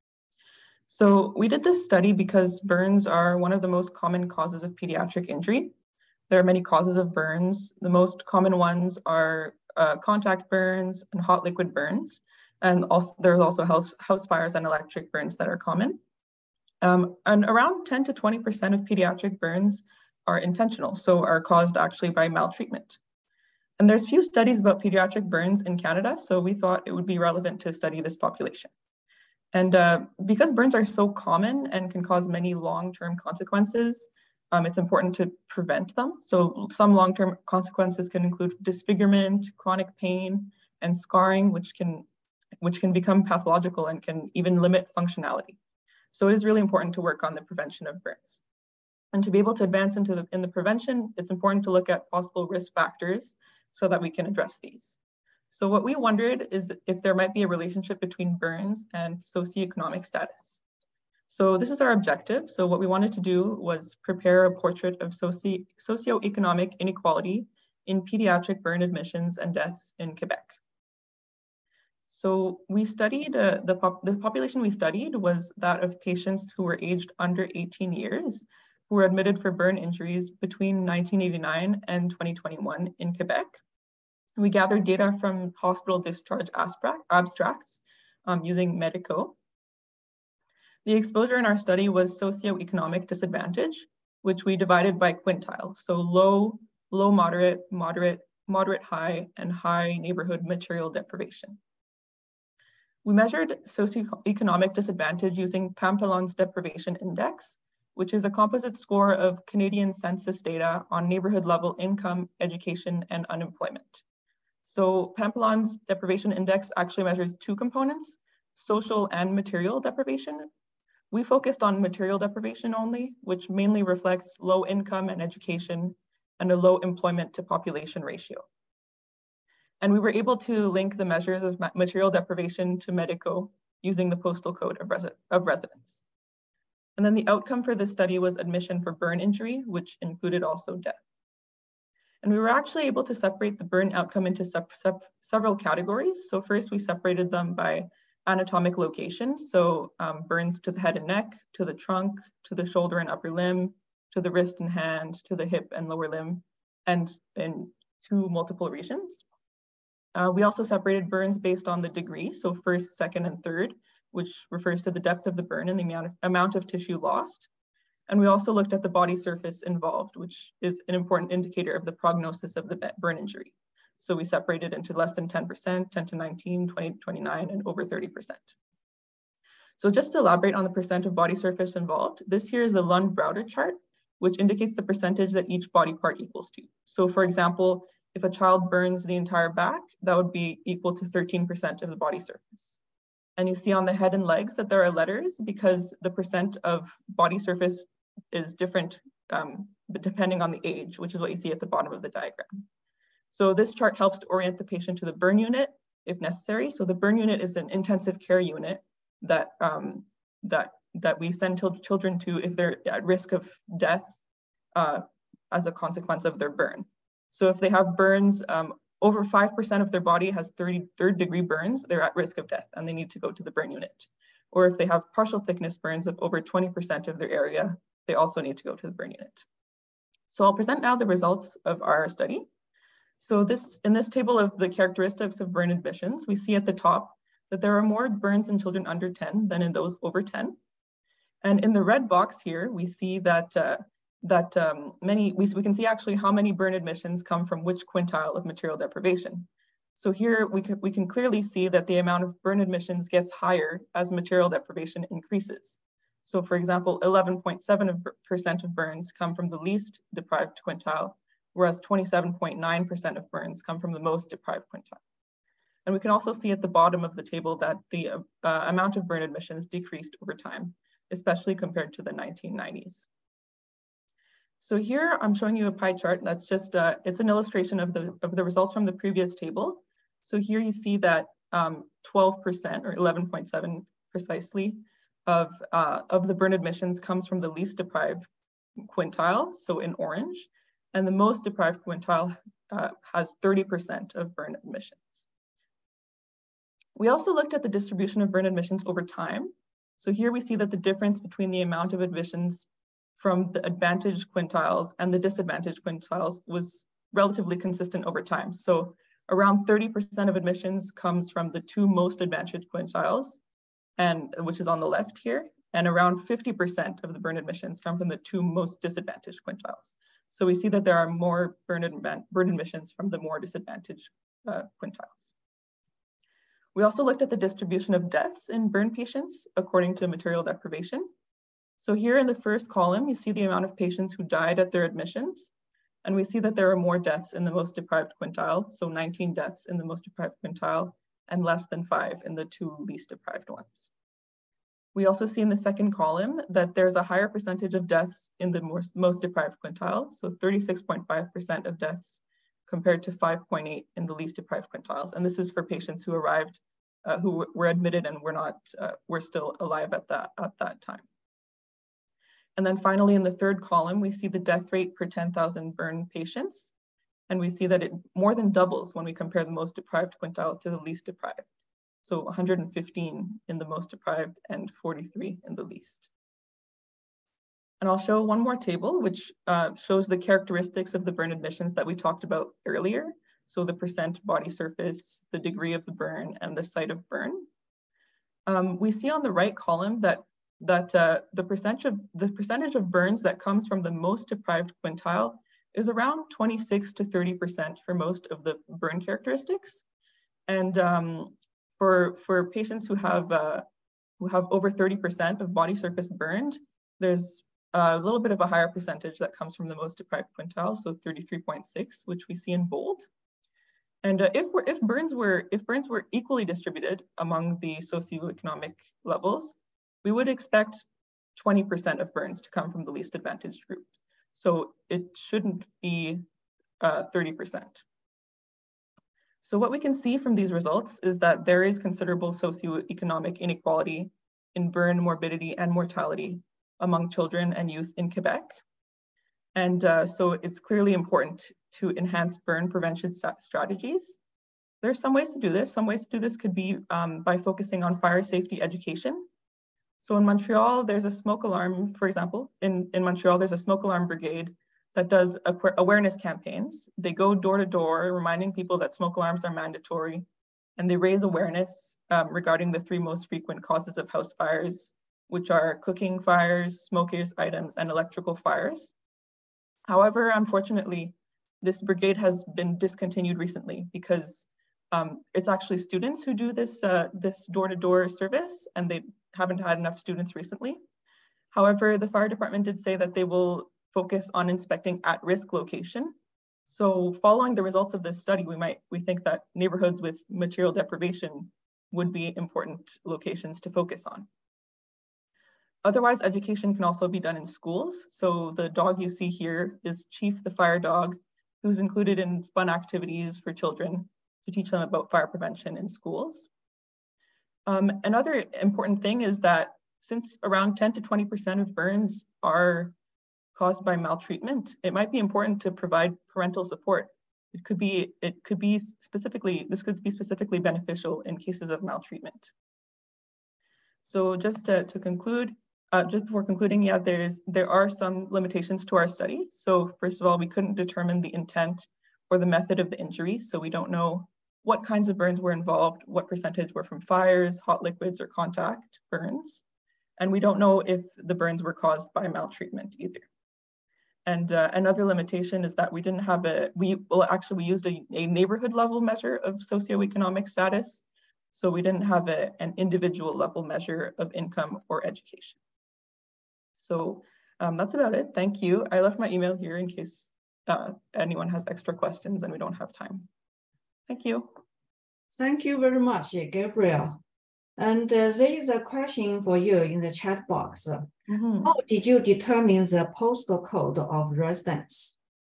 Yeah, so um, we basically, we have with the, um, with the, the information that we have on all the patients who are, we basically the information we have comes from, um, comes, comes from a, a document, uh, comes from hospital discharge abstracts and these contain uh, the addresses of the patients so we can we we have their postal codes with uh, with the hospital discharge abstracts sorry.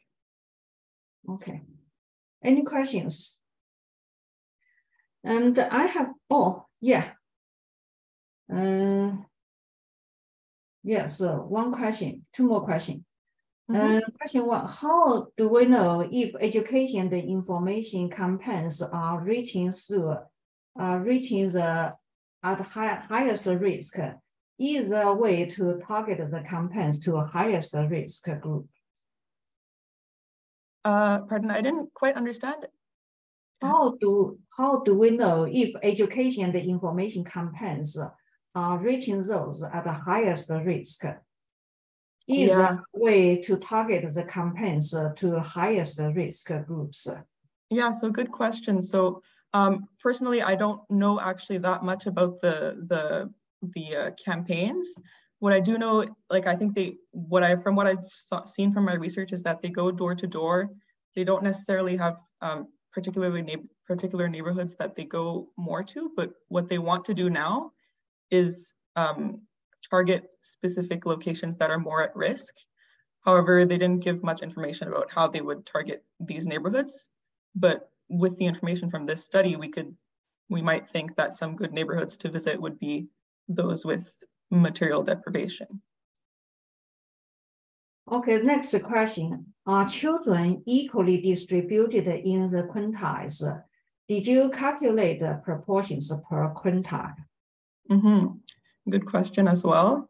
Um, I'm just going to go back here to my other table just to um, like, okay, so as though, as in like, are there as many children in each quintile?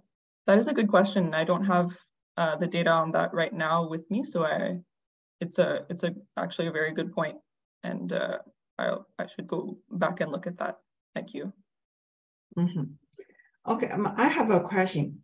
So mm -hmm. the social inequalities in pediatric pain in, in Quebec is apparent. I'm mm -hmm. just wonder, is uh, adult pen have similar social inequality or you don't know? Yeah, it's a very good question. Unfortunately, I don't have any data to answer that. Okay, so, so it's big. And we really studied only children. Pardon? How about the other province, other, other provinces except mm. Quebec, the similar social disability, uh, social inequalities in pediatric burn exists in other provinces or not? Good question. Yeah, so we really only looked at Quebec because uh, that's what we had data for. Um, but it would be very interesting to to to look at other populations in Canada. Okay, thank you. And uh, only one can comment, great presentations, Gabriel. Thank you. Yeah. Thank you very much. Okay, thank you very much, Gabriel. Now we move on to the last, about the not least presentation given by Christy from Li Ka-shing Knowledge Institute, Unity Health, Toronto. The presentation title is Interventions Addressing the Social Determinants of Unhealthy Dietary Habits, a Systematic Review. Christy, go ahead, please. Thank you. I think that they're waiting um, to be let in. Mm. Your slides, uh, yeah. We, we haven't seen your slides yet. Yeah, I just approved them. Let's see. Okay. It should Perfect. be here in a second. Thank you.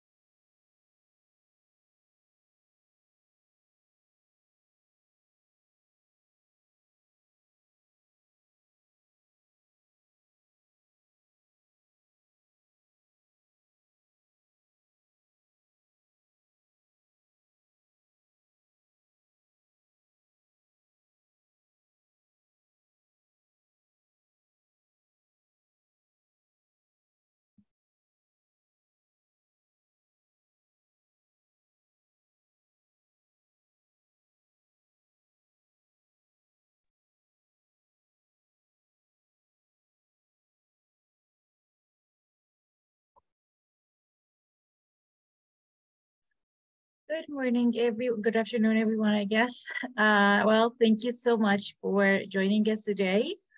Uh, my name is Pena Kumiha, and joining me today will be uh, Christy Costanian and Victoria Davis from Upstream Lab at the St. Michael's Hospital. Today, we will be presenting our project titled Interventions Addressing the Social Determinants of Unhealthy Dietary Habits.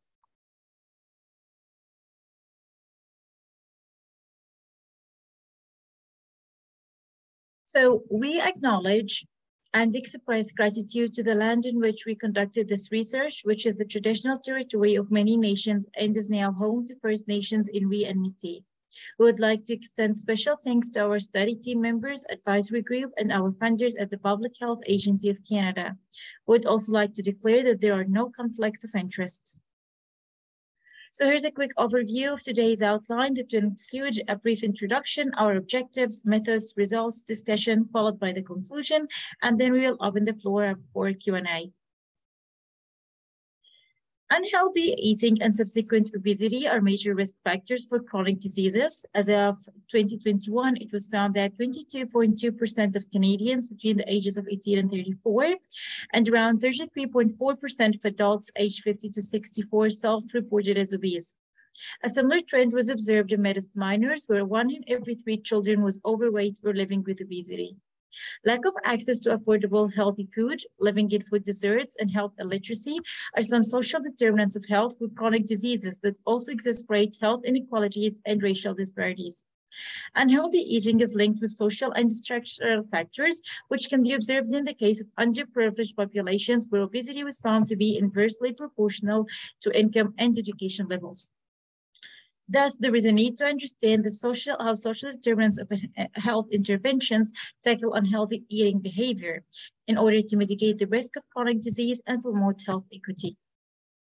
So to do that, we worked on a couple of research questions. The first of, uh, the first of which was, do interventions that address the social determinants of health have the potential to improve unhealthy dietary habits? And the second question was, what intervention-specific characteristics influence healthy eating outcomes? So for example, the intensity of the intervention, um, its length, as well as the components of interventions. Now on to the methodology, and we'll start with the search strategy and terms. We enlisted the help of an information specialist to search eight peer-reviewed databases using the following key terms, unhealthy eating or diet, plus underserved populations, as well as other um, SDOH terms and the word interventions. So the peer-reviewed databases that we searched included Medline, Cochrane, Embase, PsycInfo, as well as others. And we also um, searched six grey literature sources, including OpenGrey and NCD Alliance websites, as well as conducted Google searches. Now, um, the studies that did fit our eligibility criteria and were included underwent quality appraisal using the MMAT 2018 tool. We had predefined strict eligibility criteria. Studies were included only if they were published between January of 1990 to August 2022, uh, were primary, quantitative, or mixed method studies um, directed at least one uh, social determinant of health that influences unhealthy eating, um, reported the intervention's impact on unhealthy eating behavior as well as the social determinant of health, and was conducted in a healthy population of adults or children, and was conducted in a high income country.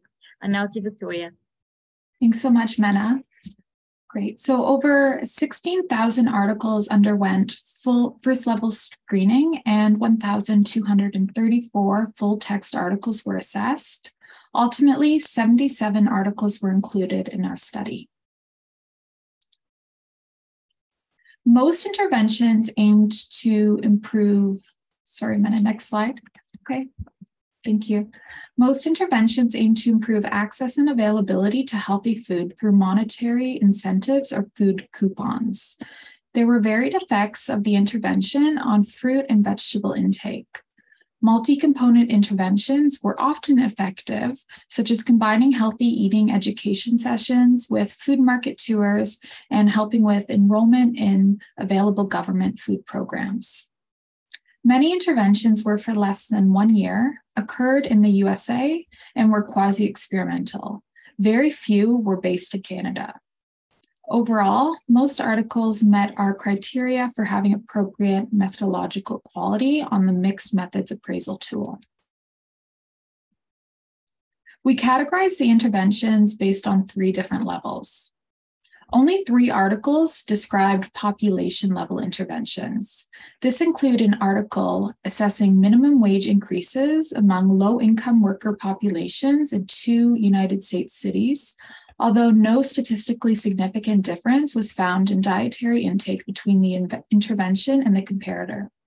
Another study evaluated the Food Insecurity Nutrition Incentive Program across 15 states and found an increase in the average monthly expenditures on food and vegetables among the program recipients.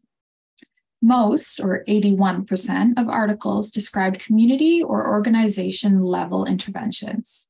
These focused on changing the availability of healthy food environments near lower income neighborhoods, offering food coupons and other incentives to community farmers markets, and all had varying levels of success on fruit and vegetable consumption. Approximately 16% of articles described individual or family level interventions, including a study that evaluated the effects of a school garden intervention on the availability of fruits and vegetables in children's homes. The study found a significant difference in the availability of low fat vegetables in these homes. Social determinants of health interventions have some potential to improve short term healthy eating behavior among underserved populations. However, the outcomes were focused on healthy food purchasing and fruit and vegetable intake, and there was less reporting on changes in the social determinants of health themselves. This may be because changes in social determinants of health are much more difficult to measure. Studies also lacked assessment of longer term outcomes, which makes it difficult to evaluate the impact of interventions overall and, the, and their sustainability. There was also a relatively narrow focus on financial incentives and food environment changes, as opposed to other social determinants of health domains, such as housing, employment, or higher educational attain attainment. Significant knowledge gaps remain from this review, including the effect of social determinants of health interventions for longer term healthy eating behavior, the impact of interventions on changing individuals' social determinants of health outcomes, and population level interventions that target a broader set of social determinants of health. I will pass it on to Christy. Thanks, Victoria. To conclude, our review found that utilizing interventions that target the social determinants of health could be an effective and sustainable way for changing unhealthy eating behaviors.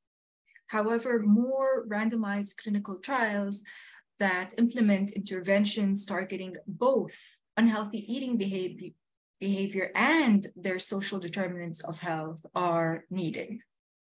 Therefore, future directions for research can include interventions that tackle the macro level, uh, for example, at the population uh, level and government level, and that examine social determinants of health and interventions that tackle uh, unhealthy eating behavior in other settings, especially in low and middle income countries.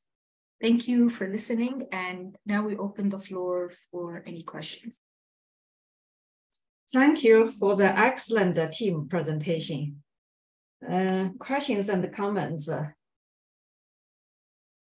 Any questions, uh, comments? You can unmute yourself and state your question or type your questions in the chat box.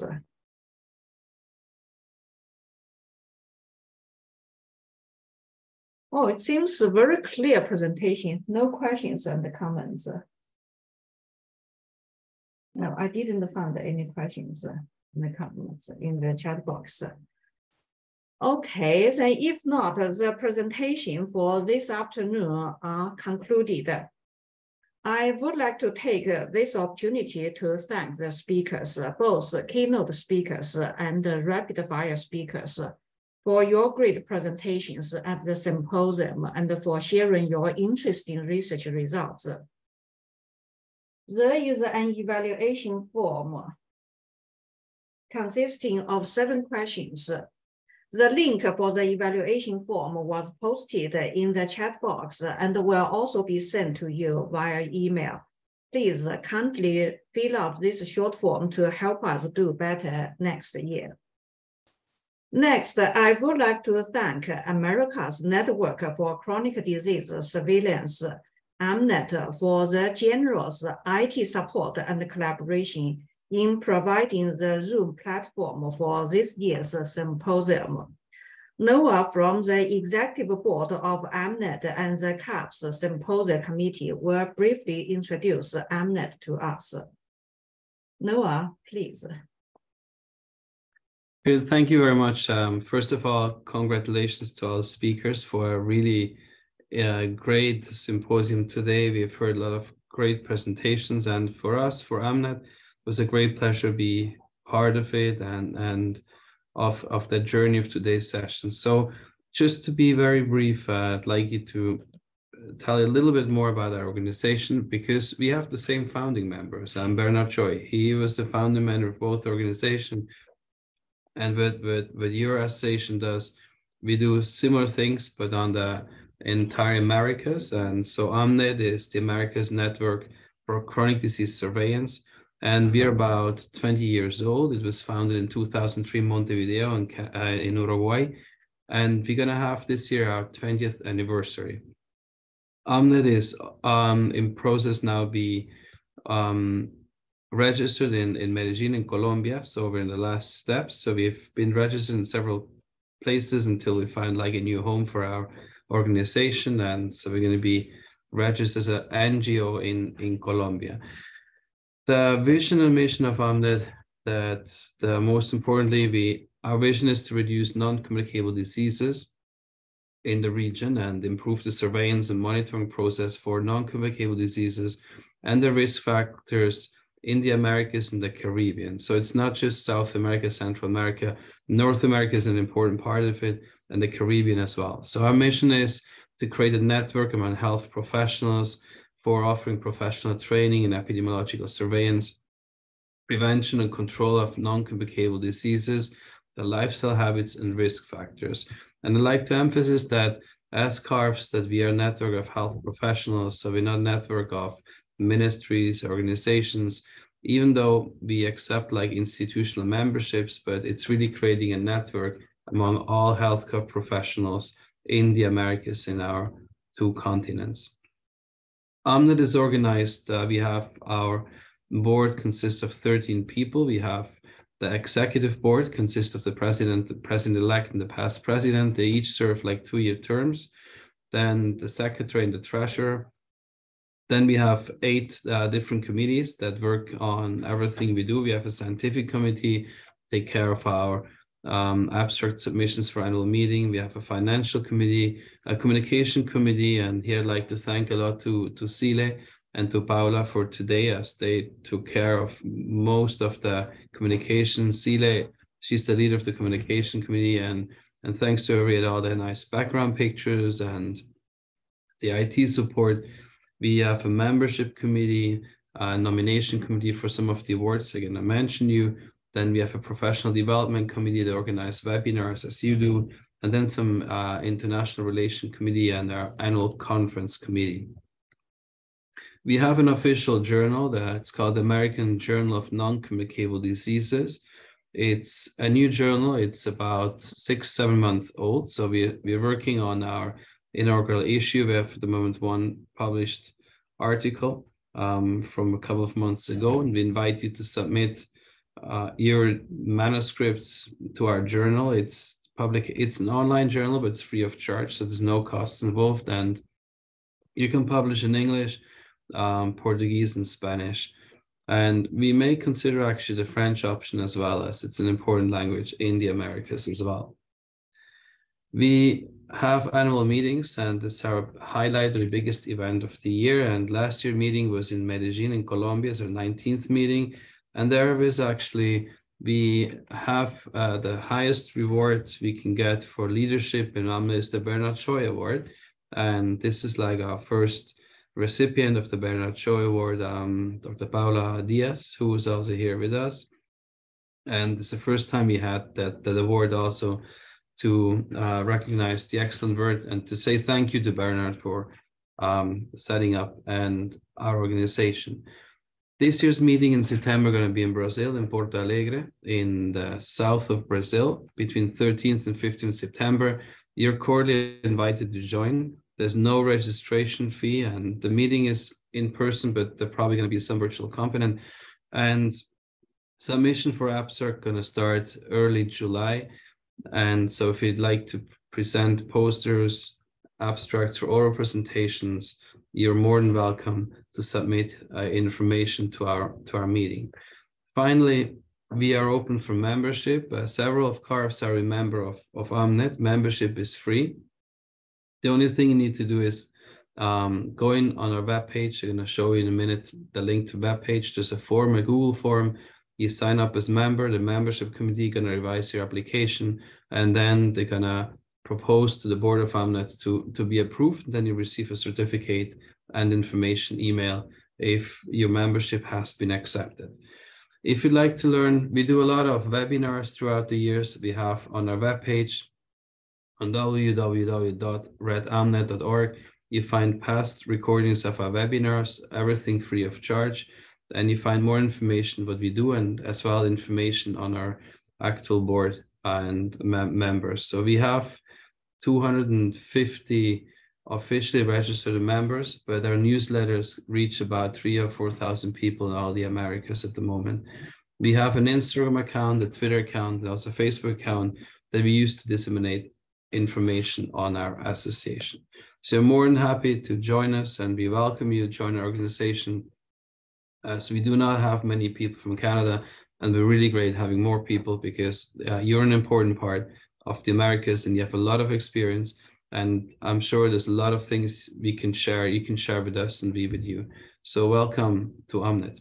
And thank you again for everybody to be part of this exciting symposium. Thank you, Noel. And uh, I noticed a short question in the chat box. Uh, they ask, uh, will the slide decks be emailed to us? If so, when? I think, uh, to my understanding, CARRFS, uh, we do not collect uh, the presentation slides.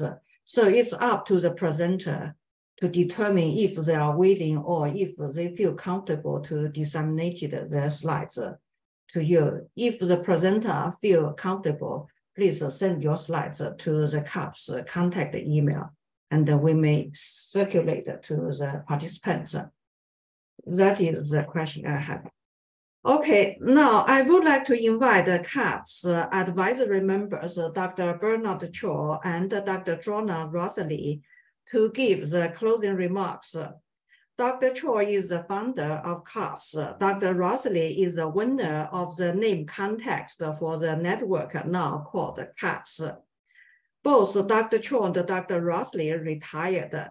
Dr. Choi retired from the Public Health Agency of Canada, and Dr. Rasali retired from BC CDC. Although both are retired, they are both keeping very busy. For example, Dr. Choi will fly somewhere tomorrow to give a keynote speech, and Dr. Rasali is serving as the chair of the scientific committee of an international conference in Mauritius in July 2023.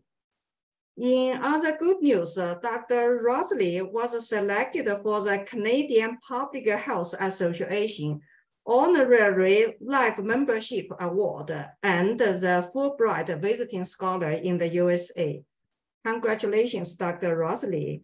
These retirees are still working hard and actively contributing to our community. We are so happy that Dr. Choi and Dr. Rasali are available to join today's symposium. They will give closing remarks for our symposium today. Dr. Choi, please. Hello, everyone. Good to see you all here. It has been such a big success for the 2023 COP Symposium. And I would like to thank also AMNET, the America's Network for Chronic Disease Surveillance, um, for the technical support. And before I give my closing remarks about my own um, thoughts and experience with the CARRFS in the last 15 years, I just want to thank a number, a number of people. And uh, when I read their names, I would like them to turn their video on and, and, and, and, and say something, wave your hand. Um, this is the time to showcase the um, organizing committee of this year's CARRFS Symposium. I would like to introduce Kavita Singh. Hello, Kavita, from Health Canada in Ottawa. You're on mute. Hello, Bernard. Hello, everybody. Uh, thank you, everybody, for attending. I think it's been such an informative day. I've, I've learned so much. Um, I'm just really and really proud of the team, CARRFS organizing committee for putting this day together. Thank you all. Um, Catherine Yaping, thank you for moderating. But you've done an excellent job. Um, so yeah, just just one wonderful day. A lot of memories to take away. Kavita is the chair of the organizing committee of this year's symposium. We all learned from you, Kavita. Thank you for your leadership and professionalism.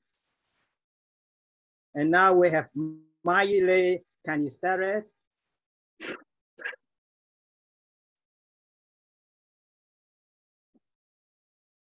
Hello. Hello. Say a few words.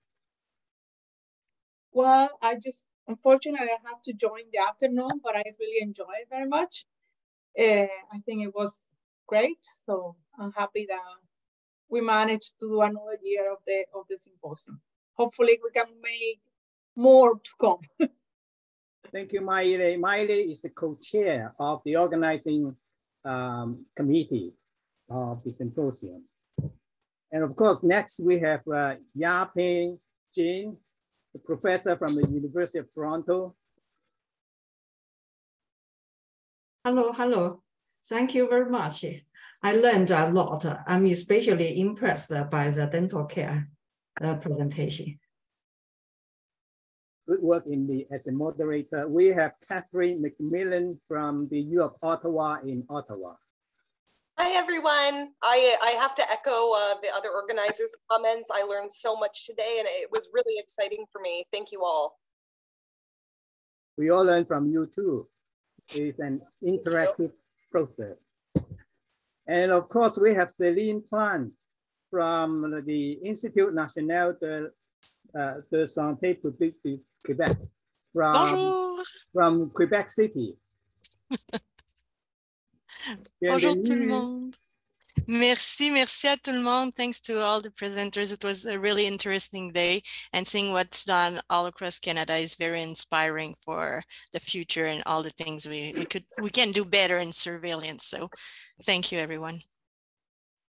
And we have May Tang too. Uh, I don't know, I don't think she is with us at this moment, uh, but May is from um, the Institute de la Statistique du Québec uh, in Montreal. Next, we have, oh, that, that's the whole organizing committee, right? No, Noel, Noel is the organizing committee. Oh, yes, yes. Noel make a huge contribution to help us resolve this uh, Zoom platform issues. And also Noel is a bridge between the Canadian civilians and American civilians to link together. So what do you think, Thank you. Joel? No, thank you. I, am a member of CARF since a year now, so it has been a pleasure to collaborate. And even I'm not really located in Canada, but I, I, I love Canada, so I, I feel like Canadians. It's okay. A lot of us here are members of AMNET. Noel Barengo is a professor um, in Miami, uh, United States. But I really want to show uh, Paula. Is Paula here? I'm not sure. I think she's not no longer. Just step out. I know she is. She Oh, is. I'm Hi. here. Professor Paula Diaz is from Medellin, Colombia. We are so Thank you, Professor. Also from AMNET. It's a great day. I, it was a, an amazing um, opportunity to, to listen everyone, to share thoughts about surveillance. Thank you very much. And thank you, CARF. And thank you all of you for this amazing um, organization, this very important and interesting journey. Thank you, Dr. Bernard Choi, for these great things. It's always um, a good, a nice opportunity to say hello to you and everyone, to, to, to feel this um, nice feeling for the public health. Thank you. And we have two advisory members. Dr. Drona Rasali, former director at the BC CDC in Vancouver. Hi, Drona. Hello, Bernard. Uh, thank you. Thank you. Do you want me to say a few words? No, no, no, you do not need to say a few words because you have your closing remarks after me. Okay, okay. Thank you. Thank you. For, yeah, after me because then you will have all the time for you to finish your closing remarks. okay, thank you. Now, um, I, am going to sh share my screen with you. Um, and then I'm going to ask everyone a question and see who can answer. it.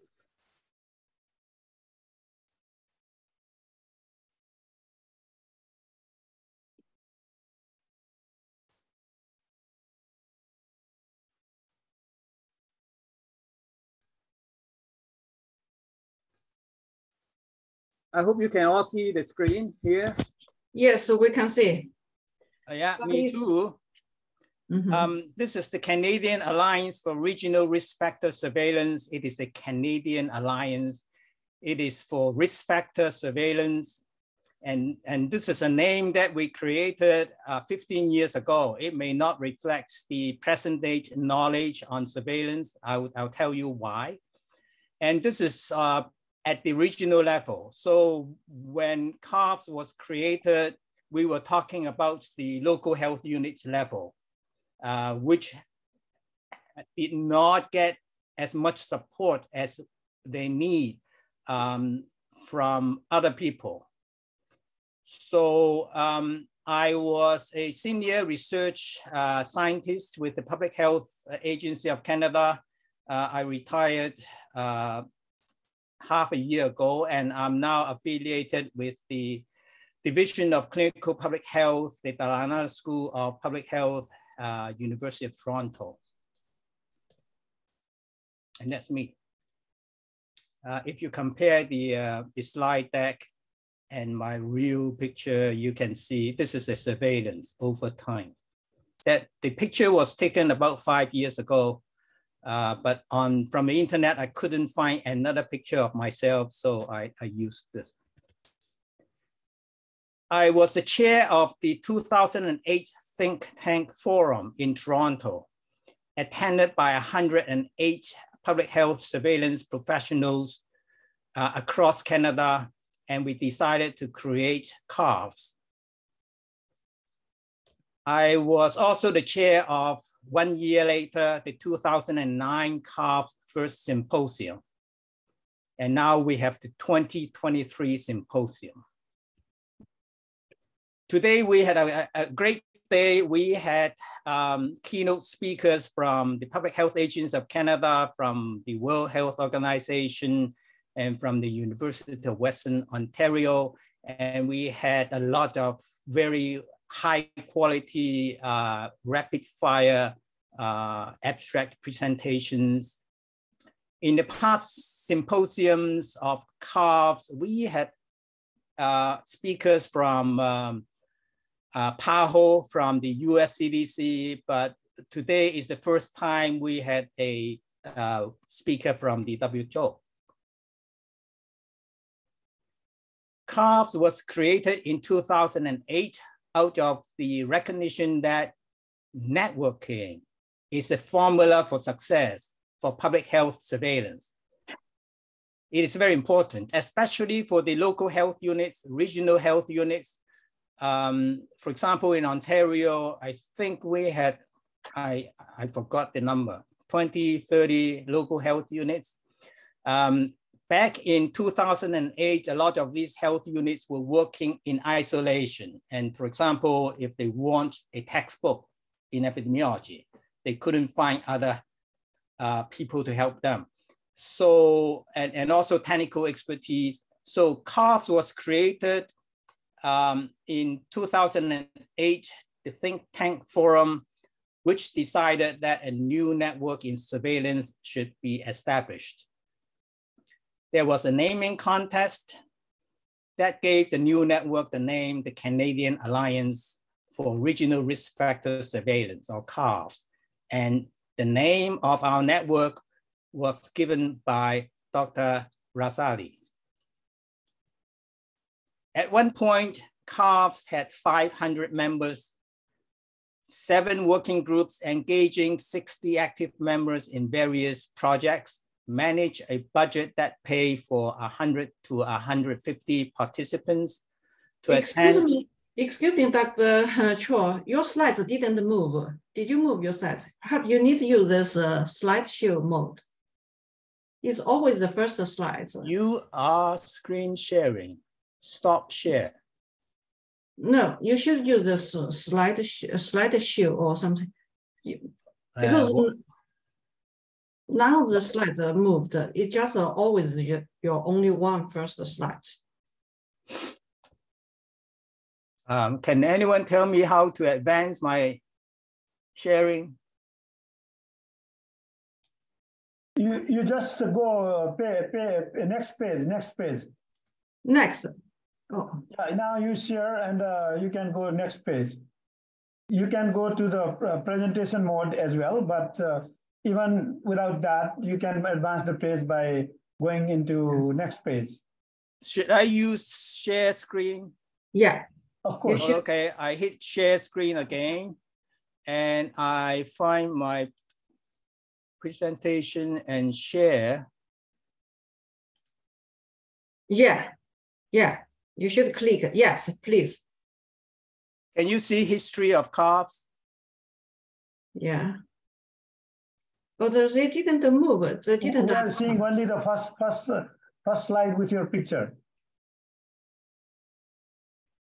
Can you see it shifting? No, nothing is happening. Uh, so, so how about you uh, you push it to next uh, slide? You move Page. on to the next slide. Next It's the last uh, slide one. First, you click on the uh, on the page. First, you need to click on the page, then go to next page. Next, next. Can you click on the body of the material?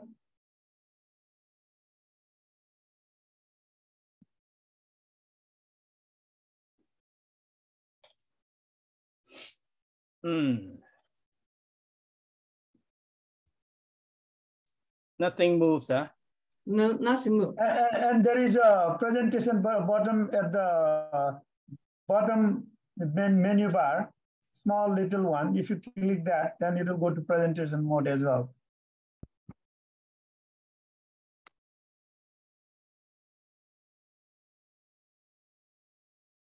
Hmm. Bernard, may I suggest you go a cappella? Because I, I thought it was very interesting, even if we didn't have any visual. Yes. So uh, I, I I didn't even notice it was not like changing the uh, Yeah, yeah. slide. So you Oh, can go a cappella. Yeah, yeah, yeah, that's good. Just forget Actually, about I the slide. I also say, uh, thought the same. You are just uh, narrating the story but, uh, in your own words and uh, you are not using the slide. That's what I thought. There is no problem with that. Okay, okay. Uh, I have no problem with that too. So at one point, CARRFS had 500 members. We had seven working groups engaging about 60 active members in various projects. In a way, like the uh, operations of AMNET at this time, we managed a budget that could pay for about 100 to 150 participants to attend two national meetings in Toronto.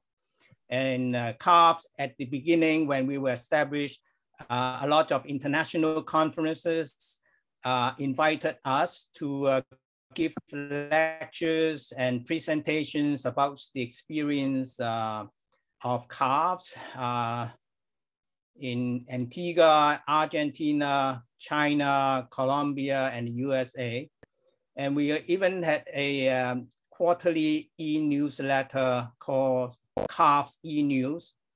And all members had access to an email-based communication platform for instant questions, discussion, and information exchange across Canada. So what we learn here is that CARRFS is a network. We can do whatever we want to do.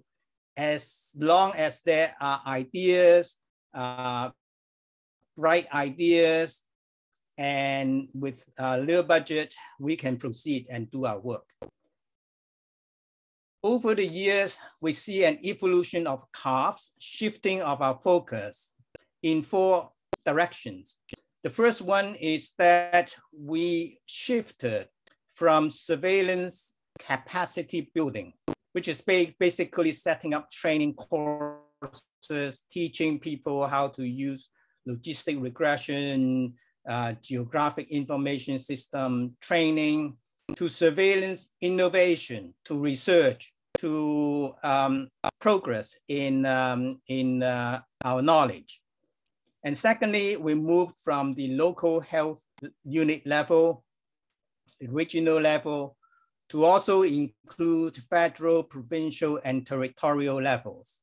And that's why we have got such a big family now, now here today um, for people not just working in the regional level.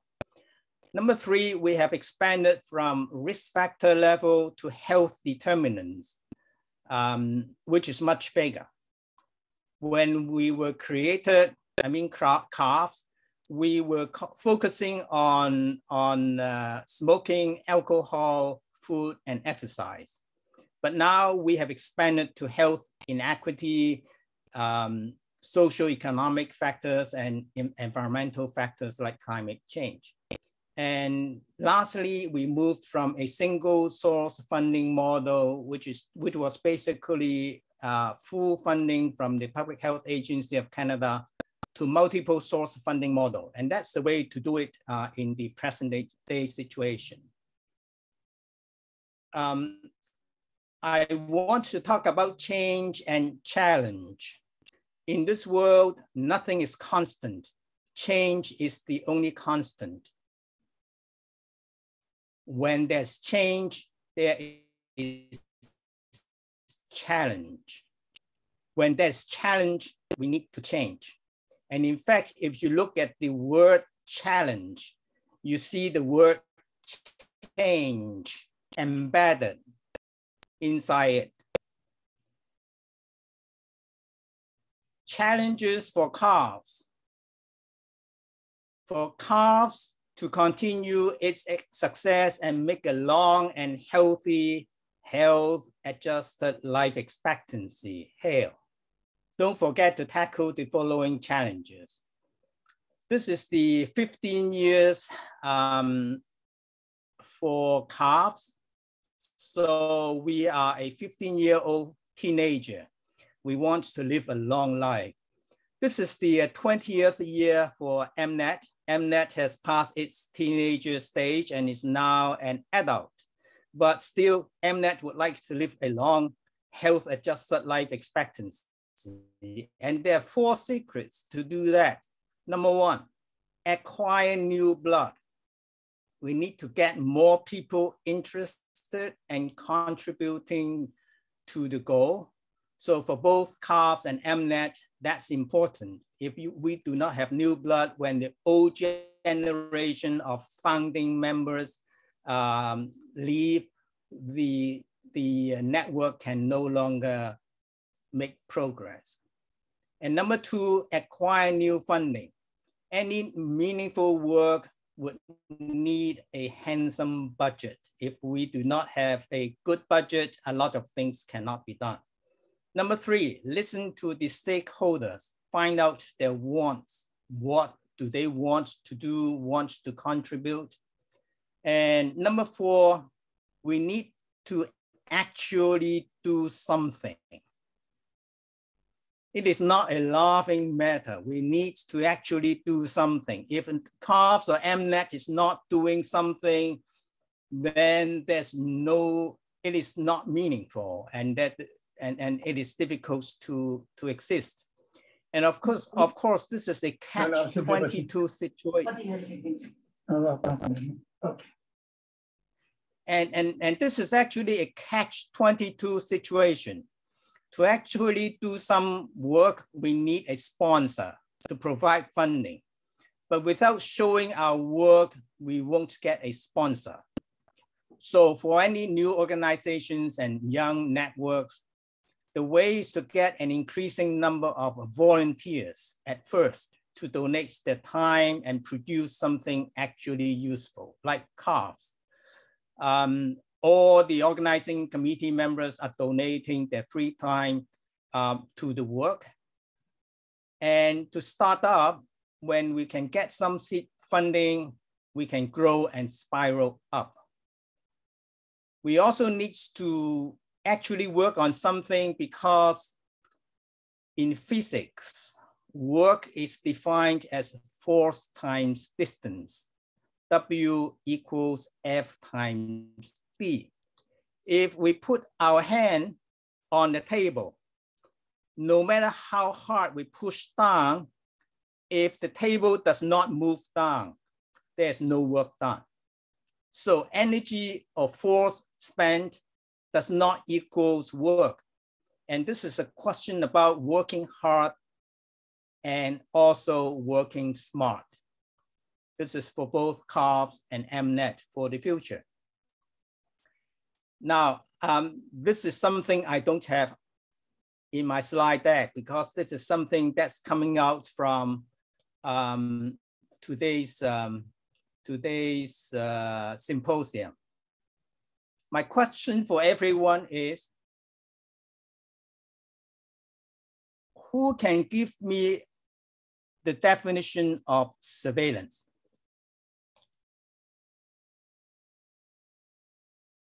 Anyone? Just speak out, raise your hand, or, or just unmute yourself. Surveillance is the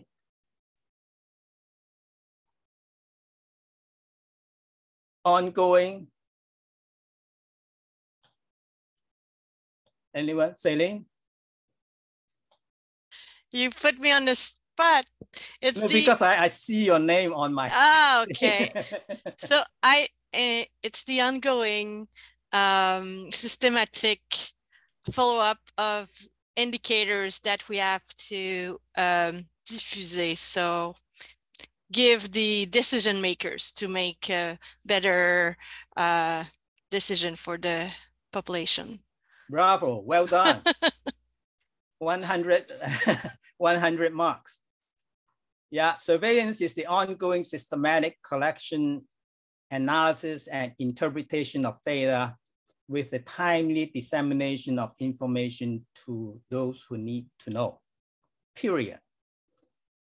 And in recent year, uh, we have also added who need to know and to act, period.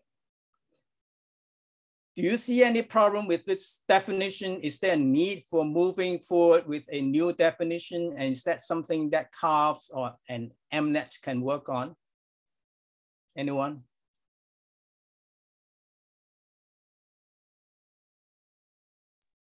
I see the name Noel.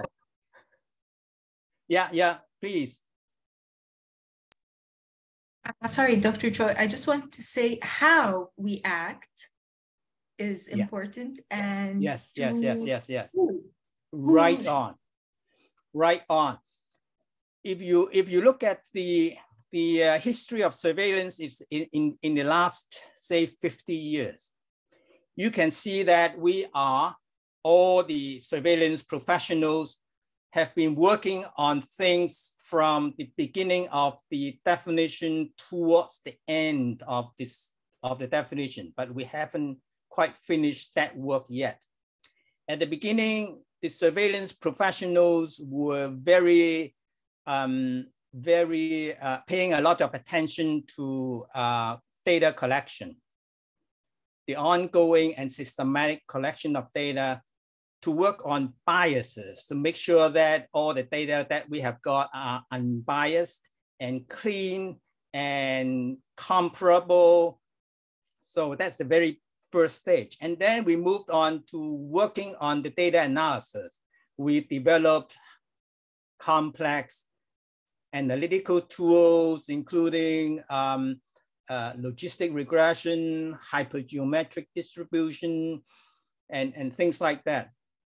And then we move on towards end. And now, like today, we have seen a lot of great databases. So big that it includes everything. You can search by uh, selecting parameters and, and then compare. And it is, we are now at the database and information stage. Data after analysis becomes information information after interpretation becomes intelligence. We are not quite at the intelligence stage yet. The question is how do we move forward from data to information to an, uh, intelligence and finally to wisdom. That's the very fine uh, final step of the whole surveillance process. So at this time, surveillance is still is, is very good at the beginning step, but we are very weak at the end. How do we show to the policy and action uh, people what to act, how to act? Right now, surveillance ends at the information dissemination stage, but that's not good enough. A lot of the policy people, action people, they simply do not understand the high level, what's the beta coefficient of a regression. They don't understand that. If you present them with a big, thick report, 200 pages, they will look at chapter one, chapter two with all these bar charts and line graphs, and they start to make decisions to produce policies, and they will not be able to understand the, the chapter 15, chapter 16 on a lot of complex um, statistics. So what should we do? Maybe this is just a, a, a simple thought. I think in the future, meetings, conferences of CARRFS and AMNET, we should explore how do we make sure that the information products from surveillance can be in a well-packaged, um, nicely comprehensible product to be um, actively sent to those people who are acting, who are making policies and decisions. For example, should we not produce a Canada 2023 top 10 news um, in health? So this is a, a, lot of work. This is a, a distillation of all the databases that we have in Canada in various aspects, and then we chose the top 10. And the policymakers would be in a better position to to know what's important and what to do and, and, and, and so on. That's the end of my um, uh, closing remark. Thank you very much.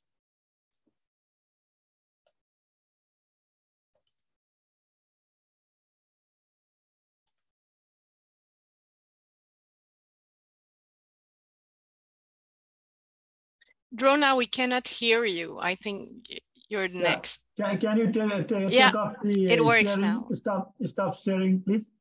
Because I'm not seeing everyone here. I have got different sort of thing here.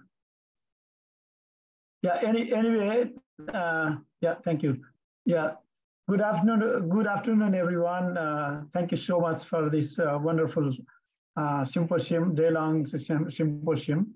It has been really, uh, you know, overwhelming in the sense of uh, knowledge, uh, knowledge and uh, uh depth of uh, depth and uh, breadth of the knowledge we have we have shared today, especially on the theme of addressing the social determinants of health equities through public health surveillance. This was very rightly chosen chosen topic area to uh, this uh, uh, this year, and especially there are a lot of specialties of today this this year's symposium. first of all, the organizing committee. This is entirely a second generation um, organizing committee.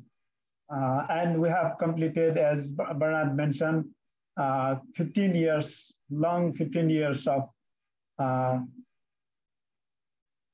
first phase, I would say. We had had many phases in the past. Now we can say uh, 15 years is the uh, first phase. Now we are going into the second phase, uh, where uh, old guards have been uh, retired, most of them, and the new guards have uh, taken over. And it has come in a big way, and especially this year, not only the topic area, the thematic title wa was great and uh, very much timely and the need of the time, but also the whole spectrum of presentations actually expanded the horizon of the um, symposium. Typically in the past, we were focusing mainly on uh, population and public health. This year, I see that we have had many presentations uh, that are in, included clinical epidemiology, fantastic keynote uh, address on dentistry, in, in addition to other, uh, you know, health equity related keynote speaker. Uh, uh, the speech was so comprehensive enough. And also epidemiology of surgery. We have not dealt much on surgical surgical cases uh, which were not in our radar. So what I can say is this year we have had really an expanded form of uh, CARRFS that shows the new way of doing things. uh, doing things differently for better. Uh, that's what has happened. And uh, at the end, we always have this uh, wonderful, thoughtful, thought-provoking, um, you know, ideas and summary uh, by Dr. Bernard Choi. That, that, that has been our traditional uh, thing. At the end of the day-long symposium, we summarize with uh, Dr. Bernard's um, thoughtful ideas and thoughts and summary. Uh, we are, I'm very much thankful to this organizing committee uh, led by Kavita, Miley, uh, Shelin, uh, Catherine, uh, Yaping, Noel, all of you have done really marvelous job. Thank you so much. And I would like to also thank each and every one of our uh, participants, fellow participants, colleagues who, uh, who, are, who came out in great number to join in this Zoom symposium. We're always maintained. In many symposiums, people drop out in the middle, but today was consistently quite high, high number maintained, uh, above 50 most of the time, which is a, a, great achievement, I think. So we have done a great job. Uh, last not the least, I would like to thank you so much, uh, uh Dr. Yaping Jin, for introducing uh, myself uh, so nicely. You have been very generous in your introduction of myself.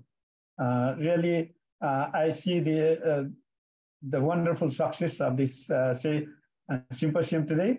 And going forward, uh, the organizing committee should come up with some ideas how to move forward in the second phase. Um, basically, uh, Bernard had already outlined the roadmap uh, of uh, four steps.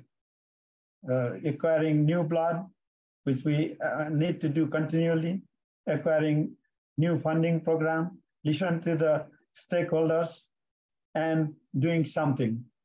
And in the call of uh, Bernard, I would like to add that in the definition of surveillance, we need to really incorporate a thing, uh, the direction of the surveillance.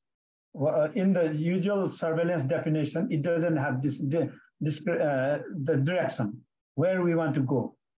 It doesn't focus. It says just surveillance, to monitor, monitor the health uh, that doesn't give some sense of uh, direction. Now we need to do, do direction.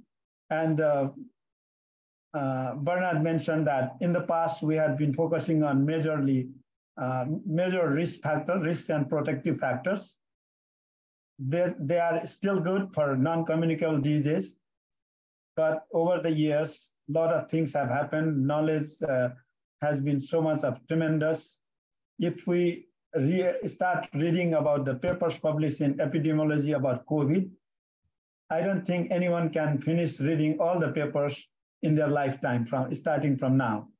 So much of papers have been uh, accumulated and published and uh, accumulated in the literature worldwide. So knowledge is so much enormous. Now we have to really give a direction to how we process the, the knowledge to inform the policy. That's what I think. Uh, having said that, uh, the direction I, I, was meaning to us, you know, we started with the major uh, risk factors. Now is the time to focus on determinants of health, which are already established, but is still not really taken into consideration in policy making, making all the time. That's what we need to do.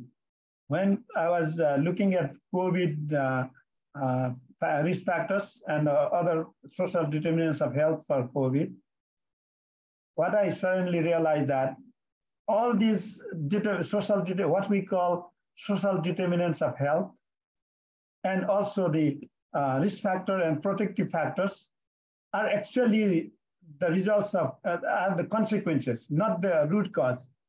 Root cause is somewhere else. Root cause are really in the social and socio-cultural factors that have been handed to us for centuries. That's why I made a proposal to Fulbright, Fulbright Canada, that I study. Uh, we need to focus, really look back. Actually, we should uh, time travel. we should go back to back in time and see what happened in the uh, early ancient times, then medieval times, and contemporary times, 21st, uh, 20th and 21st century. What has happened? What has happened to us that we have this, this disparity, health disparities uh, across population? Why we are all not equal? And we have, we have so much of disparity that we cannot imagine.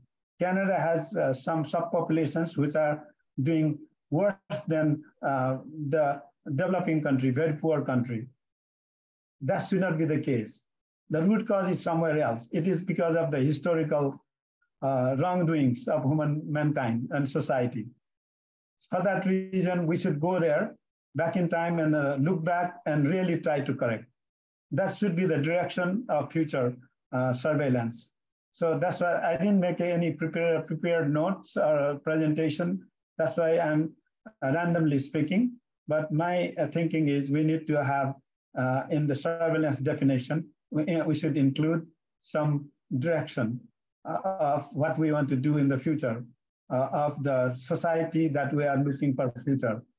Uh, I don't want to take much time. Uh, thank you so much, each and everyone. really, we have done wonderful job, especially the organizing committee. Uh, kudos to you all the time, as always. And this year you have done exceptionally well.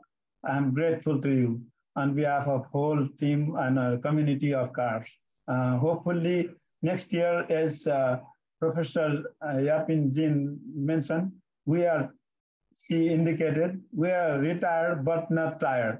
So we will be there to support you whatever way we can, even for looking for some ideas for funding if you uh, can gather some few more people in the organizing committee, we can write proposals.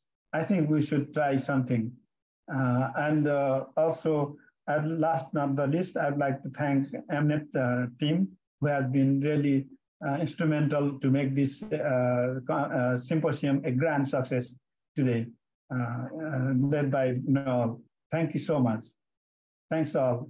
And I I, I can say that uh, the symposium has been successful and is concluded here and now. Thank you.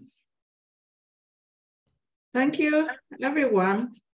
And uh, hope to see you in, um, in next year's CARRFS symposium. Thank you. Have a good evening. Thank you so much, everyone. Bye-bye. Bye-bye.